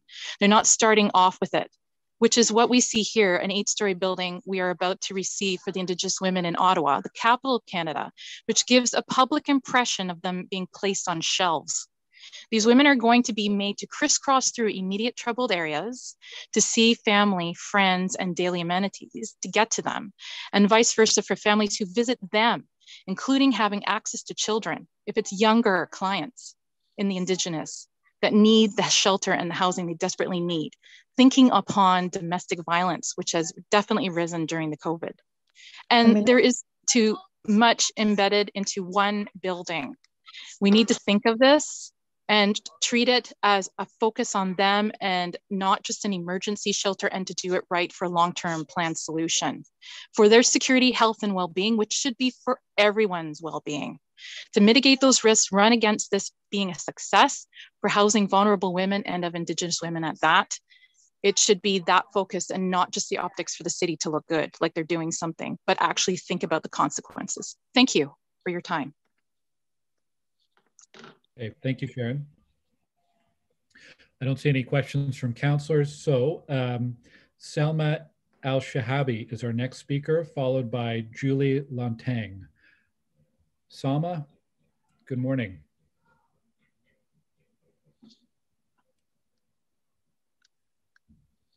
I saw Salma on the screen earlier. There you are. You have five minutes. Good morning, Mr. Chair. Good morning, everyone. Uh, my name is Selma Al-Shahabi, and as you already know, I have been an active housing advocate at various committees. providing you with evidence-based policy recommendations. And I'm here to tell you today that there will be legal implications to the city should this plan be approved. The mastermind behind this project has been dropped and will legal action will be taken and brought forward against the city should this project proceed. And until ratification of the shortcomings, I urge the city not to approve the proposal at, the point, at this point of time. That's all I have to say to you. Okay, thank you for your comments. Um, the next speaker is Julie Lontang. Julie, are you with us this morning? Yes, I'm here. Can you hear me? Yes, we can. Go All ahead. right. So first of all, I'm a Métis and I'm a woman, and I find that very sad that we're still thinking about pursuing this pro this uh, pro project. And furthermore, we only can talk about here about the plan of the building. Matthew, we had conversation, and nowhere our uh, concern were uh, other reasons. Je vais faire en anglais en français. Tout aux commentaires de sécurité, de safety, de amener des autochtones là, amener des femmes là. Rien n'était occupé. Là, aujourd'hui, the only thing we can talk about is the size of the building. I find that kind of very horrible. I just want to say, every one of you, can you please just drive down there, try to have a walk, go with your wife or your kids, and if you still feel that you, it's safe for women and indigenous to go there, then please go ahead to do so. But it's, it's almost impossible. It's so unsafe. Nobody walks around there. Furthermore, with the sad uh, discovery of the 215 children that we found in Kamloops, and we're gonna find more and more, the consultation with the indigenous have not been done. What we've heard with the, the indigenous community is bad housing is better than no housing. Holy shit, this is so sad no bad housing is better than no housing. It's it's just horrible. That's all I have to say. Oui, Mathieu. Merci, Julie. Euh, le conseiller Fleury a une question pour vous. Yeah. Euh, Monsieur le Président, merci. Puis euh, bonjour, Julie. Euh, je t'encourage fortement les enjeux que l'on observe présentement dans la base ville. Puis je vais, je vais le souligner tout à l'heure lors, de mes, euh, lors de mes commentaires finaux on a des enjeux sérieux. On a une surconcentration de services, on a une crise des opioïdes, un enjeu du logement. Ces, enjeux-là sont beaucoup plus fondés dans un autre comité. C'est le comité des protections des services communautaires. Malheureusement, aujourd'hui, ce n'est pas, de, pas votre, vos responsabilités comme résident, mais le comité aujourd'hui, c'est juste au niveau de la révision du zonage euh, d'une application. les facteurs sont reliés à une application, puis c'est une augmentation de la hauteur. Ce que tu soulèves, particulièrement au niveau de la population cible pour le logement. je ne suis pas là à défendre euh, la proposition, mais je suis là pour informer les résidents. Moi, je suis informé qu'il y a une grande population, particulièrement inuit, qui habite présentement au refuge des bergers de l'espoir. Cette population-là, selon ce que Shepherds nous, euh, propose, serait relocalisée dans un bâtiment, un logement permanent euh, situé au site adjacent. Donc, puis nous, à la ville, on réduit le nombre de, permis d'espace de refuge dans, l'espace des bergers de l'espoir. Donc, je veux juste, il y a beaucoup de mythes puis de malinformation dans la communauté. Si seulement on pouvait se voir en personne, je pense que ça aurait pu aider. Encore une fois, je ne suis pas ici pour justifier le projet, mais je suis ici pour informer parce que sinon, on, on perpétue les mythes dans la communauté qui ne sont pas vraiment productifs à une conversation si tu veux avoir une conversation plus globale, puis c'est une conversation qu'on doit avoir, puis je pense que tous mes collègues qui sont à la table m'entendent souvent parler des enjeux de logement, des enjeux d'une grande ville dans une zone de la ville. Euh, ce n'est pas le bon comité aujourd'hui, malheureusement. Aujourd'hui, c'est le comité d'urbanisme. Le, communauté, le comité qu'on parle, c'est le communauté des services euh, communautaires, qui est une autre communauté sur laquelle moi je suis oui, C'est déjà décidé. It's already decided. It's going to be there. And the Inuit person, I walk there daily with my dog and they love my dog. And none of them have been asked or I've been told that they're going to move in that building. And when I say, are you happy with this situation? What's what decision? Why am I moving? Am I moving? Would you like another place? They are not aware. They're the one that's going to be moving there. So they might be willing to go there, but with indigenous, the main word is consultation. They have not been consulted at cons cons consulted. So again, I know the city is not maybe aware of that because normally the indigenous is the national wise and it's Canada, it's, it may be provincial, but it will come down to us. It will come down that we allow that and what will happen? We don't know, but it's just go there. And so the next part, Matthew, is, so this is the size of the building, we can complain, so why can we not complain or they give our opinion on the whole project before? And can we still do that? Can we still say it doesn't make sense? Or it's a done, we have no chance to talk about that? Dans, dans la réalité du projet, c'est que demander à, à, à, un électricien un enjeu de plomberie. Le, le comité sur lequel vous présentez aujourd'hui a une révision à faire spécifiquement au niveau de la hauteur. Yes, but why wasn't... L'usage est permis la, la hauteur n'est pas permise. Donc, le comité a un rapport de la ville, des urbanistes, qui dit regardez, on, cette, voici les considérations dans lesquelles on regarde la hauteur. Hmm. Juste, pour, juste pour, je ne suis pas ici pour vous débattre, je ne suis pas ici pour, euh, pour, pour, euh, euh, pour minimiser l'impact de ce que vous décrivez. Cependant, il y a des faits que vous soulevez qui doivent être mis dans un contexte les, gens qui vont habiter dans le logement, si le logement est approuvé, seront, euh, auront un choix d'y habiter. Donc, prenant un client actuellement dans un, refuge, puis lui demandant s'il veut habiter dans un bâtiment à côté, ce n'est pas, pas approprié dans le contexte où les gens qui seront choisis, qui sont priorisés pour loger, ne le savent même pas encore ne le savent même pas parce que les bergers de l'espoir sont justement en consultation avec le, département de logement de la ville. Et il y, a, un groupe de la coalition des organismes indigènes à Ottawa, l'ACAD, pour lesquels il y a des consultations qui ont lieu. Donc, je ne suis pas ici pour vous, débattre, mais il faut faire attention comme communauté d'éparpiller des rumeurs qui ne sont, qui sont, pas, sont pas des faits. Non, non, ce n'est pas des rumeurs, Mathieu. Là. Puis, première des choses, how can we then there's no way we can say this doesn't make any sense. Like you see, we just talked about the building plan. So before we talked about the flood, everybody can complain. The bike rack, everybody can complain. The other project on the venue, everybody can complain. Why can't we have that chance? Like, so this means that everybody that talk about safety, security, um, all of that will not be taken care of. Um, ça va pas prendre compte parce que c'est juste le building lui-même. Fait que so why can't we have that chance to talk about all of the other issues? Matthew, if you could address that quickly and then we'll move on. We have um, to the next delegation. Thank you. Donc, absolument, Julie, tous les commentaires qui sont reliés à un nouveau bâtiment et le risque et l'impact d'un nouveau bâtiment sont, sont, sont appropriés. Donc, est-ce que le nouveau bâtiment a des considérations de sécurité? Est-ce qu'il y a des enjeux, tu parlais tout à l'heure d'inondation, est-ce qu'il y a des enjeux de stationnement? Est-ce qu'il y a des enjeux d'illumination, de, des enjeux de matériaux qui sont utilisés pour le bâtiment, des enjeux de hauteur, des enjeux de proximité euh, de la zone patrimoniale? Ce sont tous des considérations qui sont euh, euh, présentées dans le rapport, puis que les membres du comité aujourd'hui peuvent, peuvent considérer, puis que, que, que les bergers de l'espoir doivent répondre. Oui, mais ce n'était pas ça la question. La question est comment qu'on peut s'opposer au projet. I'm no, sorry. I am. I am. Mathieu, we're going to move on to our next um, our next delegation. There's important concerns being raised here, but again, this committee. It's a tough situation for us as committee members. We're looking specifically at the decision around the zoning and the height today. And as Councillor Fleury has explained um, en français, there's other processes and other venues where some of the other concerns raised here today will be explored and addressed.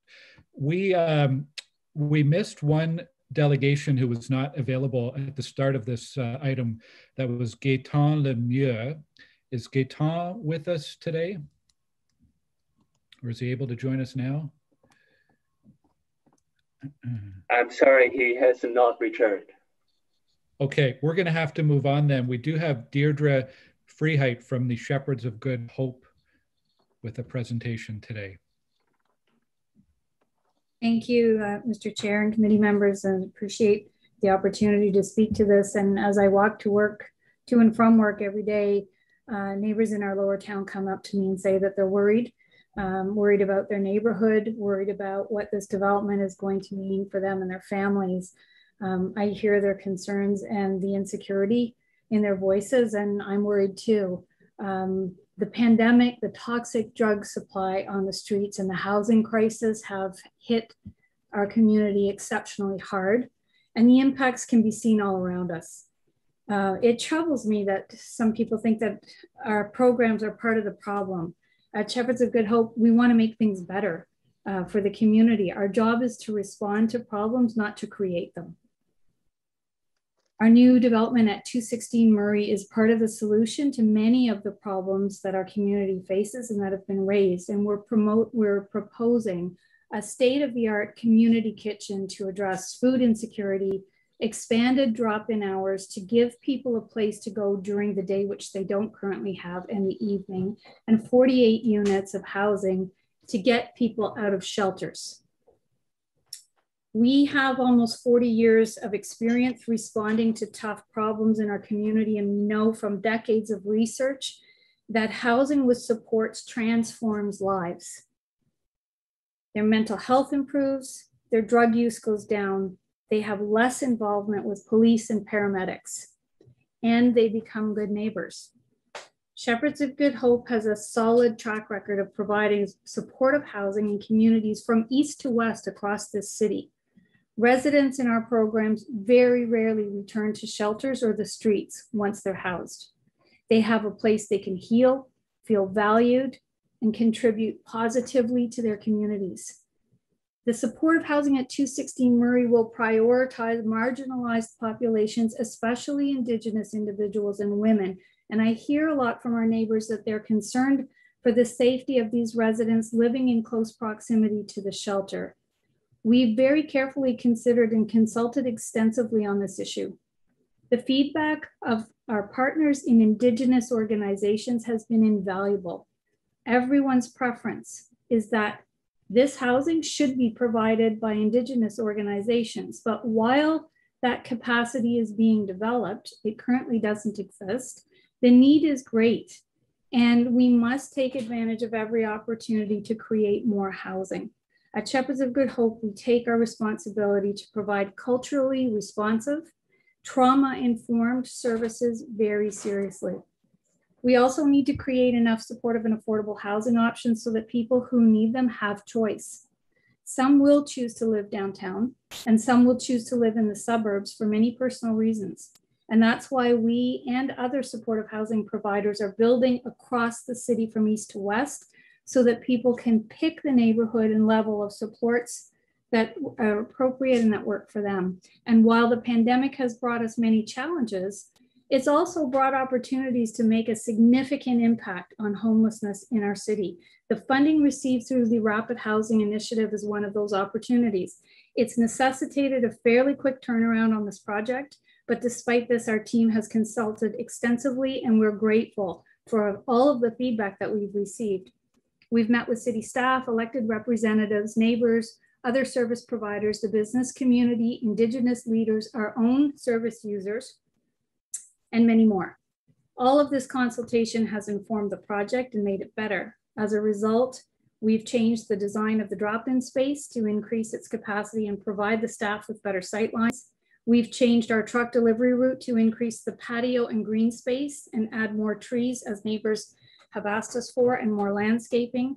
We have changed the exterior of the building to be more in keeping with the heritage of the neighborhood. And the design of the building will incorporate One minute.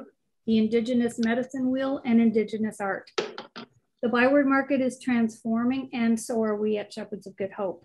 We're known primarily as a soup kitchen and a shelter, and those are much needed programs but our community needs more permanent solutions to homelessness. And with all of the projects that we've outlined, including this one at 216 Murray, Shepherds of Good Hope is on track in one year's time to have more people in supportive housing than in our shelter.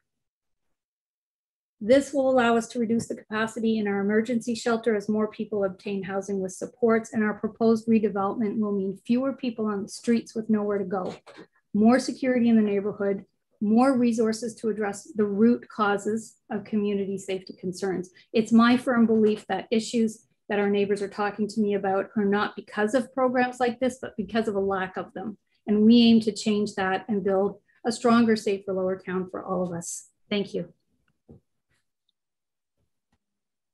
Thank you, Deirdre. Are there any questions from the committee members or counselors? I'm not seeing any. Okay. Um, we have Jesse Smith, Casper Koblach, and Nadia DeSante here representing the applicant. Um, and I understand uh, Jesse and Casper have a presentation. Yes, uh, bonjour and hello, Mr. Acting Chair and members of the committee. My name is Casper Koblau. I'm a senior planner with WSP and the agent for the proposed development. And uh, as you noted, Mr. Acting Chair, I'm joined by Jessie Smith, and I'll let Jessie introduce herself. I am Jessie Smith, uh, Principal Architect at CSV Architects. Thanks, Jessie. Okay, and next slide, please. So I'll try not to belabor too much the points that were already made by Andrew Saeed and others, but this is the site uh, location in Lowertown, uh, Ward 12 on the south side of Murray Street between Cumberland Street and King Edward Avenue. Uh, next slide, please. The site is located adjacent, as we know, to the Shepherds of Good Hope Men and Women's Shelter and many nearby amenities, currently occupied by one-story building. And while it's not shown on the side, I would just note um, that the site is not within a Heritage Conservation District, though it is adjacent to the Lower Town West Heritage Conservation District. And a cultural heritage resource impact assessment has been completed and determined that the proposed development will not impact the Lower Town West Heritage Conservation District or the former St. Brigid's Church. Next slide, please. The site is also located within 600 meters to the Rideau LRT station and well serviced by a number of bus routes along King Edward Avenue, Murray Street, uh, Cumberland Street, and St. Patrick Street. Continuing with the site context, this slide shows some of the proposed development's location relative to some of the Shepherds of Good Hope's uh, network of supportive housing, both the existing and under development. Now I'm going to turn it over to Jesse to speak to some of the architectural and design elements of the proposed development. Thanks, Casper. Um, I hope not too much of this is reiterating what has already been presented, but just um, I'll just go over this quickly. So the building um, shown with the diagonal hatching is 216 Murray. On the right-hand side is the existing shelter building 256 King Edward. And you can see in between the area um, of the proposed um, patio uh, adjacent to Murray Street uh, for, um, for the members of the community. At the rear of the site, we are proposing for um, access for trucks to be servicing the two buildings, 256 and 216, and that's um, for um, pickup of waste and drop off of, of deliveries, mostly food. Next slide, please. Um, so this is again showing the front of the building. Um, I do want to clarify a couple of things in the um, layout of the building. So there was some confusion about what is happening on the ground and second floors. So just for clarity's sake, at the front of the building, you can see through uh, from the street into the building through the glazing. The first thing you encounter when you come in is the security desk.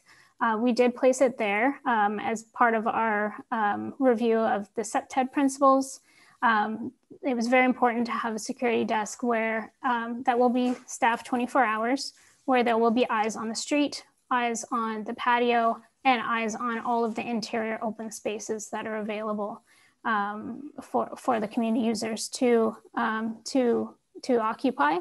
Um, so that was definitely very important for us to keep that visibility out to the street.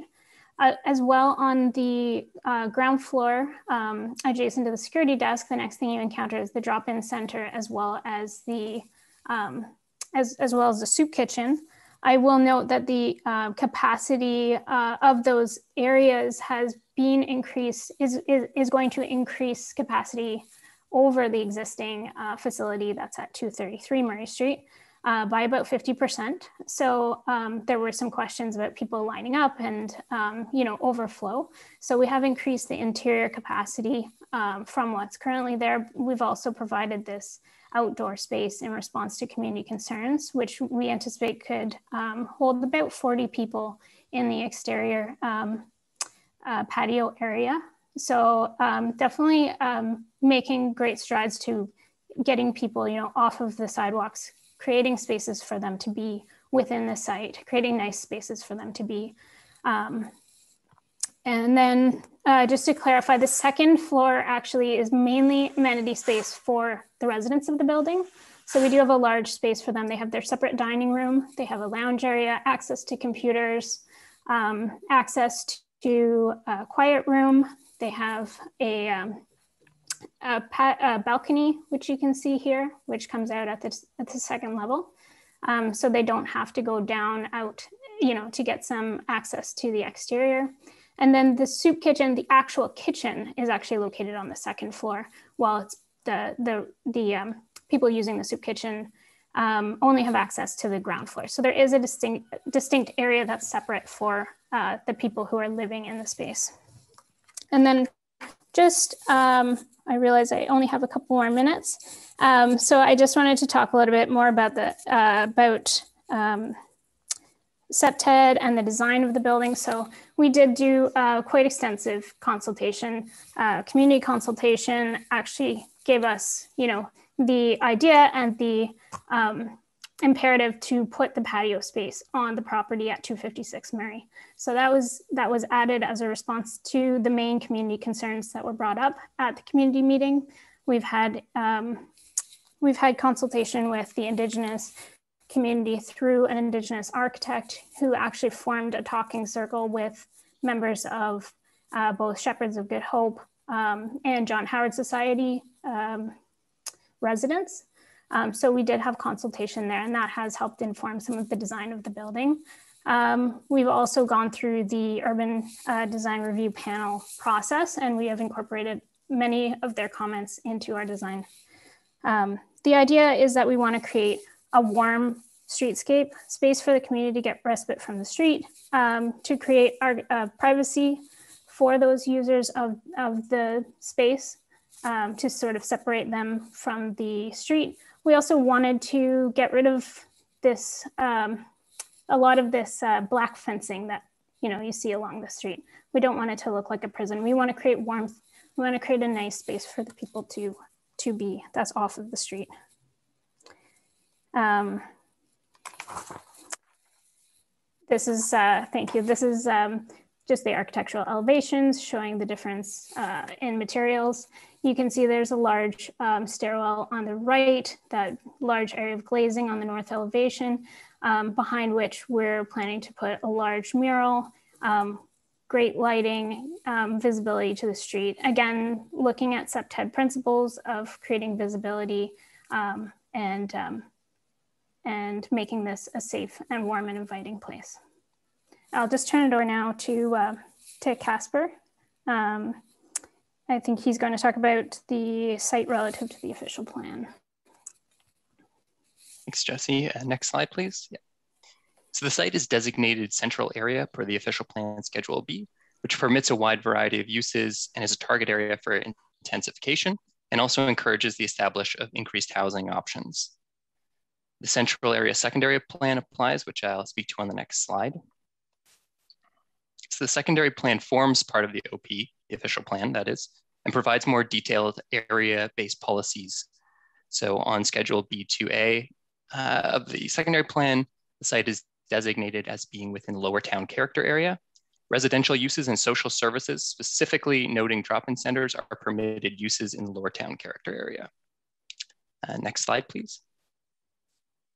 The site is currently zoned as residential fourth density subzone UD urban exception 1667, schedule 77, which permits a community health and resource center as well as low rise residential uses.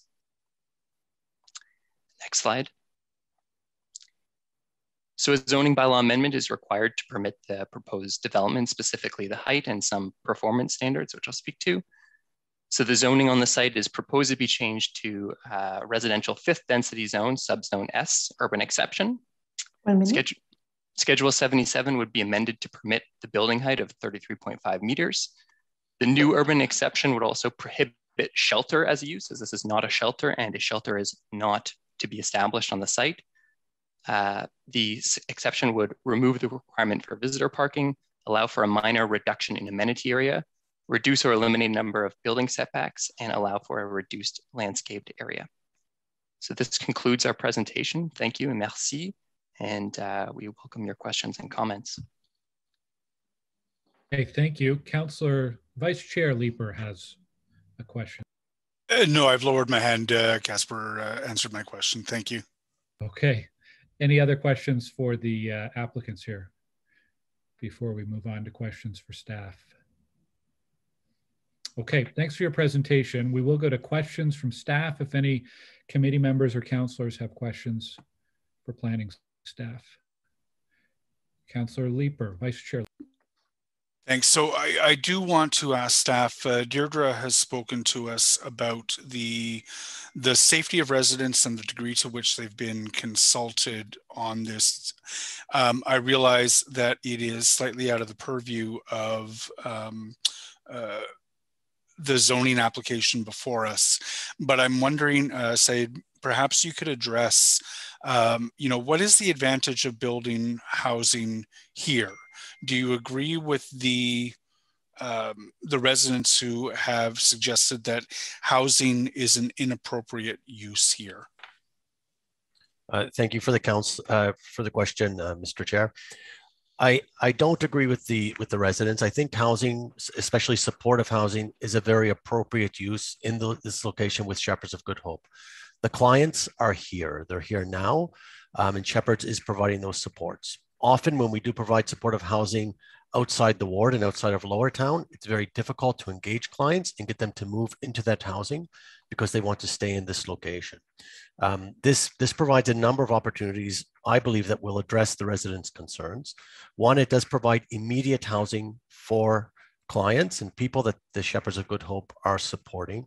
Secondly, it will free up space in the shelter, not to take in more clients, but to provide more space for existing clients and staff, which creates a much safer place and allows for better programming and support services, um, you know, again, for both Shepherd staff and the clients that they're serving.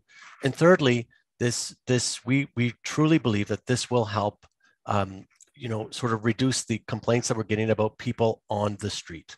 Um, there's numerous complaints uh, that, that we deal with and Councillor Fleury um, deals with on a daily basis about uh, the number of um, you know, homeless clients who, who are on the street this provides a place for them to go. The downtown is intensifying, and as it intensifies, there's fewer and fewer places for people without a home to go, and this will provide, you know, a space um, for much of the day and night where people can be off the street, as well as the housing and you know and and supports.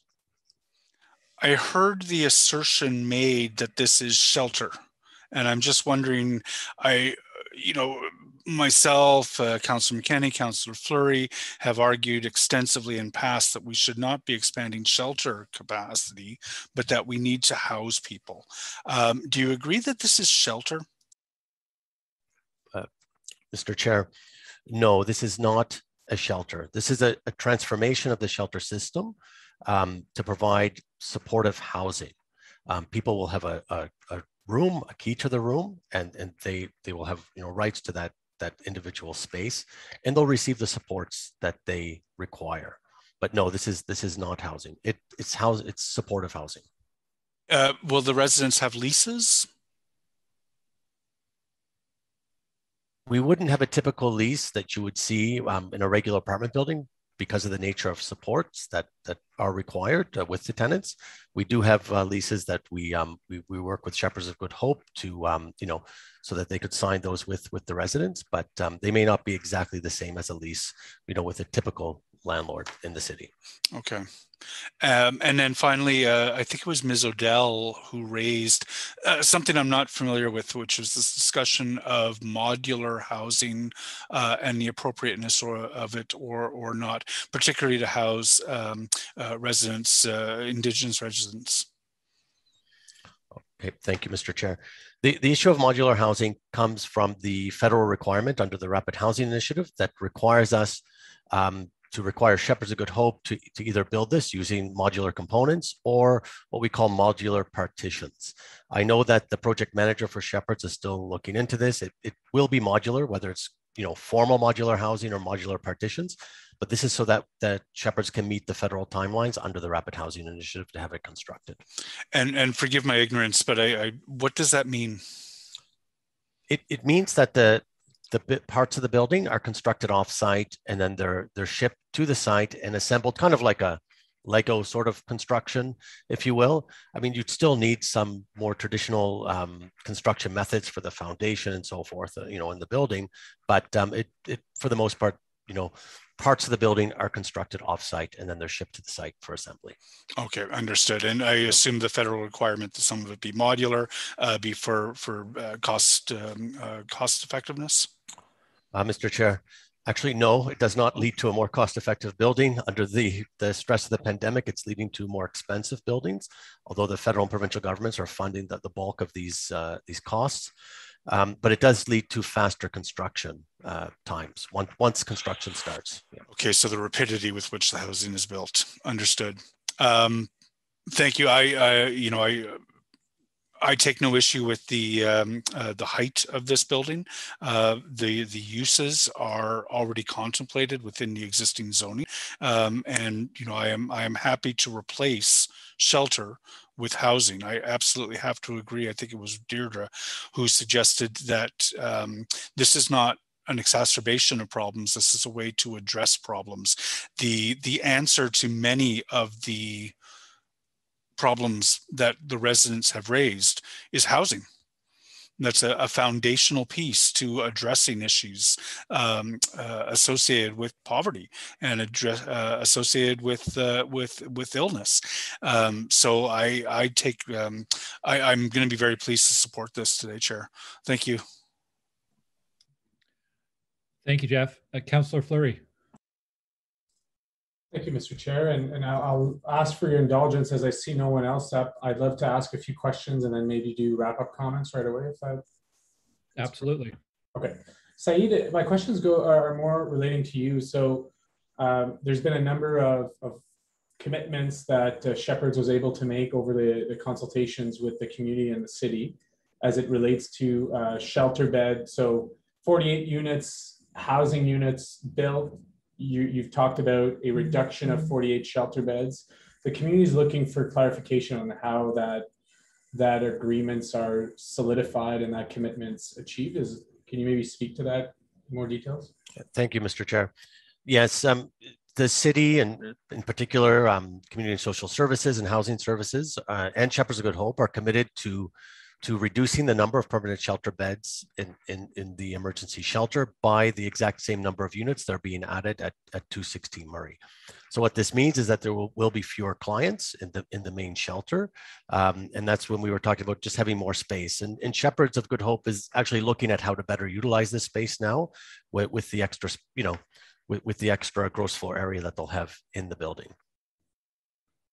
And then the same thing, I know Shepherds works closely with uh, Inner City Health, which is the, the health provider of uh, many of the, uh, the services um, I, uh, in, in social services. Um, I, I wonder if it, we had heard, uh, we, we had heard a commitment uh, from Inner City Health relating to the future residents of that building, which would have access to safe supply and not need uh, illicit drugs uh, and, and, and all, all of what that entails. So can you maybe speak to the, how we solidify and, and ensure that commitment is seen through? Yes. There, um, there is consensus that we will work with, with Shepherds and, and Public Health and Ottawa Inner City Health to provide safe supply and supervised consumption within, within the space. Um, the, that that is it. Um, with respect to you know how that would operate, I would defer some of those questions to Deirdre at, at Shepherds of Good Hope, but that is a commitment that all parties are are in agreement to as well. Okay, I see Deirdre on the screen. I should have asked uh, relating to the Indigenous population. Just uh, I know there was a number of, of elements raised, Deirdre, and I wonder if you could speak to how you'll continue to work with Indigenous organization and specifically to uh, for for the for the I guess I'm not sure if the word is appropriate, but the rehousing uh, into into the proposed building. How does the how does the prioritization work and stuff? Maybe you could. I, am sorry, Mr. Chair, for uh, for for, but I believe it's sort of appropriate in the the context here. Yeah, go ahead. Thank you. Thanks for the question. Uh, we are prioritizing Indigenous and women's housing because there's such a lack of it in the city. Our consultations with uh, with the Indigenous organizations uh, continue. They've been ongoing for quite some time. We have a monthly meeting with the members of the Aboriginal Community Advisory Board to the city. Uh, and those uh, th that group um, includes most of the major social services providers for Indigenous people in the downtown core. They are supportive of this. They uh, they would love to be providing housing themselves. They're not at um, a, a, point in their organizational uh, structures that they're able to do that. So the feedback that we've received from them is that they're pleased that we are prioritizing Indigenous housing because there's such a lack of it. So we're working together with them and we meet monthly. Uh, we, as we mentioned earlier, we've been, we've uh, consulted with people who will be using the services uh, or who may be using the services because they have choice. Uh, and that's why we have choice across the city. So people may wish to stay in the downtown core and move into these housing units, or they may wish to go to other housing units that we or others um, provide across the city.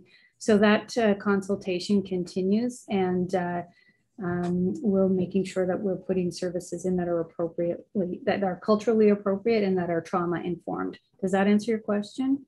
No, it's, it's clear. I know that there was some, some, uh, some questions there and I think it's important to, to clarify although you're not an indigenous organization, you work in partnership with the indigenous community on the housing fund. So yes, so.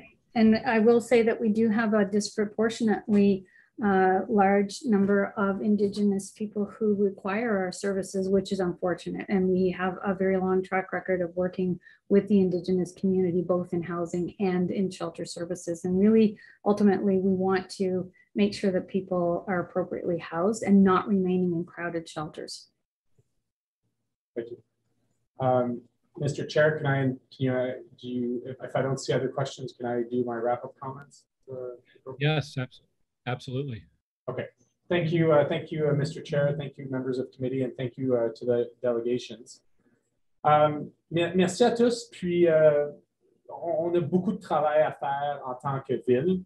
On est une grande ville avec des grands problèmes. On a des problèmes de grande ville maintenant qui sont ciblés dans dans certains quartiers plus, uh, plus, uh, plus évidemment.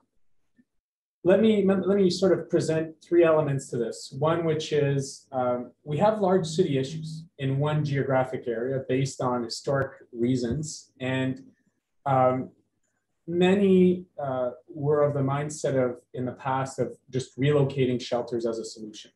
And I've always been opposed to that. And I, I have a strong track record opposing that we have to change the approaches that have not worked for previous generations to really um, to really tackle the, the, issues that we face as a, a society in, in, 2021 and, and, set us up for, to be more resilient for the future.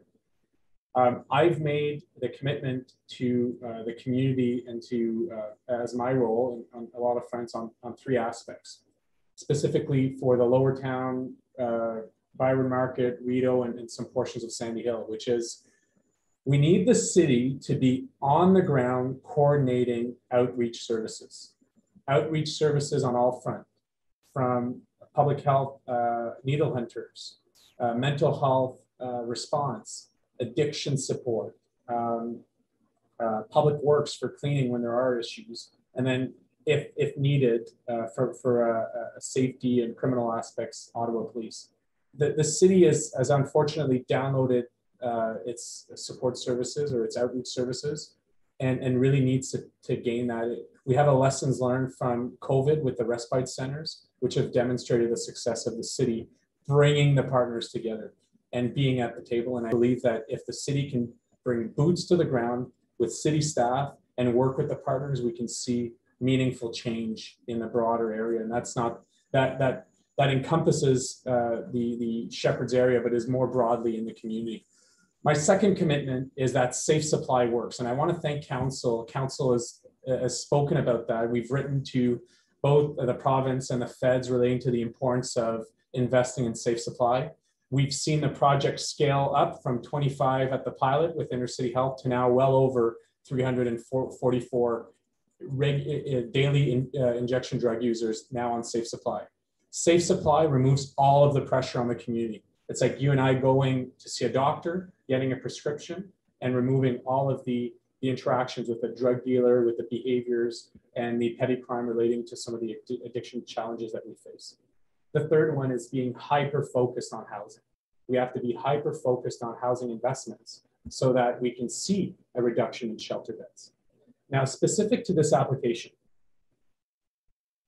I, I and Deirdre and the city have worked closely over the last number of years on, on, on two, two, three fronts, if you will, but two that I think are, are, are, are well, no one spoke negatively to these issues, which are modernization of the food services. Uh, if you've served at the Shepherds, you know that the team is a dedicated team of volunteers serving meals daily. And the space is just not modern anymore. So today's, today's investment will allow for something that is more is safer, safer for food preparation, safer for volunteers to serve, and better for clients ultimately uh, uh, for, for that. The second piece of that is outreach. We often hear of the issues of, of low barrier drop-in and how a lot of the drop-in in the area are Monday to Friday, nine to five. Shepherds has committed to this to really ex exploding that and making it low barrier and, and expanding those hours outside of the traditional Monday to Friday, nine to five. And, and the community will benefit from that of having safe spaces off of the sidewalks, off of the street uh, for, for those without, without homes. Relating to supportive housing, I, I'm, I have to applaud Shepherds relating to you know, the shift away from a shelter and more towards uh, supportive housing. Uh, we've seen, Deirdre, your successes around that at, at uh, Hope Living, at uh, the Merivale, and, and, most recently at, uh, at right beside MoFa Hospital, the, the 42 beds. Those were 42 individuals who, until a few weeks ago, were at Shepherds of Good Hope in the market that are now permanently housed. What is awkward about the supportive housing chat is obviously the concentration of services in the area, which you're aware of. Ultimately, you're a property owner, you're allowed to have residential use, and, and you have limited uh, portfolio of housing, so of, uh, of land. So you know, that's that awkward conversation uh, that the community, shepherds, and the city were having relating to this application. I think ultimately you have property rights, and I'm, I'm happy to see the continued investment in housing, and, and I'm happy to see a reduction in shelter space. So, it, you know, I, I think the community has uh, we have to we have to work with Lower Town, we have to work with the BIAs on Rideau Street and ByWard Market, we have to work with residents that live in the condos along Rideau and, and near Rideau Street to have a bigger conversation of how do we decentralize the services and, and follow up on my three commitments. Uh, I have a responsibility as the elected leader in the area, but I, I need council to help me on that front more broadly. And I, I, I respect what, what the committee has in front today. And I, I want to thank Saeed and, and Andrew for making sure that the commitments that were made through uh, public engagement are, are seen through. Thank you. Merci, Mathieu. Thank you. Um, we have no other uh, questions or comments from our committee members. So uh, I'd like to call for a vote on this one, just for transparency, given the number of delegations that we had. So Melody, can you um, help us with that, please? Sure. Councillor Dudas. Yes. Councillor Sudds. Yes. Councillor Tierney. Yes. Councillor Leiper? Yes. Councillor Brockington? Yes. Councillor Cloutier? Oui. Councillor Kitts? Yes. Councillor Moffatt? Yes.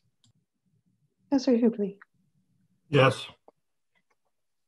Acting Chair Gower? Yes. 10 yeas. Okay, thank you. So uh, it is 12:40 p.m. We have uh, one more report to consider, and that is the zoning bylaw amendment, general zoning provisions for parking and secondary dwelling units. And then we have the inquiry uh, on uh, curb cuts that Councillor Fleury had some questions on.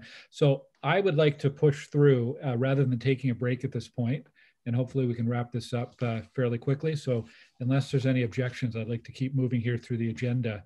Um, the so the next item is the general zoning provisions, parking and secondary dwelling units.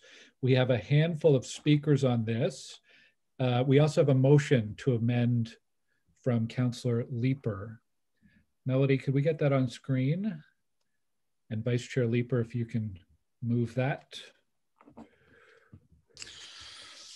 Yeah, this was another one uh, I, I, heard a bit about in the uh, the run up. So I think that the uh, staff have worked with the uh, stakeholders to find a solution. Uh, whereas the proposed amendment of the report to bylaw 2008-250 includes a proposed increase of the minimum width of parking spaces adjacent to pillars or walls within a parking garage to 3.2 meters. And whereas concerns have been identified with the potential impacts of such a change on the functionality and structural requirements of parking garages, whereas further Further discussion regarding the treatment of parking spaces within parking garages is appropriate. Therefore, be it resolved that section 106 as found on page 12 of document one be amended as follows, delete section 1062C, renumber accordingly. To amend section 1063 by adding a new clause C as follows, C is not abutting or near a wall, column, or similar surface that obstructs the opening of doors of a parked vehicle or limits access to a parking space space, in which case the minimum width is 2.6 meters. Um, and be it further resolved that no further notice be pursue, uh, provided pursuant to subsection uh, 3417 of the Planning Act. Okay, thank you. So we'll move on to delegations. First delegation is Van Shepard, and then we have Rasna Aurora, second on our list. Hello, Van. Good afternoon. Good afternoon, committee. Thank you for, uh, for having me here today. Uh, just to uh, give a little background, I'm, I'm here to speak about the uh, secondary dwelling unit uh, pro proposed changes, uh, amendment to the bylaw, I guess complete rewrite of the bylaw actually. And I, I, submitted some written documentation, which I, I, hope the committee's had a chance to, to have a quick look at. I realize I only have five minutes to speak and I don't think I'll get through all the material that I submitted in writing. So I'll, uh, I'll just, uh, I'll go down and, and, highlight the things that I think are probably the most relevant. Uh, the, the, uh, the, uh, the, the, written document that I provided, not the, uh, the spreadsheet analysis, puts the, the, the I guess the wording in the initial proposal in in blue text in my submission, and I've made some bullets below that. Uh, the first one I'd like to, to draw the committee's attention to was uh, a statement in the, uh, the rationale that said uh, uh, the current wording problematic for several reasons, including clarity as well as resolving inconsistencies with Planning Act regulations on size limits. I spent some time reviewing the Planning Act and was not able to find any reference to size limits in the Planning Act as they pertain to units in general or, or secondary dwelling units in particular. So I, I call into question that statement.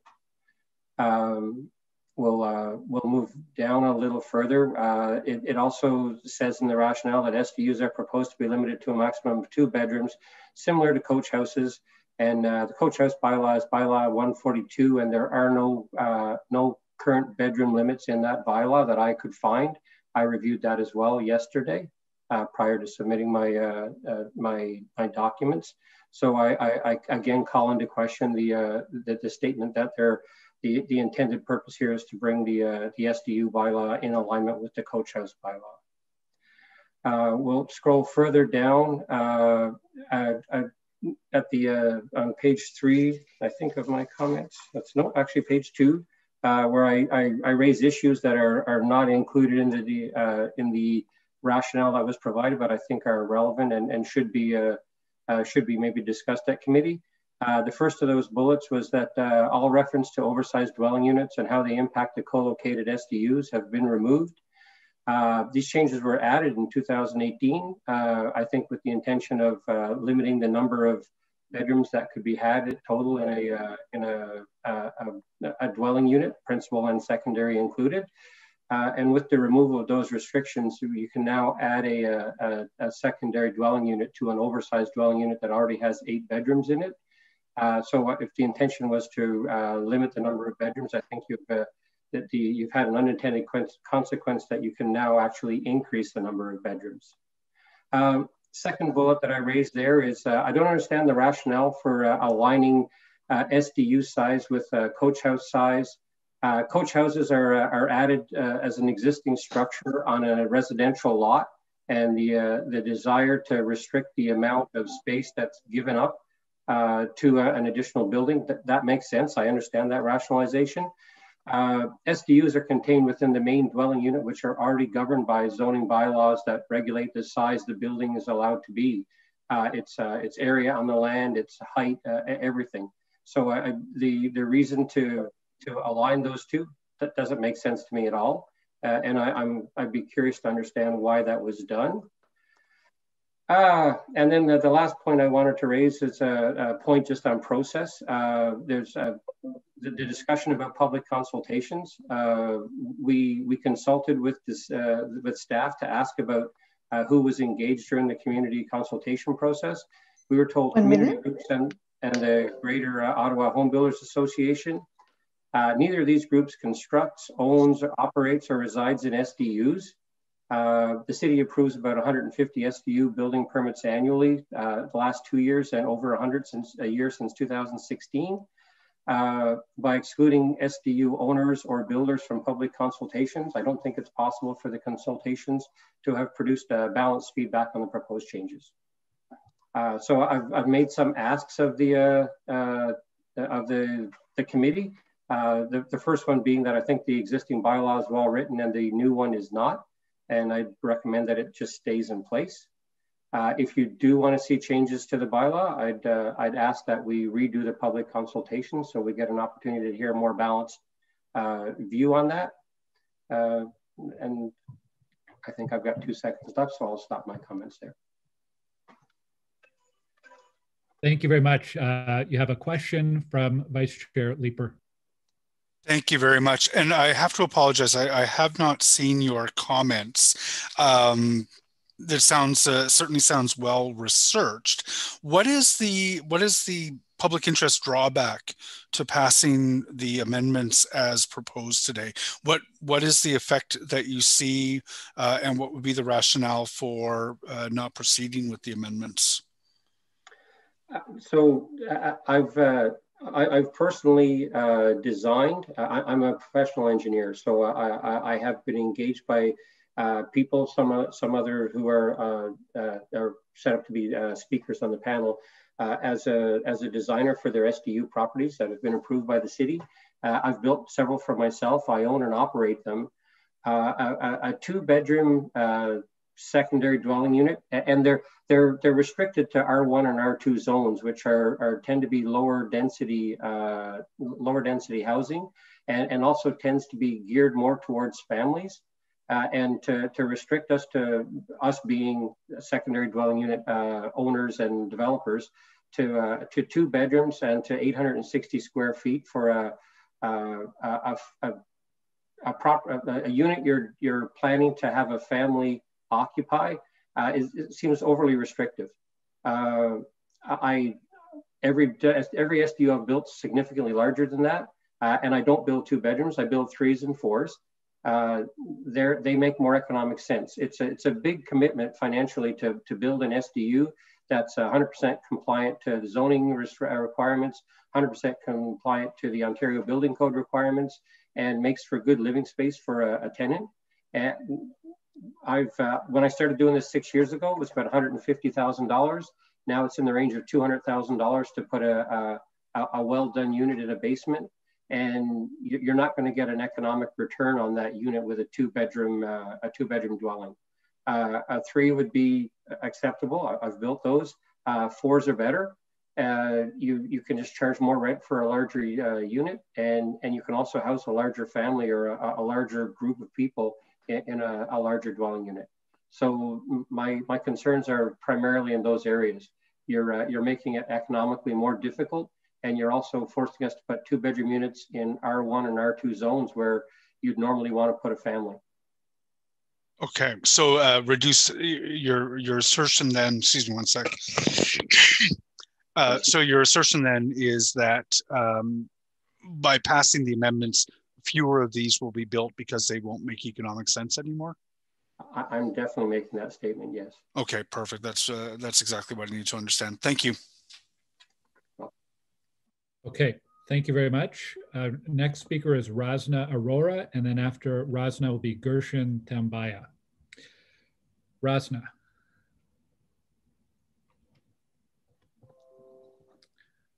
Is Rasna with us? Yes. Okay. Hi, can can you hear me?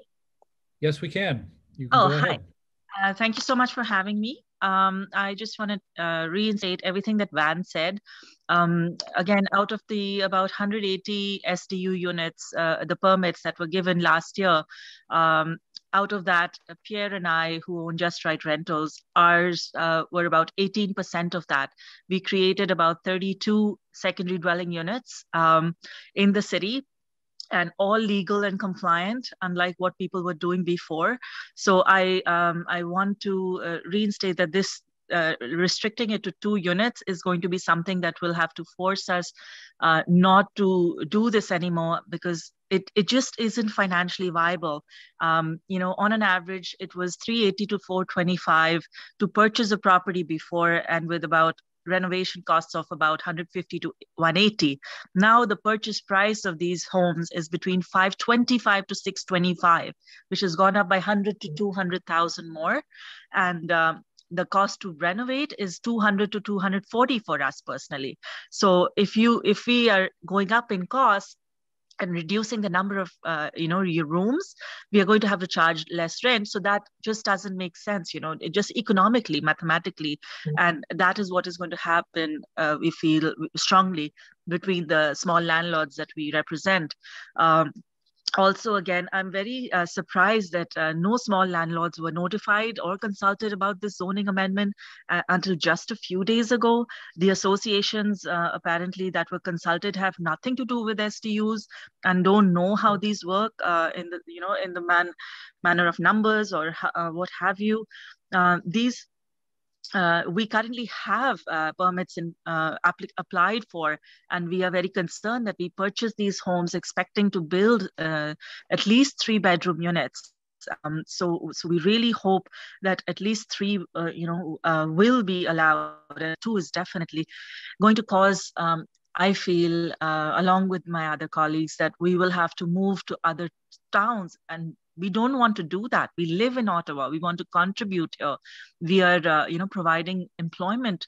In in times of covid for example our own team we uh, supported and employed over 25 individuals who worked on our sdus and we have a contractor who sends a message as well, Mark Johnson from Johnson Construction, who has a team of 25 people solely building SDU units. Uh, so this will affect you know businesses like his as well and uh, jobs will be lost and affected um, moving to smaller towns so i don't think this is in in our benefit um, definitely not the two bedrooms um, uh, it, it, uh, the SDU bylaw has been very successful and changing it now does not really make sense. So, you know, why mess up a program that is working? If there is an issue, you know, let's fix that problem instead of just uh, whitewashing the whole thing and doing a blanket thing like this, which is really going to affect uh, the situation.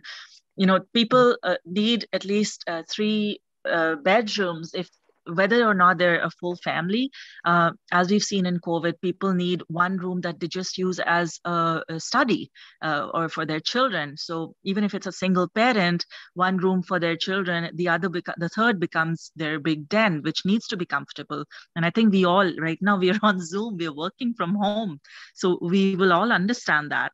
Um, uh, yeah, I'm, I'm just, this has really taken us off guard and we really hope that you will consider what we're, you know, we are all trying to um, say here. It will, um, the, the two, sorry, I'm losing my track here. Uh, but yeah, it will definitely limit the type of housing that will be available, uh, you know, to even families and students. Um, mm-hmm. We have bought property, like I mentioned, with plans to build three and four bedroom SDUs, permits um, awaited.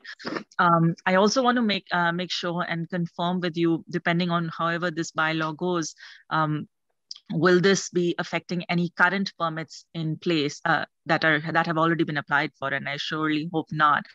But I seriously, um, you know, we want the committee to write and pass a motion that will allow for at least three bedrooms in SDUs and that the SDU floor area size be allowed to be the same as the main floor area size, which it is right now. Um, we also want the zoning bylaw amendment to come into effect on July, uh, sorry, January 1st, 2022. So people who have plans to build SDUs have time and can submit their permit applications before then.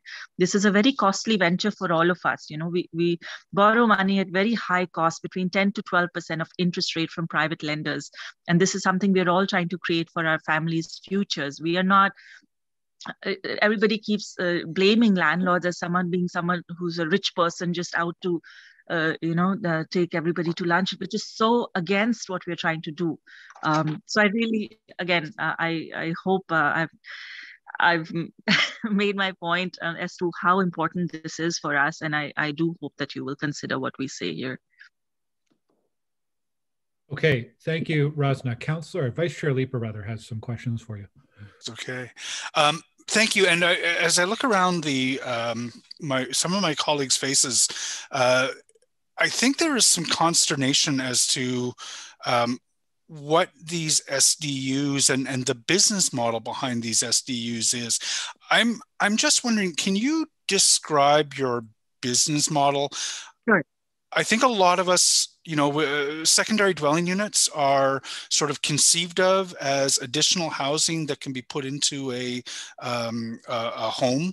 Uh, if you want to rent an apartment out, it's an evolution mm-hmm. of the granny suite. But it sounds like you're purchasing many properties and and converting them somehow. What what is your business model? Okay, so uh, I'll uh, take you back to you know when we only had three or four townhomes uh, that we bought. And again, uh, you know, I, am an immigrant. I moved here 18 years ago with thousand dollars in my pocket. So this is uh, something that I've built from scratch. And we earlier it made sense to buy a home that earlier used to cost just 250000 for example and you know rent it out for regular rent and and that would cash flow and make sense for everybody provide housing and at the end of the day uh, the landlord gets about 50 to 100 dollars a month. Um, so you're building long term uh, you know something for your family something for your children and your future.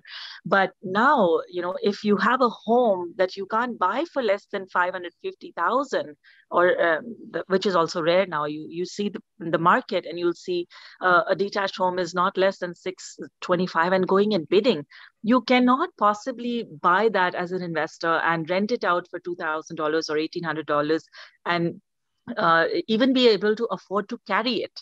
So here we are with the city when they said the SDUs are allowed. You, uh, you know, there was an opportunity for people who love real estate and want to build something for to provide housing and also be able to, you know, do it as a business in the sense that if you're getting 100, 200 or whatever, everybody's model is different. But by adding a secondary unit, you were able to increase the value of the property. And, you know, when you have two units rented, it, it is a much more viable option. Um, and of course, you're providing housing. I would uh, genuinely invite any and all of you to um, visit our SDUs. We have a few in progress right now. I'd be, uh, you know, Melody has my email. Uh, send me an email. We'd love to give you a tour so that you can see firsthand what is being created and, you know, how much people love it. And uh, there are reviews on my group as well. And Sorry, so if I if I may, Rasna, then um, so so your model is you you you buy homes, be yes. they townhomes or semi-detached or or detached dwellings. Uh, you rent those homes out, uh, and then when you uh, when you've acquired those homes, you also build a secondary dwelling unit into those homes that you also rent out. Correct. So that's that's the basic model. Yes. So, but when we buy the home, we immediately want to make it a legal because we want to, we don't want to do anything illegally. So we apply for the permit right away. And both the units, while it is under construction, you know, um, till we get our occupancy permits, we don't rent them out. So yep. once they're, the city clears them both, then we rent them out. Um, okay yeah and um, and of, of, course that increases not just that people forget to also notice that uh, you know this increases the value of all the houses on the street um, as well. And i have you know appraisals and uh, rent the rent our tenants reviews and everything to support that this is what we're doing. It, there's a reason why we're doing it and because people are supportive. So limiting us to two, unfortunately, will not work anymore for us. And I don't want that. I want to be able to continue creating uh, housing that's beautiful, that's legal, and uh, you know um, still works for us. So okay, it's a win-win. So- no, I just I, I, just want to make sure that I, I, I do understand that then that um, uh, the the business model is uh, as an investor you you purchase homes uh, you rent those homes out for a return on that investment and that return is increased when you're able to add a secondary dwelling unit. And the the return is um, there is no return if it's a just a one unit anymore because of the uh, prices of the homes. Yeah. So if if that was the case if this this sdu with two is passed uh, most of in, the small investors like me will no longer do buy this because it won't make financial sense. Yep. How many? Uh, just out of curiosity, how many? Um, how many properties do you own? Well, in in Ottawa, we have thirty one um, SDUs. Uh, I think so um, we have some mm. around other towns and they are being very supportive with other things you know. But we want to focus in ottawa because we live here um, but yeah we have about 31 sdu properties.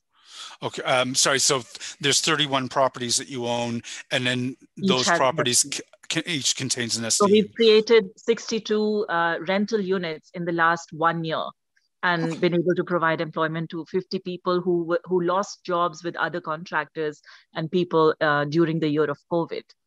And if the bylaw passes as amended, um, it will no longer be viable to add SDUs. And if it's no longer viable to add SDUs, it will no longer be viable to purchase the properties uh, for for rental at all. So the, the entire the okay. I am uh, now. I fully understand what it is that you're arguing. I appreciate your time, Rasna. Thank you Thank very you. much. Thank you so much. Okay, thank you very much. Um, the next speaker is Gershon Tambaya, followed by Joel Boyd. Gershon. Good afternoon. Well, thank you very much uh, for the opportunity. Uh, really, just to echo the the words of um, Van and Rasna, I think it's important to understand the demographic of the type of tenants or the, the tenants who are renting uh, these secondary dwelling units. Uh, really, who they are are middle class families uh, and students who desperately require affordable housing. And so changing the bylaw to only allow two bedrooms would mean this no longer being an option uh, to these families. Um, we know that it's a known fact that the city has a shortage of rentals, and really these SDUs provide housing to those in need. Uh, it was mentioned that 154 uh, building permits were issued in 2020 uh, to build these SDUs.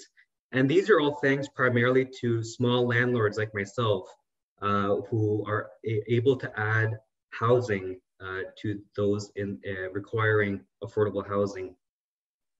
And as the owner of a management company managing a few hundred rentals across the city, I can tell you that the market rent of a three to four bedroom townhome in Ottawa can be upwards of 2,500 a month, uh, which is really an impossible cost for students or families in the middle class or lower income. And so what's the alternative for these individuals? Well, that's where, you know, three to four bedroom uh, SDUs become a viable option for these families where they can potentially save upwards of 25% uh, per month and really save for their future. So based on this and, and the comments made by Van and Rasna, I believe that there's a great need to be able to maintain the ability to build at least three bedroom SDUs. So again, these families have the ability to gain access to this affordable housing. And just to add a few more stats to the previous comments, uh, in the last 12 months alone, real estate values have increased by over 30%. And I think we all know the increasing cost of construction. Uh, to put in perspective, lumber alone has gone up by 120% in the last 12 months. And so needless to say that if this bylaw amendment was to pass, it would mean, again, that adding SDUs would no longer be a feasible option by investors such as ourselves, and thus re reducing the number of available units in the city. And the other thing too to mention is that the SDUs, um, uh, the motion to pass this SDU is what we're requesting is to be able to maintain the existing bylaws, which as commented, suit the needs of the investors and uh, the city in building affordable housing and these secondary dwelling suites. So we are requesting to maintain that bylaw, but at a minimum, if the if a motion was passed to to amend the bylaw, we request that at least three bedrooms and SDUs be permitted. And further, as small landlords were not notified of this um, consultation of the zoning amendment up until a few days ago, uh, we request that any changes become effect as early as January 2022, so that those of us who have already purchased properties with the intent of building SDUs can have an opportunity to permit, uh, submit these applications uh, and get building permits. Thank you. Okay, thank you, uh, Gershon. Do we have any questions from committee members on this? I do for uh, staff, uh, Glen. Okay, well, we have a couple more speakers, uh, Councillor Hubley, so we'll continue through our list. Uh, Joelle Boyd is next, followed by Soren Vaduva. Joelle?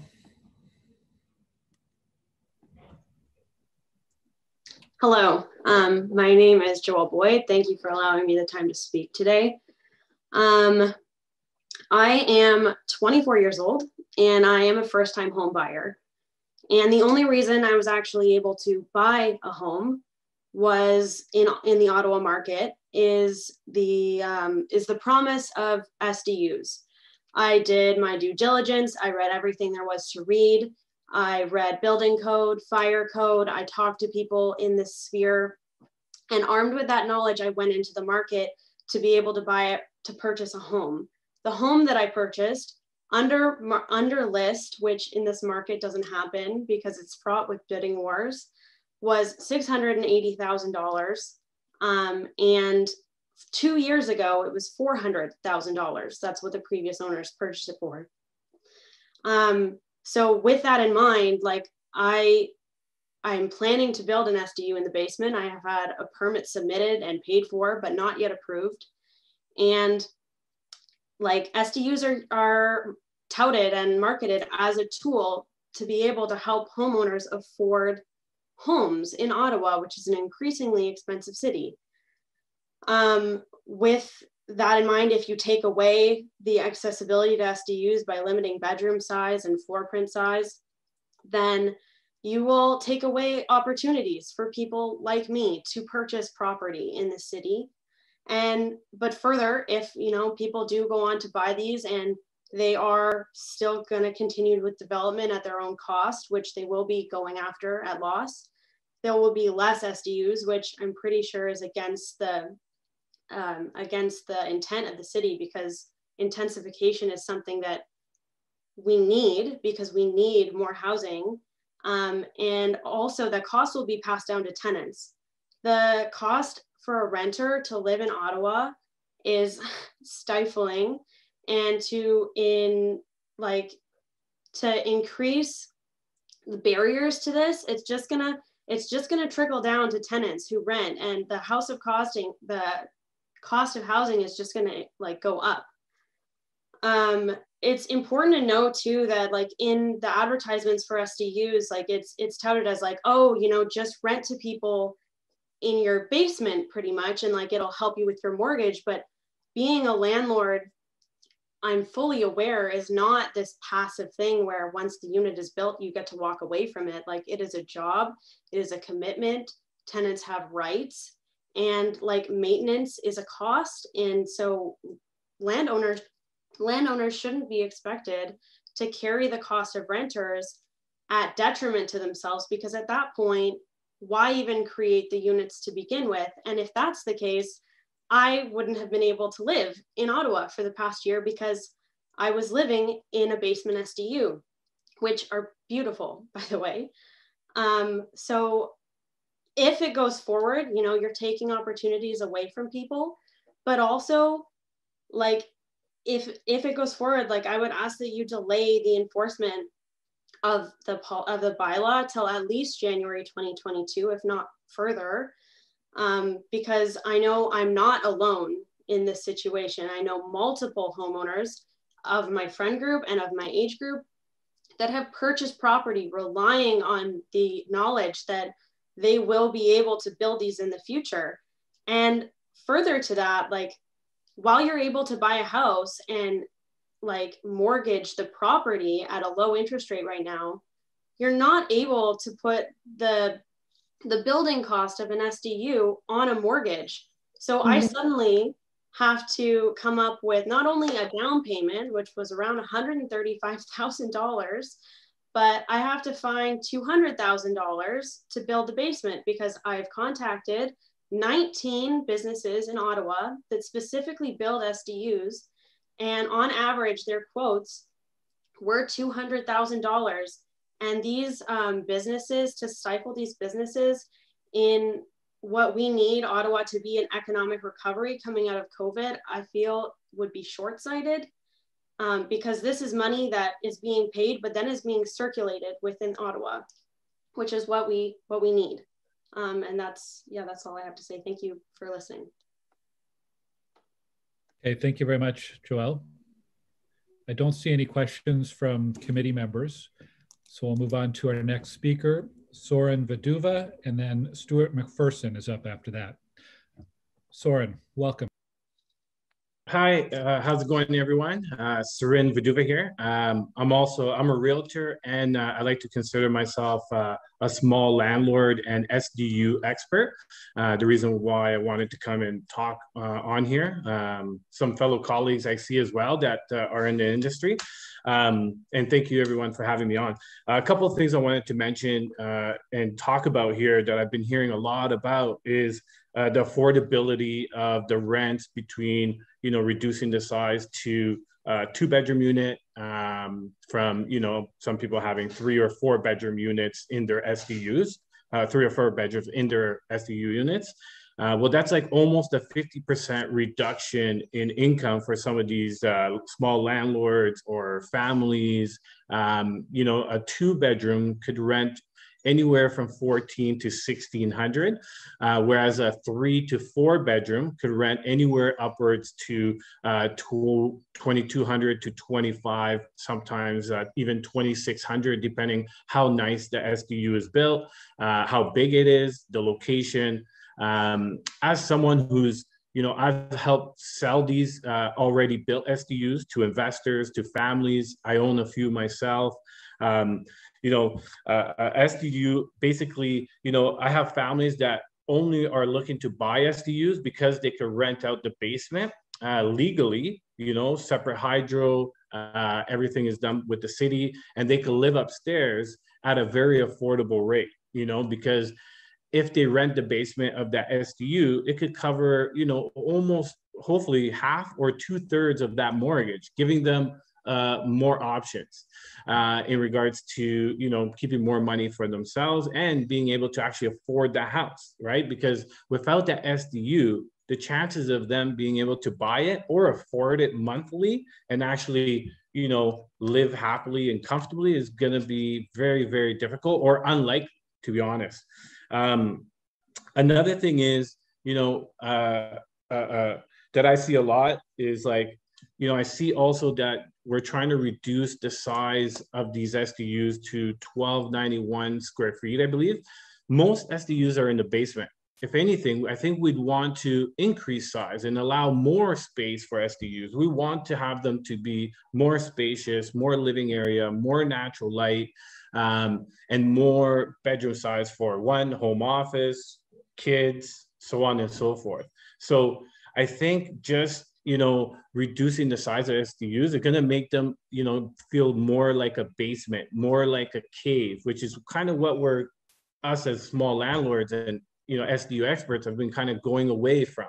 So we're actually putting more money in to create more bigger windows that are as big as upstairs windows to make it feel less like a SDU and more like a, a, a, a living space as part of the house, right? So, um, and I see it a lot of in the in, in, in uh, uh, things about the you know the SD being kind of you know put into the same category as a coach house. Well, there's kind of some big differences in uh, these two coach house and SDUs. One, you know, the SDU won't take away from any yard space, right? And when you have a SDU in a, a bungalow or another house, that means you have two families that need to share this backyard, right? So um, now, if you add, you know, if you have a coach house, you're going to limit that shared space between these two people. And SDU does not do that. It allows the whole backyard and front yard to be used uh, by both tenants or the family that owns the place upstairs and the tenants in the basement.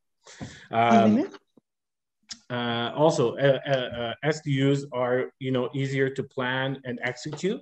Um, um, and are more affordable. You know, a coach house could run two, uh, three, four hundred thousand, depending on who you're hiring at time of season. Uh, and you know, it's a brand new structure. So, a um, couple things I would say is, um, you know, if I were to, uh, uh, my suggestion is we want the committee to pass a motion uh, that will allow at least, you know, uh, maximum of four bedrooms uh, in SDUs, um, you know, and also uh, for the size to be the exact same size or 50% of whatever the size is of upstairs, uh, if not the same size.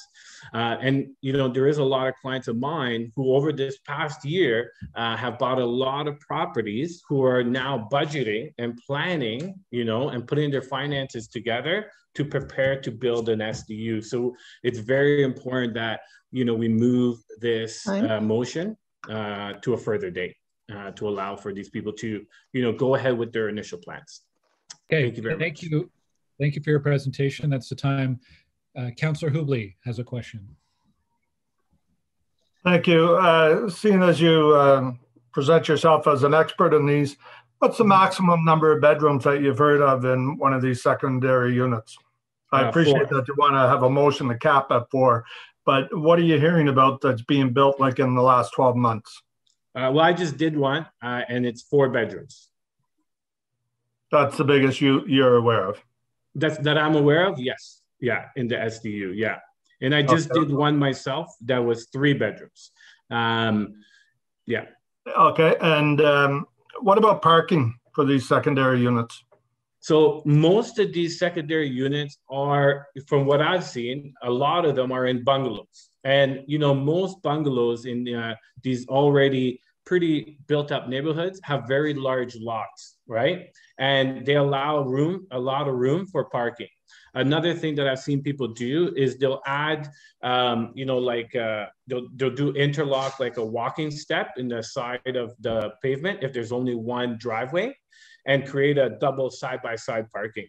Um, I've never seen any issues with parking um, uh, myself, uh, and I own you know, three of them. So um, yeah, uh, I've never had an issue with parking because again, you're usually renting to a family, and most of these families that are in the renting uh, capability, uh, they might have one car, if one car. Uh, sometimes they might have two, uh, but because of the lot okay. sizes, there's okay, I think you're painting a very rosy picture. I can tell you most of the secondary units that I, am familiar with that have been built in the area in the last two years, they tend to try to park in the front yard. They turn their backyards and suburban communities into parking lots. The maximum number of bedrooms that I'm aware of is a, a three bedroom home was converted into a 10 bedroom home. So uh, I, I, think you're, you're, painting us a very rosy picture here, but there, are a lot of issues with these secondary units that some kind of ruling or, or, guidelines have to be brought into play here because right now it's dodging the whole planning process and getting rubber stamped at committee of adjustment. So thank you for letting us know what you're aware of. I'll wait and hear from staff about what the, the picture is across the city. Thank you, Chair. Thank you. Okay. Uh, can I say something to that? Is that okay or? Well, uh, and, uh, it, it wasn't really a question. question. Yeah, it okay. wasn't a question. So we're gonna we have two more speakers, Stuart McPherson and Tony Miller. So we'll uh, we'll head to Stuart first. Thanks, uh, Saren, for your presentation. Thank you, Mr. Chair. Thank you, councillors. Good afternoon. Um, I appreciate this opportunity to speak before the committee. Uh, J'aimerais commencer uh, par dire que je suis vraiment contre les euh, recommandations de personnel au sujet des euh, règlements de logement secondaire. Um, just to introduce myself, I am Stuart McPherson. I live in Orleans. Now, my wife and I chose to invest in real estate when we retired from the federal public service, driven by a desire to grow retirement savings that had previously been decimated by divorce, but as well by a conviction that it was possible to provide quality rental housing at affordable prices. In our capacity as rental housing providers, we qualify as small landlords and we respect but do not emulate the big corporations that own and manage large multifamily buildings and complexes. Now, I explain this to you so you understand that we're similar to many people who serve our community by providing rental housing for large numbers of our neighbors. Collectively, we do not fall into the stereotype of mean landlords who take their tenants' hard earned dollars and cash the money away. Indeed, despite the investment of tens of thousands of dollars, the monthly cash flow of many small landlords comes frighteningly close to $100 or, or a few hundred dollars per month, which is not a significant windfall in anyone's imagination. Now, living in this type of environment, small investors like us pay close attention to measures being considered by municipal and provincial governments that would affect our livelihoods.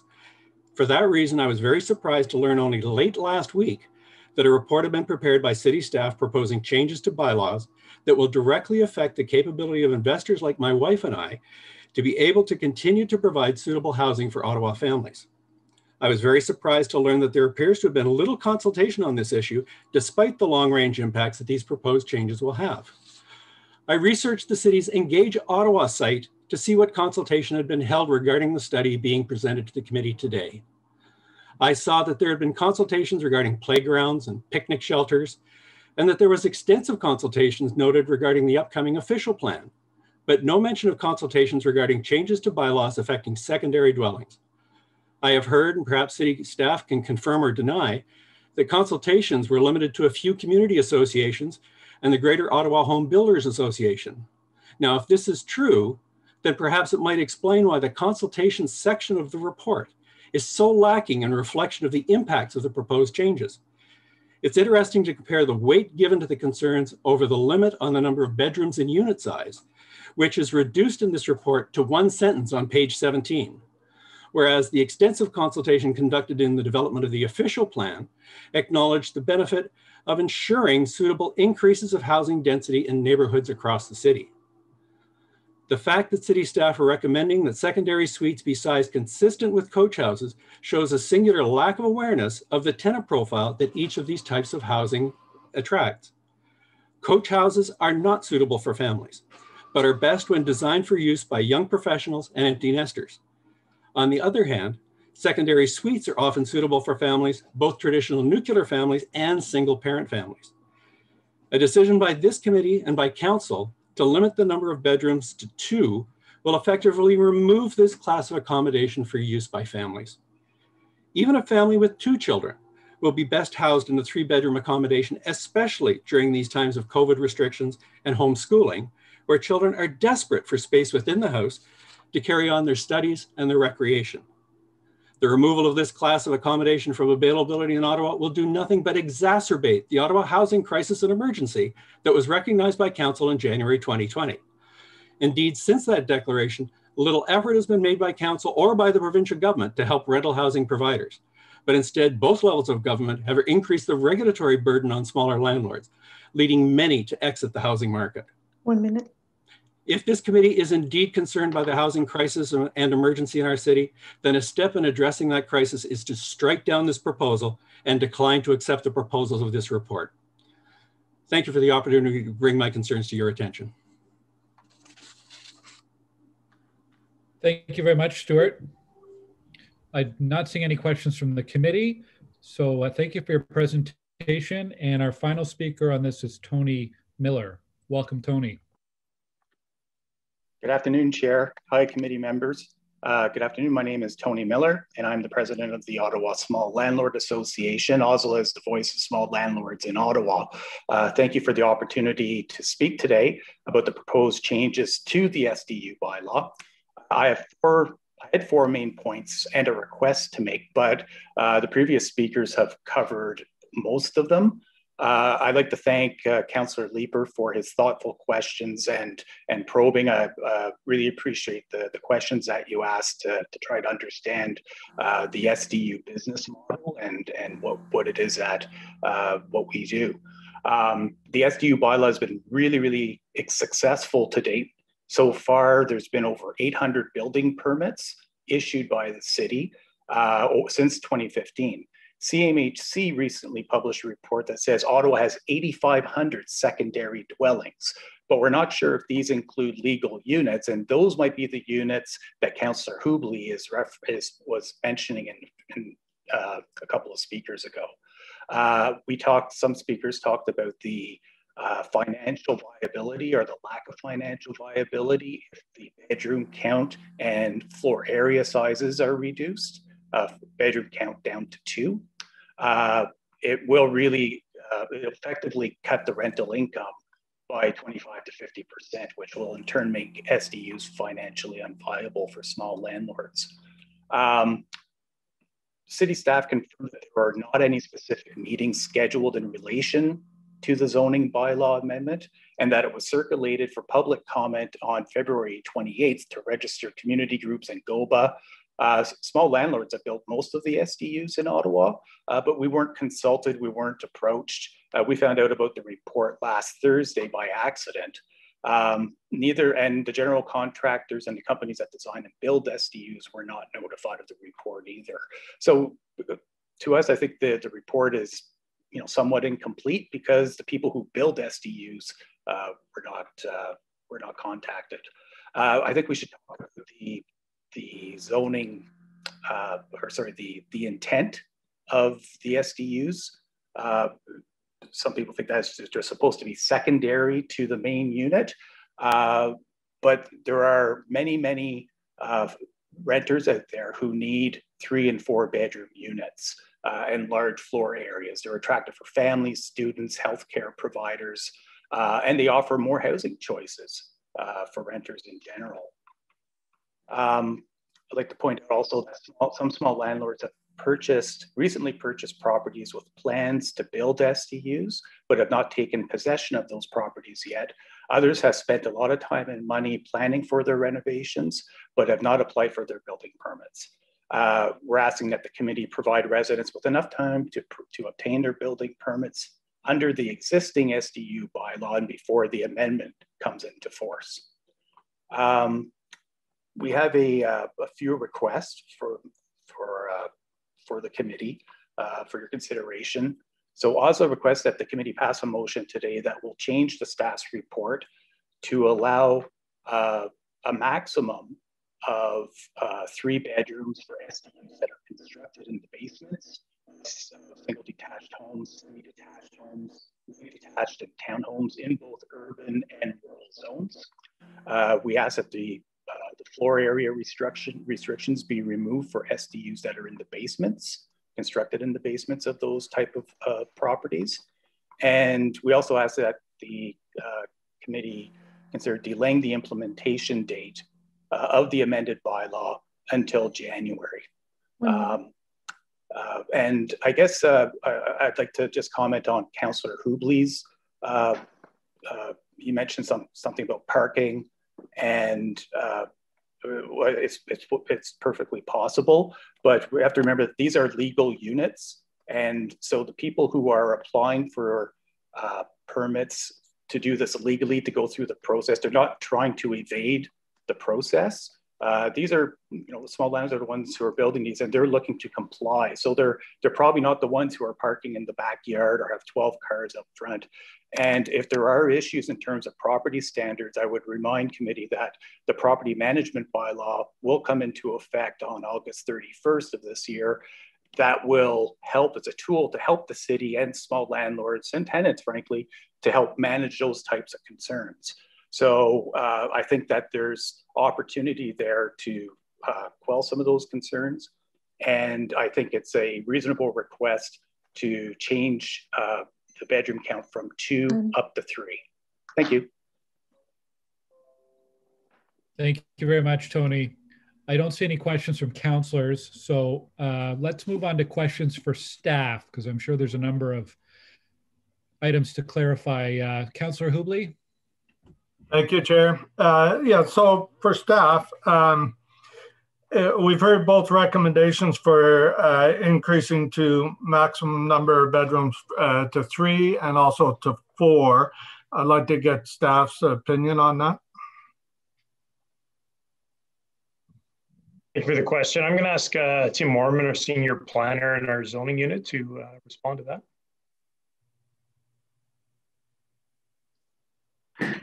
Uh, yeah, Mr. Chair, um, unfortunately, my uh, my screen hiccuped for a moment. Uh, can, can you please repeat the question? Uh? Sure. Uh, it, during the delegations, we heard uh, recommendations for a maximum cap of both three and four bedrooms. I'd like to get staff's guidance on on either of those recommendations. Thank you, Mr. Chair. Uh, so, uh, first of all, um, currently, thanks to changes that were brought in uh, 2018 regarding uh, dwelling units generally, which would include secondary dwelling units, there is currently a maximum four bedroom cap on secondary dwelling units. Um, a three bedroom cap, uh, I mean, I guess it all depends on uh, to what extent you want to ensure that secondary dwelling units are in fact secondary uh, to the principal dwelling. Um, it's important to have a cap on how big the secondary dwelling unit can be in terms of physically how large. The current zoning that is being replaced uh, talks about it in terms of in relation to the size of the principal dwelling unit. Um, and it turns out on examination uh, of the Planning Act that that's not actually something that's not actually a way that we can that we can regulate the size. It can't be in terms of relative to the size of the principal unit. So we have uh, opted through this to establish a square meter size um, and, and, and to, to regulate the size up. But you do have to have a, a, a size regulation. The 80 square meters limit that's proposed is in fact harmonized with the floor area, the effective floor area limit on coach houses. So it is harmonized in, in that sense. Uh, with respect to so you're not recommending uh, changing uh, what's proposed in the report then to a three or bedroom, a four bedroom cap. Is that what I'm getting from what you're saying, Tim? Um, I'm, I'm, neither recommending nor uh, nor not recommending. I'm, I'm, simply laying out the, the, the logic for why uh, for why to do this. Um, at the time these amendments were uh, were conceived of, and they actually go back as far as uh, uh, 2017 with the uh, the so-called bunkhouse issues that we were uh, that we were receiving. One of the issues that we found was that they were buildings that were being presented as uh, pairs of semi-detached with two secondary dwelling units, but all of the units were unusually large and then rented out by the bedroom. so putting a cap on secondary dwelling units was part of an approach that we were uh, considering for those uh, at the time. Um, having now redefined rooming houses, put caps on how big uh, units can be generally, it's less urgent. Uh, I think there is still a case to be made, certainly uh, for among other reasons, the fact that we are not able to collect development charges from uh, secondary dwelling units, even though the occupancy does have an impact on the city, so uh, there is a, a, question of the scale of the um, of the, for lack of a better word, free kind of free riding in terms of in terms of development charges. Uh, so that was that was the the the kind of remaining outstanding argument for uh, having a two bedroom uh, a two bedroom cap. A three bedroom cap would not be um, a, a, big change conceptually, and of course, as, as we said, four bedrooms is already the rule. Okay. And uh, what about the parking issue that comes along with the secondary units? Uh, we have, in going through this uh, this amendment, have not uh, sought to modify the parking rules, except uh, in one um, narrow sense. There was a requirement for when it is in a duplex that was built prior to 2013. Uh, otherwise, there was no there was no requirement, and we, we while approaching this as generally a streamlining of existing rules, um, we did seek to uh, to minimize the number of substantive changes. So we did not uh, materially look at any uh, parking questions. Okay, because I'm dealing with a number of these applications, mainly this year. That I think there was a couple last year, but um, they're turning into nightmares for the neighbors. Uh, you know, the the one that was approved last year, they tried to pave over the entire front yard to park and uh, then they paved right into the backyard. So you know people are sitting in their pool next door, and all of a sudden there's three or four cars parked beside them and idling, and you know all kinds of nightmares going on with that. Um, there's another one that uh, a three bedroom house that uh, went through committee of adjustment, and now it's a ten bedroom house, and and they're using the front yard right now as their their living room. Uh, you know, you drive by in the morning, there's beer cans and garbage all over the front lawn because they sat out there to listen to music uh, the night before. That's not fair to the neighbors. You know, we, we should require, you know, we went through this discussion with the bunkhouses and everything. It, if uh, we are going to allow people to bypass the planning process and go through committee of adjustment, we need to have rules in place that protect the care and enjoyment of the neighbors' properties as well as their own. We, we've got to find a way, and I think this report here is a vehicle that maybe with a little more uh, meat on it uh, could help us uh, do that. Uh, and I'm looking for some guidance from staff on uh, whether they see this as the, the proper vehicle to provide committee of adjustment with some good guidance on what's acceptable and what's not in secondary units. Well, Mr. Chair, uh, there is a, uh, of course, a new official plan uh, in development and coming shortly thereafter, uh, a new comprehensive zoning bylaw. And I mean, these are all issues that uh, that uh, you know we we should take under consideration as we as we come up with a a new set of rules for development of the city generally whether for secondary. Yeah, but Tim, this this report could get approved today and rise to council. So I'm looking for the quickest possible action to uh, curb these secondary dwellings that are, you know, as some of the delegations uh, uh presented, these could very well be uh, ones that are not conforming with the rules. But in each of the cases that I'm aware of, they at least went to committee of adjustment, whether they're following what was approved by committee of adjustment we don't know because we don't follow that up. We don't have the details from committee of adjustment uh, as to uh, why, what the rationale was to set aside the planning rules and allow these changes. Mm-hmm. So I'm, I'm looking for some help here on uh, what we can do to help um, uh, uh, the communities uh, have some protection from this while still encouraging the rental properties. And just for the record, I had three rental properties myself. I, I know the, the, the value of uh, adding the, the additional units in a house to provide rentals for people. I get that. I support that. What I don't support is uh, affecting all your neighbors by overbuilding. Mr. Chair, uh, to the uh, to the to the councillor's core concerns, which is nuisance uh, to the neighbors, I would I would point out that uh, first of all, front yard parking is unlawful. Uh, you're not allowed to pave your front yard to turn it into parking, whether it's for a secondary dwelling unit or for the principal unit, for uh, for that matter. similarly, questions of noise um, or of garbage or of property standards are, are, rightly dealt with as an enforcement issue with the uh, through the uh, uh, the property property standards bylaw. So there are measures in place for addressing uh, these impacts, and those impacts can happen regardless of whether they are a secondary unit or a principal unit uh, or, or, or any other uh, kind of unit. I, I, would also point out to the, to the particular example that the councillor gave, one of the reasons we did um, amend the zoning rules back in 2018 um, governing the number of bedrooms. Previously, there was no limit on the number of bedrooms in any unit. And the situation that he describes that I, I, think it was a three bedroom house that became 10 bedrooms, that would not be allowed today either. So in response, and unfortunately there are buildings that were built and occupied before those changes to the rules and um, the way zoning works, there are non-conforming use rights that we're not able to, uh, to, to take back retroactively.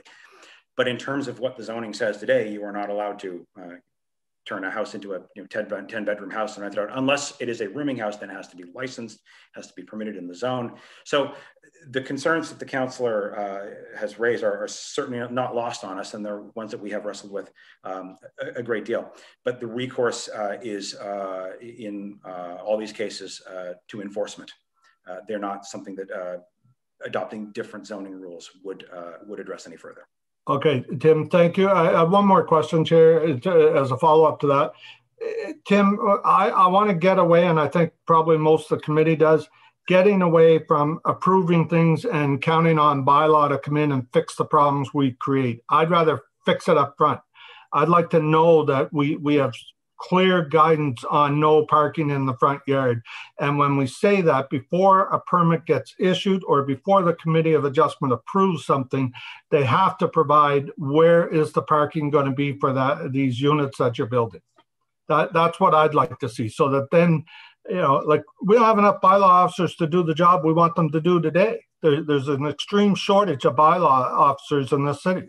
And so I don't think we put more work on them. I think we've got to put some rules in place today and, and going forward that don't rely on bylaw to come by and enforce things afterwards. So that's my comments, uh, Mr. Chair. Thank you.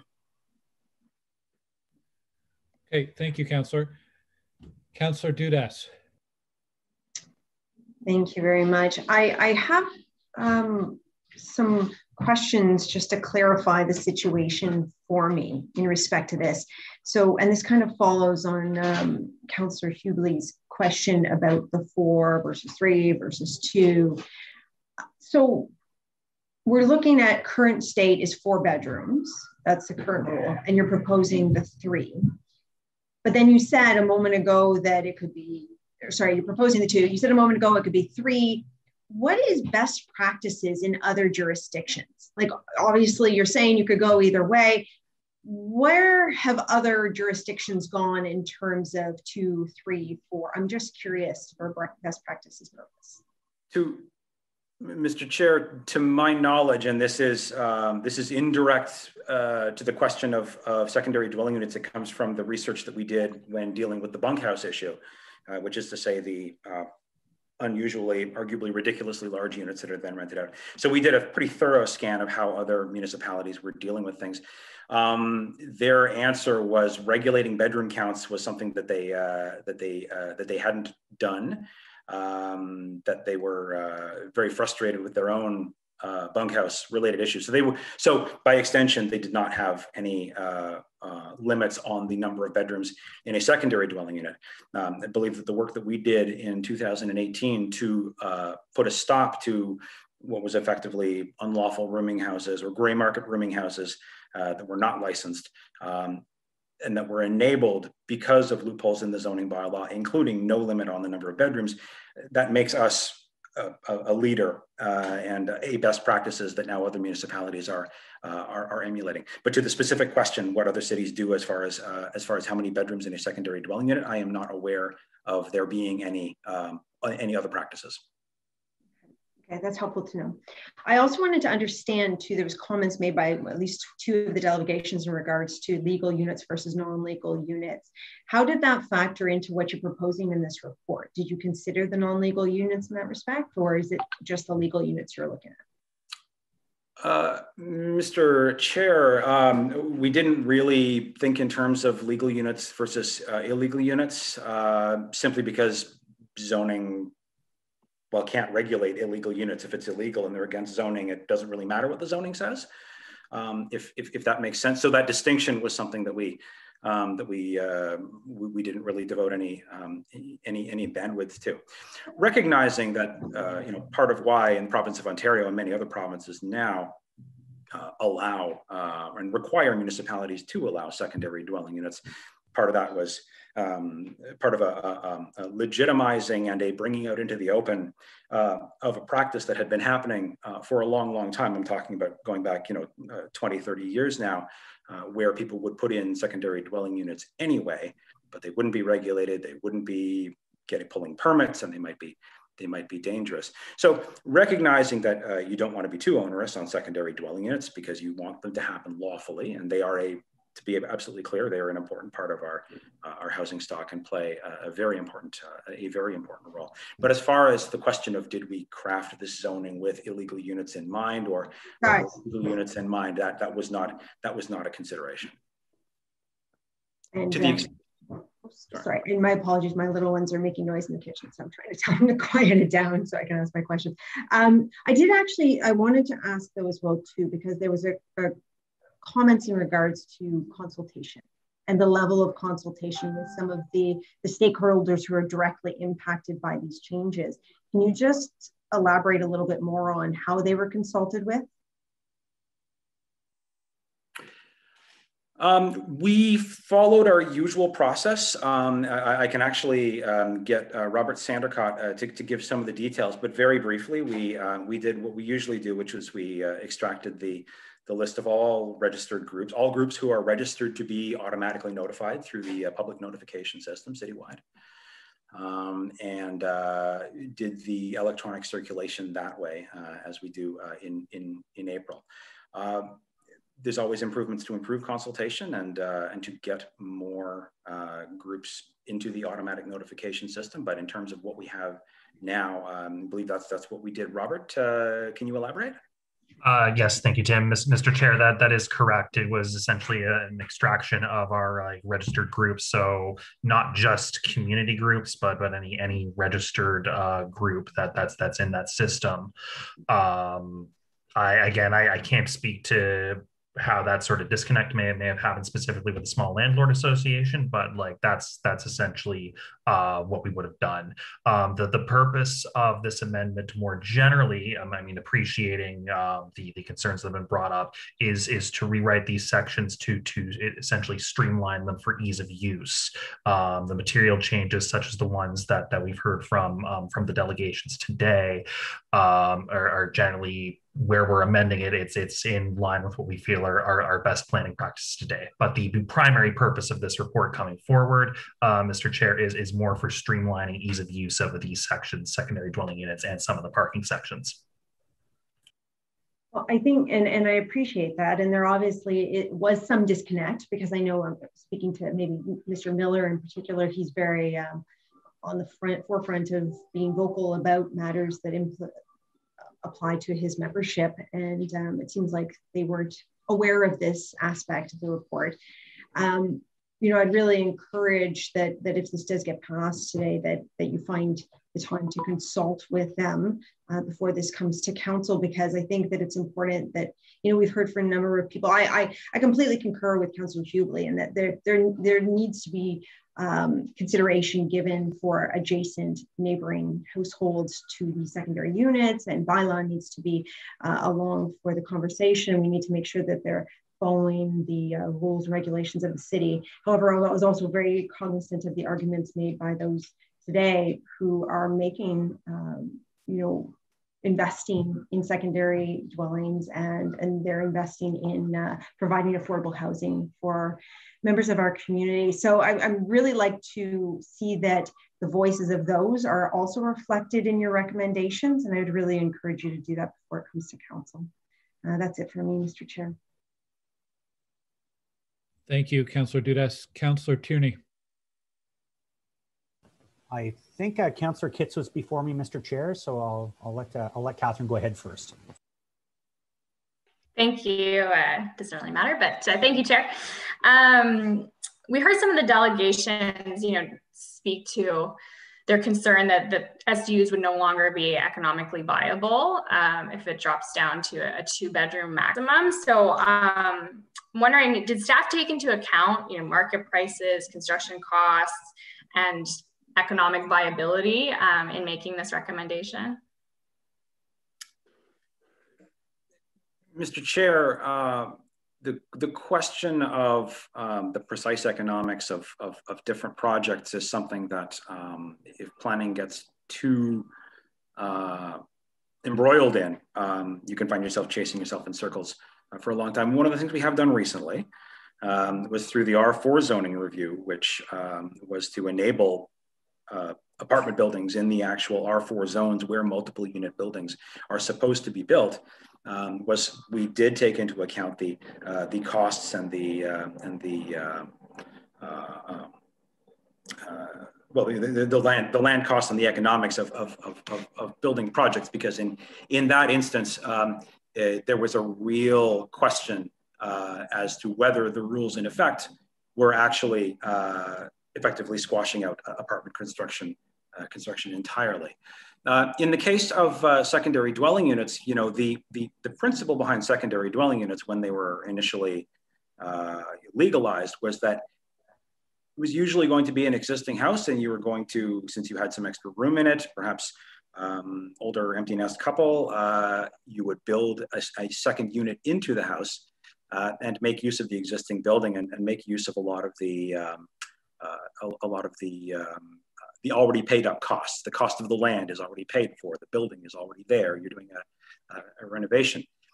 One of the things that we have become aware of, though, um, and to some extent, this is a reaction to a very difficult housing situation, uh, shortage of rental housing. Uh, I'm a renter myself, so I'm I'm quite aware of it. Um, is that uh, more and more secondary dwelling units were uh, no longer one unit being put into a detached house. They were um, being purpose built, purpose designed into buildings that were uh, permitted and zoned as usually pairs of semi-detached, long semi-detached, uh, and with a secondary dwelling unit in each each um, each uh, each of the two semi-detached units, um, which is lawful, and in fact, the province requires us to allow it. But then on top of that, the principal units would be four bedroom units, and then the secondary units would be also four bedrooms, um, which is unusually large for any apartment. So there has been a drift from the original conception of secondary dwelling units and what they are intended to do and how the economics of them are supposed to work to becoming something that um, rightly or wrongly and however we feel about it um, has resulted in effectively you know, fourplexes being allowed in, uh, in, in zones that you know, previously allowed, uh, uh, allowed two units. Now there's a serious conversation that's gonna have to happen uh, in the uh, coming years about uh, the zones we have that restrict people to one or two or three principal units because, you know, with our intensification goals and the growth management strategy and all the goals the city needs to, needs to achieve, including our affordable housing there's a lot of places where we zone for fairly low density that we're going to have to consider zoning for higher densities. The tricky thing with the way the existing secondary dwelling unit rules have often ended up being uh, applied is that they have been um, quite a bit more than what was originally envisioned when they were uh, when they were uh, zoned for, made lawful. And it's very different from the economics of the, uh, of the, the, the original conception. Does that, I'm sorry, does that, does that, does that address the question? Yes, no, thank you very much for your thorough response. Um, just one more question. Another recommendation that we, we heard from delegations was to delay the implementation date. Um, and I was just, you know, for, for folks like the, the delegation we heard from, I guess financially planned for a different layout. Um, and I was just wondering if we could get staff's comment on that. I'm sorry, I got a little bit of a hiccup here. Could you please repeat the question? No problem. Um, just with respect to the recommendation to delay the implementation date, you know, for those who are in the situation like the delegation we heard from, who had financially planned um, around sort of a different setup, uh, I just wanted to know staff's comment about uh, whether uh, delaying the implementation date is, is something you could support. Well, in some uh, in some zoning uh, reviews, uh, it's uh, it's normal for us to have some sort of transition clause whereby um, something to the effect of anyone who has submitted a permit as of the day the zoning uh, changed. Uh, the change in the zoning won't prevent them from getting a permit, so they will essentially be grandfathered. That's usually something we apply to uh, things that have to go through a planning process, like a development review, site plan control, variances, things that take quite a bit of time. Um, secondary dwelling units are something that are enabled directly by building permit, as long as they're doing it as of right by zoning. So there is much less of a lag time between the time that somebody would have submitted a, a bona fide application and, uh, and, and received the permit. So the lag time is, is not there. Um, the question of should we hold the zoning door open um, for people who purchase properties, properties expecting to later do something with them, I, I think you, you tread a dangerous line there because uh, rules change all the time. And if we were to start saying this zoning isn't going to apply to people who are already contemplating a project but haven't even applied for a permit, um, we may find ourselves on some on some some some very thin ice. Uh, the only other caution that I would offer was that if, for example, there was a, um, a provision, as, as, someone suggested, to delay the implementation uh, of this particular provision of the zoning, um, you could reasonably expect a great many applications coming in the door before uh, before that uh, before it actually comes into effect whether that's desirable or not, I'll leave that to uh, I'll leave that to uh, committee and council to decide. But it is a thing uh, that will happen. Uh, we we have seen it in the past when there was uh, effectively a uh, um, a grandfathering that left some time between the time the decision was made and the time it came into effect. Okay, great. That's it for me, Chair. Thank you. Thank you, um, Councillor Tierney. Great. thank you, Chair, and uh, my questions are for Tim. You can't have enough good Tims. Um, so first of all, I think it was really illustrated uh, that uh, that uh, you know uh, for Councillor Hubley, uh, I've seen problems like that too, even with single family homes, where I don't know why people buy, you know, five cars when they have a laneway for one. It always boggles my mind, and they think the city should babysit their cars. It's ridiculous, but that's a whole other issue. So I won't get into that. Uh, the bunkhouse issue, confusion versus SDUs, I think has been clarified, so I won't go down that road. Um, I, I, do have a couple of concerns. I mean, uh, I was on the outer uh, urban, uh, outer urban um, transect uh, call last night, and we were talking about the fact, you know, we have a, we keep declaring a housing crisis, we keep declaring problems, and we know there's going to be a crunch in this city. I guess, I guess what I've heard from a few, and it's not the actual people that are building or own them. I've heard from a couple that lives in one. Um, they're concerned uh, about this. Um, what impacts do you see when it comes to intensification? I mean, four, yeah, I get it, seems pretty excessive. Uh, two seems like a weird low end number. Three seems a good compromise. So I'm I'm not really sure what opportunities exist to be able to, to look at it from a, a three room versus versus the two. I would be I would be Mr. Chair, uh, I would be hard pressed to muster uh, a, uh, a, a very strong table pounding argument for why you should not drop down to three. Okay. It's all a question. It's all a question of degree. Okay. And so, so on that, uh, the other uh, concern I have uh, is is related to the notification period. Um, my my uh, email started blowing up from some people that do have SDUs, some people that live in SDUs, and it does seem like a very short window from a notification perspective.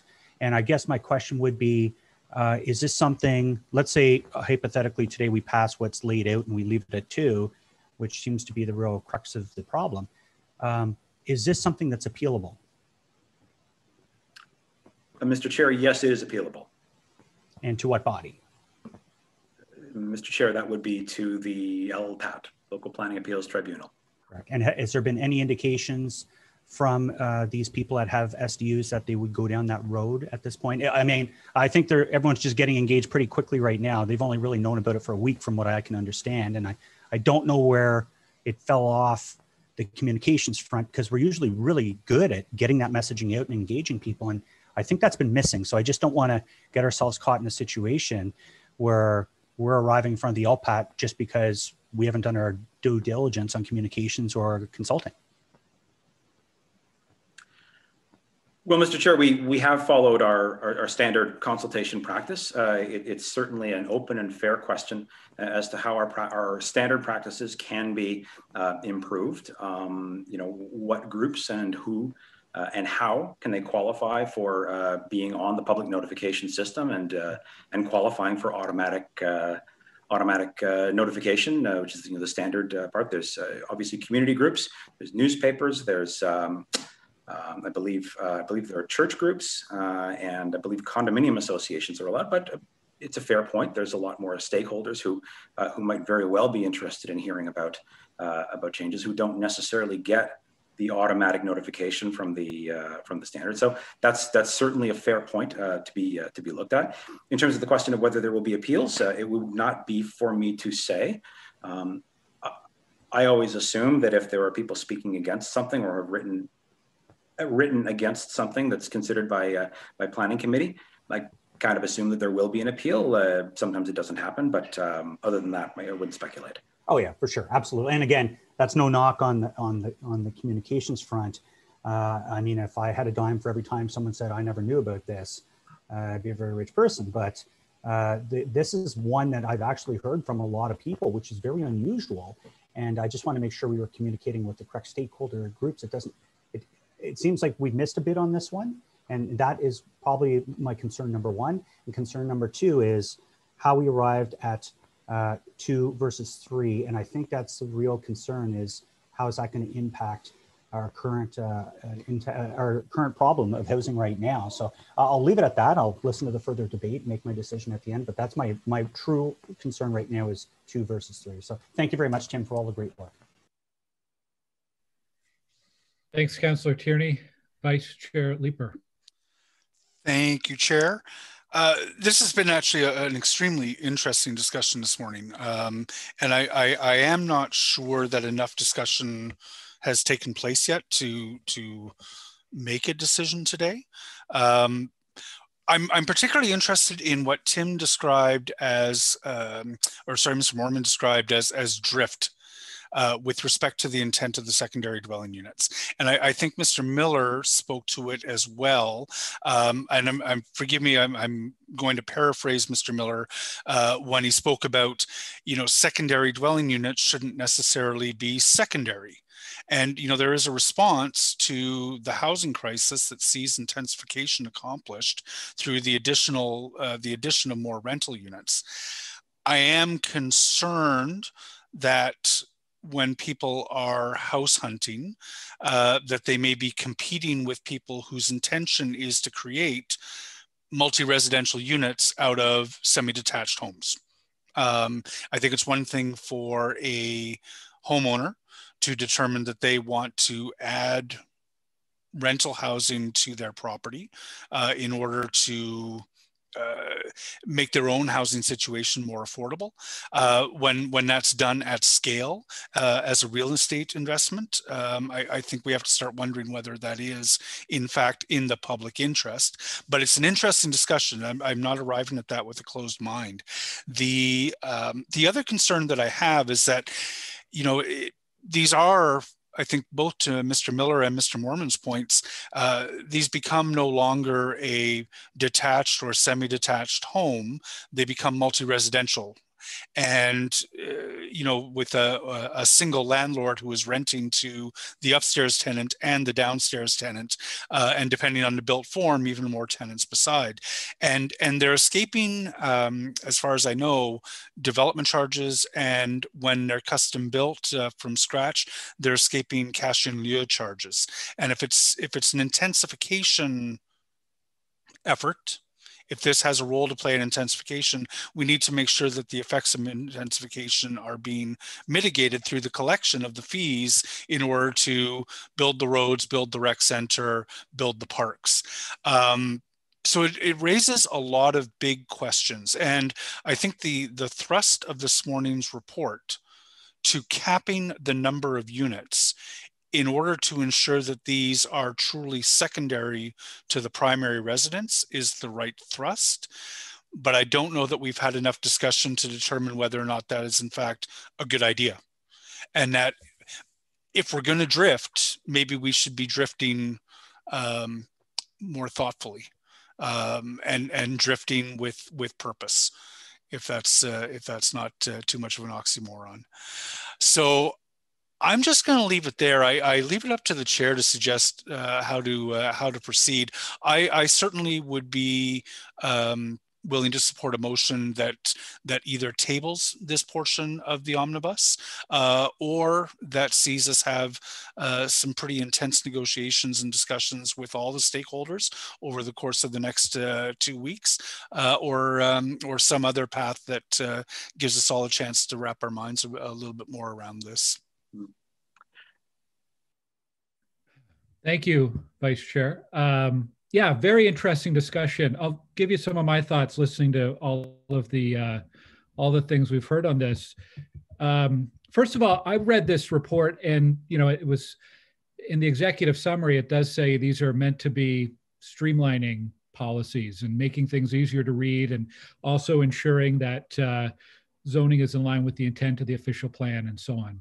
Um, what we've heard from some of the delegates seems to be this this is this is certainly does not fall in the category of streamlining this is mm-hmm. more around making sure things are following the intent our, of our official plan and also following the intent of what i think council intended when they first enacted rules around secondary dwelling units and to me secondary dwelling units are not meant to be second dwelling units but secondary in the sense of subservient or second to so um, and, and councillor Leiper touched on that when he spoke about drift. And I think staff have suggested there's a few ways you can ensure that um, housing units are secondary. One could be through the gross, gross floor area. Another way could be through the number of bedrooms. And perhaps it's a mix of these two things. Um, what I'm really worried about is unintended consequences if we make too hasty a decision on what the best mix of GFA versus bedrooms might be. I think overall the report in front of us is sound, but would benefit from some more consultation with staff and with these representatives um, who are owners and developers of SDUs to get a better sense of what some of those unintended consequences might be. If we pull this lever, um, what happens over on the to the to the other side of things? Um, so what I'm going to propose is that the committee pass this today, but that uh, we direct staff to meet with uh, the the representatives representatives we saw here today. Perhaps we work through Tony Miller with the Ottawa Small Landlords Association. Uh, meet between now and council, and the sooner the better. I'd like to participate in that, and perhaps uh, Councillor Leiper would as well. Really have a chance to hear from them about their concerns, understand the various uh, consequences about and, and how we might be able to resolve this with keeping in mind what council originally intended with secondary dwelling units and making sure first and foremost we're, we're in line with that. Um, so if staff would be uh, would be willing to accept that direction to move forward on this. Of course. Uh, yes, Vice Chair, we'd be uh, pleased to participate in that. I think we had a very good discussion today and look forward to uh, further discussion over the next two weeks. Now, the other one is in terms of consultation, uh, correct me if I'm wrong, but staff does maintain a list of community associations and churches, as Tim mentioned. Does anyone know if the Ottawa Small Landlords Association, the group that Tony Miller represents, is on that list currently? I'm, I don't. I suspect they're not if they did not receive notice, but we can also connect them to that process so that they can register and be notified moving forward. So, if, yeah, staff... could we could we also add the other landlord association, the one that uh, John Dickey often presents uh, on behalf of, because they represent both uh, large and small landlords. So I, I, think if we're going to do a, a wholesome con consultation, we should include Mr. Dickey. So yeah, we can again, we can send the link to both uh, both groups for sure. Yes, please. I think this is the third. Seems like the maybe the second or third time in about six weeks that uh, Mr. Miller's presented to various committees. So um, they are an important stakeholder group, and uh, want to make sure that they're aware and able to participate in any discussions around housing.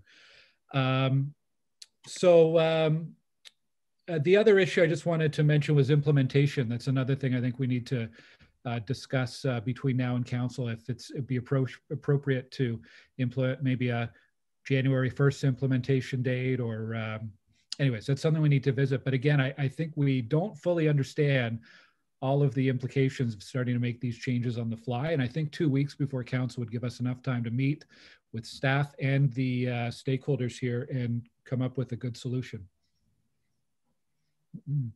So um, if we could look at, uh, I guess we uh, we have an amending motion on this report. So let's deal with that first. This is the amending motion on parking spaces that uh, Vice Chair Leiper introduced. Is that amendment carried? Carried. Carried. And just for clarity, let's do a, a vote on the report as amended. And I'll just remind people who are watching online, we do have a staff taking direction on the follow-up between now and council. And it's it's quite possible we may have a motion that comes to council to make some changes in this based on those conversations. So Melody, if you could uh, help us with the vote, please. Yes. Excuse me, Councillor Dudas. Yes. Councillor Sudds. Yes. Councillor Tierney. Yes. Councillor Leiper. Yes. Councillor Brockington. Councillor Cloutier? Yes. Councillor Kitts? Yes. Councillor Moffatt? Councillor Hubley? Yes. And Acting Chair Gower? Yes. Eight years. Okay, thank you. All right, we're almost uh, we're almost done. We have one last item, and this was the IPD on the city policy on curb cuts that Councillor Fleury asked us to hold, and we did. Um, it's been a long day, Councillor. If you can ask your questions short and sweet, we'd appreciate it. Absolutely. Yeah, thank you. Um, so my, I, I want to raise the conversation. I know this came off the heel of a, a particular application, but I want to understand a bit broadly. I'm not a planner, I'm not a lawyer. Uh, I've gained my planning understanding through community engagement and having uh, sit on a lot of these committees over the last year. So I believe to understand that the city wants to minimize hard surfaces on residential lots and minimize the amount of curb cut. Am I wrong in saying that? Mr. Chair, if I may, or uh, acting chair, I'll, I'll start. Um, um, basically, in dealing with development applications, uh, we look at each one individually uh, when they come in um, and through the site plan control process typically. Uh, we see where we can reduce curb cuts if at all possible. Everyone, of course, has a right to a curb cut. Um, when there's infill, um, might be maybe it's on a corner, for example, or on a through lot where you have the opportunity to put a lane in the back or to take cuts off of the main street. Um, but um, we always take a look at it on the uh, individual circumstance, if you will. Um, but uh, we can't deny anyone a curb cut. And sometimes if they need one, if they have one, if they have two, for example, we might try to get rid of a redundant one. Um, but in some instances, um, they have parking, of course, but if they don't, they might need it for service delivery. Um, and also there's the situations where it's, if there's one that's existing and they have to wheel out garbage bins, uh, we try to, uh, to keep that. It's just easier than having a big bin flop over a curb. So um, each time there's an application, as I say, for site plan, we'll take a look at it on an individual basis and we'll see what the development, the way it works, needs. Uh, and if it uh, is to reduce or redundant curb cuts, we will certainly look at that. Okay, I, am asking more at a higher level from a policy point of view. Does the city want less hard surfaces and less curb cuts in new developments? Don can weigh in on that too, because he can probably talk about the recent changes to the zoning bylaw through the R4 study uh, that requires more green space. But, uh, Yes, thanks, Doug. And uh, to your question, Councillor, certainly it is something we do want to manage for a whole bunch of reasons, including, you know, opportunities for landscaping, uh, our tree canopy cover, uh, on-street parking. There's a whole host of issues why we uh, can and should manage curb cuts. Um, and certainly the new official plan has has direction to do that where we can. Uh, and, you know, but building on the point points that Doug raised, um, there obviously are still legitimate reasons to have them, but we do try to manage them. Okay. So am I okay to paraphrase and saying generally the city wants less hard surfaces and curb cuts, but there are it, it's challenging on how do you get about it practically? Is that is that fair to say? I'd say that's fair. Okay. Could we, in that instance, then provide the, the environment how that happens? Because people live near transit, people make decisions on where they live and, and the type of transportation means they, they, they try to go about. Um, I think it is extremely, in policy, we're saying less curb cuts, less driveways. Practically, we've come across an entire can of worms where solid waste has told us if there's no curb cut, there's no there's no city pickup.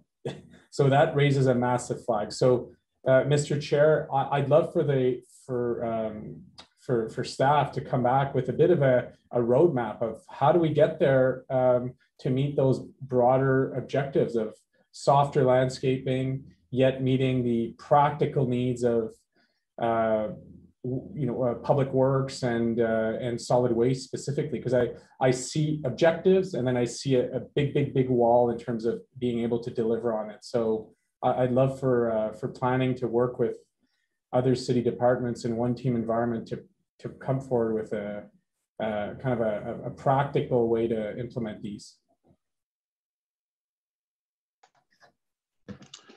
Well, I mean, um, Mr. Acting Chair, certainly um, as I mentioned, though, through development applications, each uh, we have goals in mind, of course, and I think we have to look at those specifically. But I, I but I think uh, with what the counselor is actually saying, that is our goal. If we can reduce curb cuts, if we can reduce hard surface, if we can increase the amount of green space on there, such as through changes to the zoning bylaw, that is certainly something that we do. We know we know that that's our goal.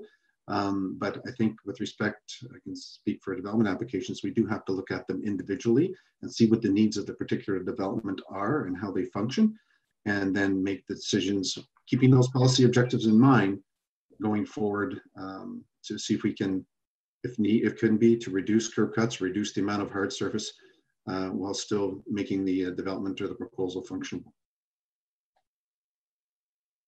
I guess, Mr. Chair, my comment still, or my my ask to staff still applies, which is, could we develop uh, the a practical graph on how how a particular development could happen without a curb cut and still get city approval? Because right now you have the the planning folks who are saying theoretically we want it. It's it's a personal choice, but then we also have solid waste and others, and, and they've commented slightly in this uh, inquiry response saying, well, no, it's no, if city, if someone wants a city pickup, they need a curb cut. So I'm, I'm sensing some policy gaps here and would love for, for a bit of a, a graph on how, how this can be achieved.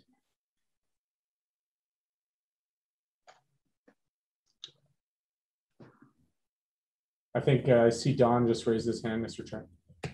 Yeah, no, I, I think, uh, Mr. Chair, I understand the question, and I know uh, certainly our general manager is having discussions with Public Works in terms of the, you know, solid waste master plan, and um, are there other ways that we can, you know, uh, meet their needs and, and still meet our needs? So we're very much where the issued uh, discussions uh, are underway and, and will be ongoing through the solid waste master plan. So um, stay tuned.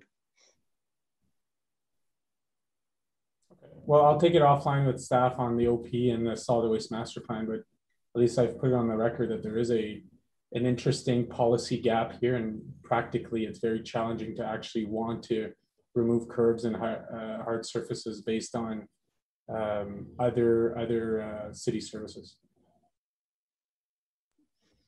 Okay. Thank you, Councillor Fleury. okay, uh, we have no in-camera items today. We do have a notice of motion for the next meeting. Acting Chair Leiper Yeah, so this is notice, uh, whereas Development Charges Act Section 27 and its predecessor legislation has permitted since the enactment of the Development Charges Act in 1989, the city and an applicant to voluntarily enter into an agreement to postpone the payment of development charges to a date after the issuance of a building permit. And whereas the city of Ottawa was permitted until a recent change in procedure by the Land Titles Office to register such agreements on title, and whereas Bill 108 has provided the statutory entitlement to deferring development charges for rental rental housing, institutional development, and nonprofit housing. And whereas registration of a deferral agreement will provide notice that the development charges are outstanding and additional security for their repayment, and whereas the mayor, by letter dated August 20th, 2019, to the Minister of Municipal Affairs and Housing, requested that the necessary provisions be enacted to permit the registration of deferral agreements, and whereas the General Manager, Planning, Infrastructure, and Economic Development recommends that the city again approach the Government of Ontario to seek to have the necessary provisions be enacted. Therefore, be it resolved that Planning Committee recommend to Council that the Mayor be requested to write a letter to the Minister of Municipal Affairs and Housing and the Minister of Government and Consumer Services to seek the necessary amendment to the Development Charges Act or the regulations thereunder to permit the registration of agreements for the deferral of development charges. Thank you. Uh, are there any inquiries for today? Any other business? Okay, then we are adjourned to Thursday, July 8th, which uh, I'm advised could be a very busy agenda and uh, members may want to keep July 9th open as well, just in case, but more to come. Thanks everyone. Thanks, Melody.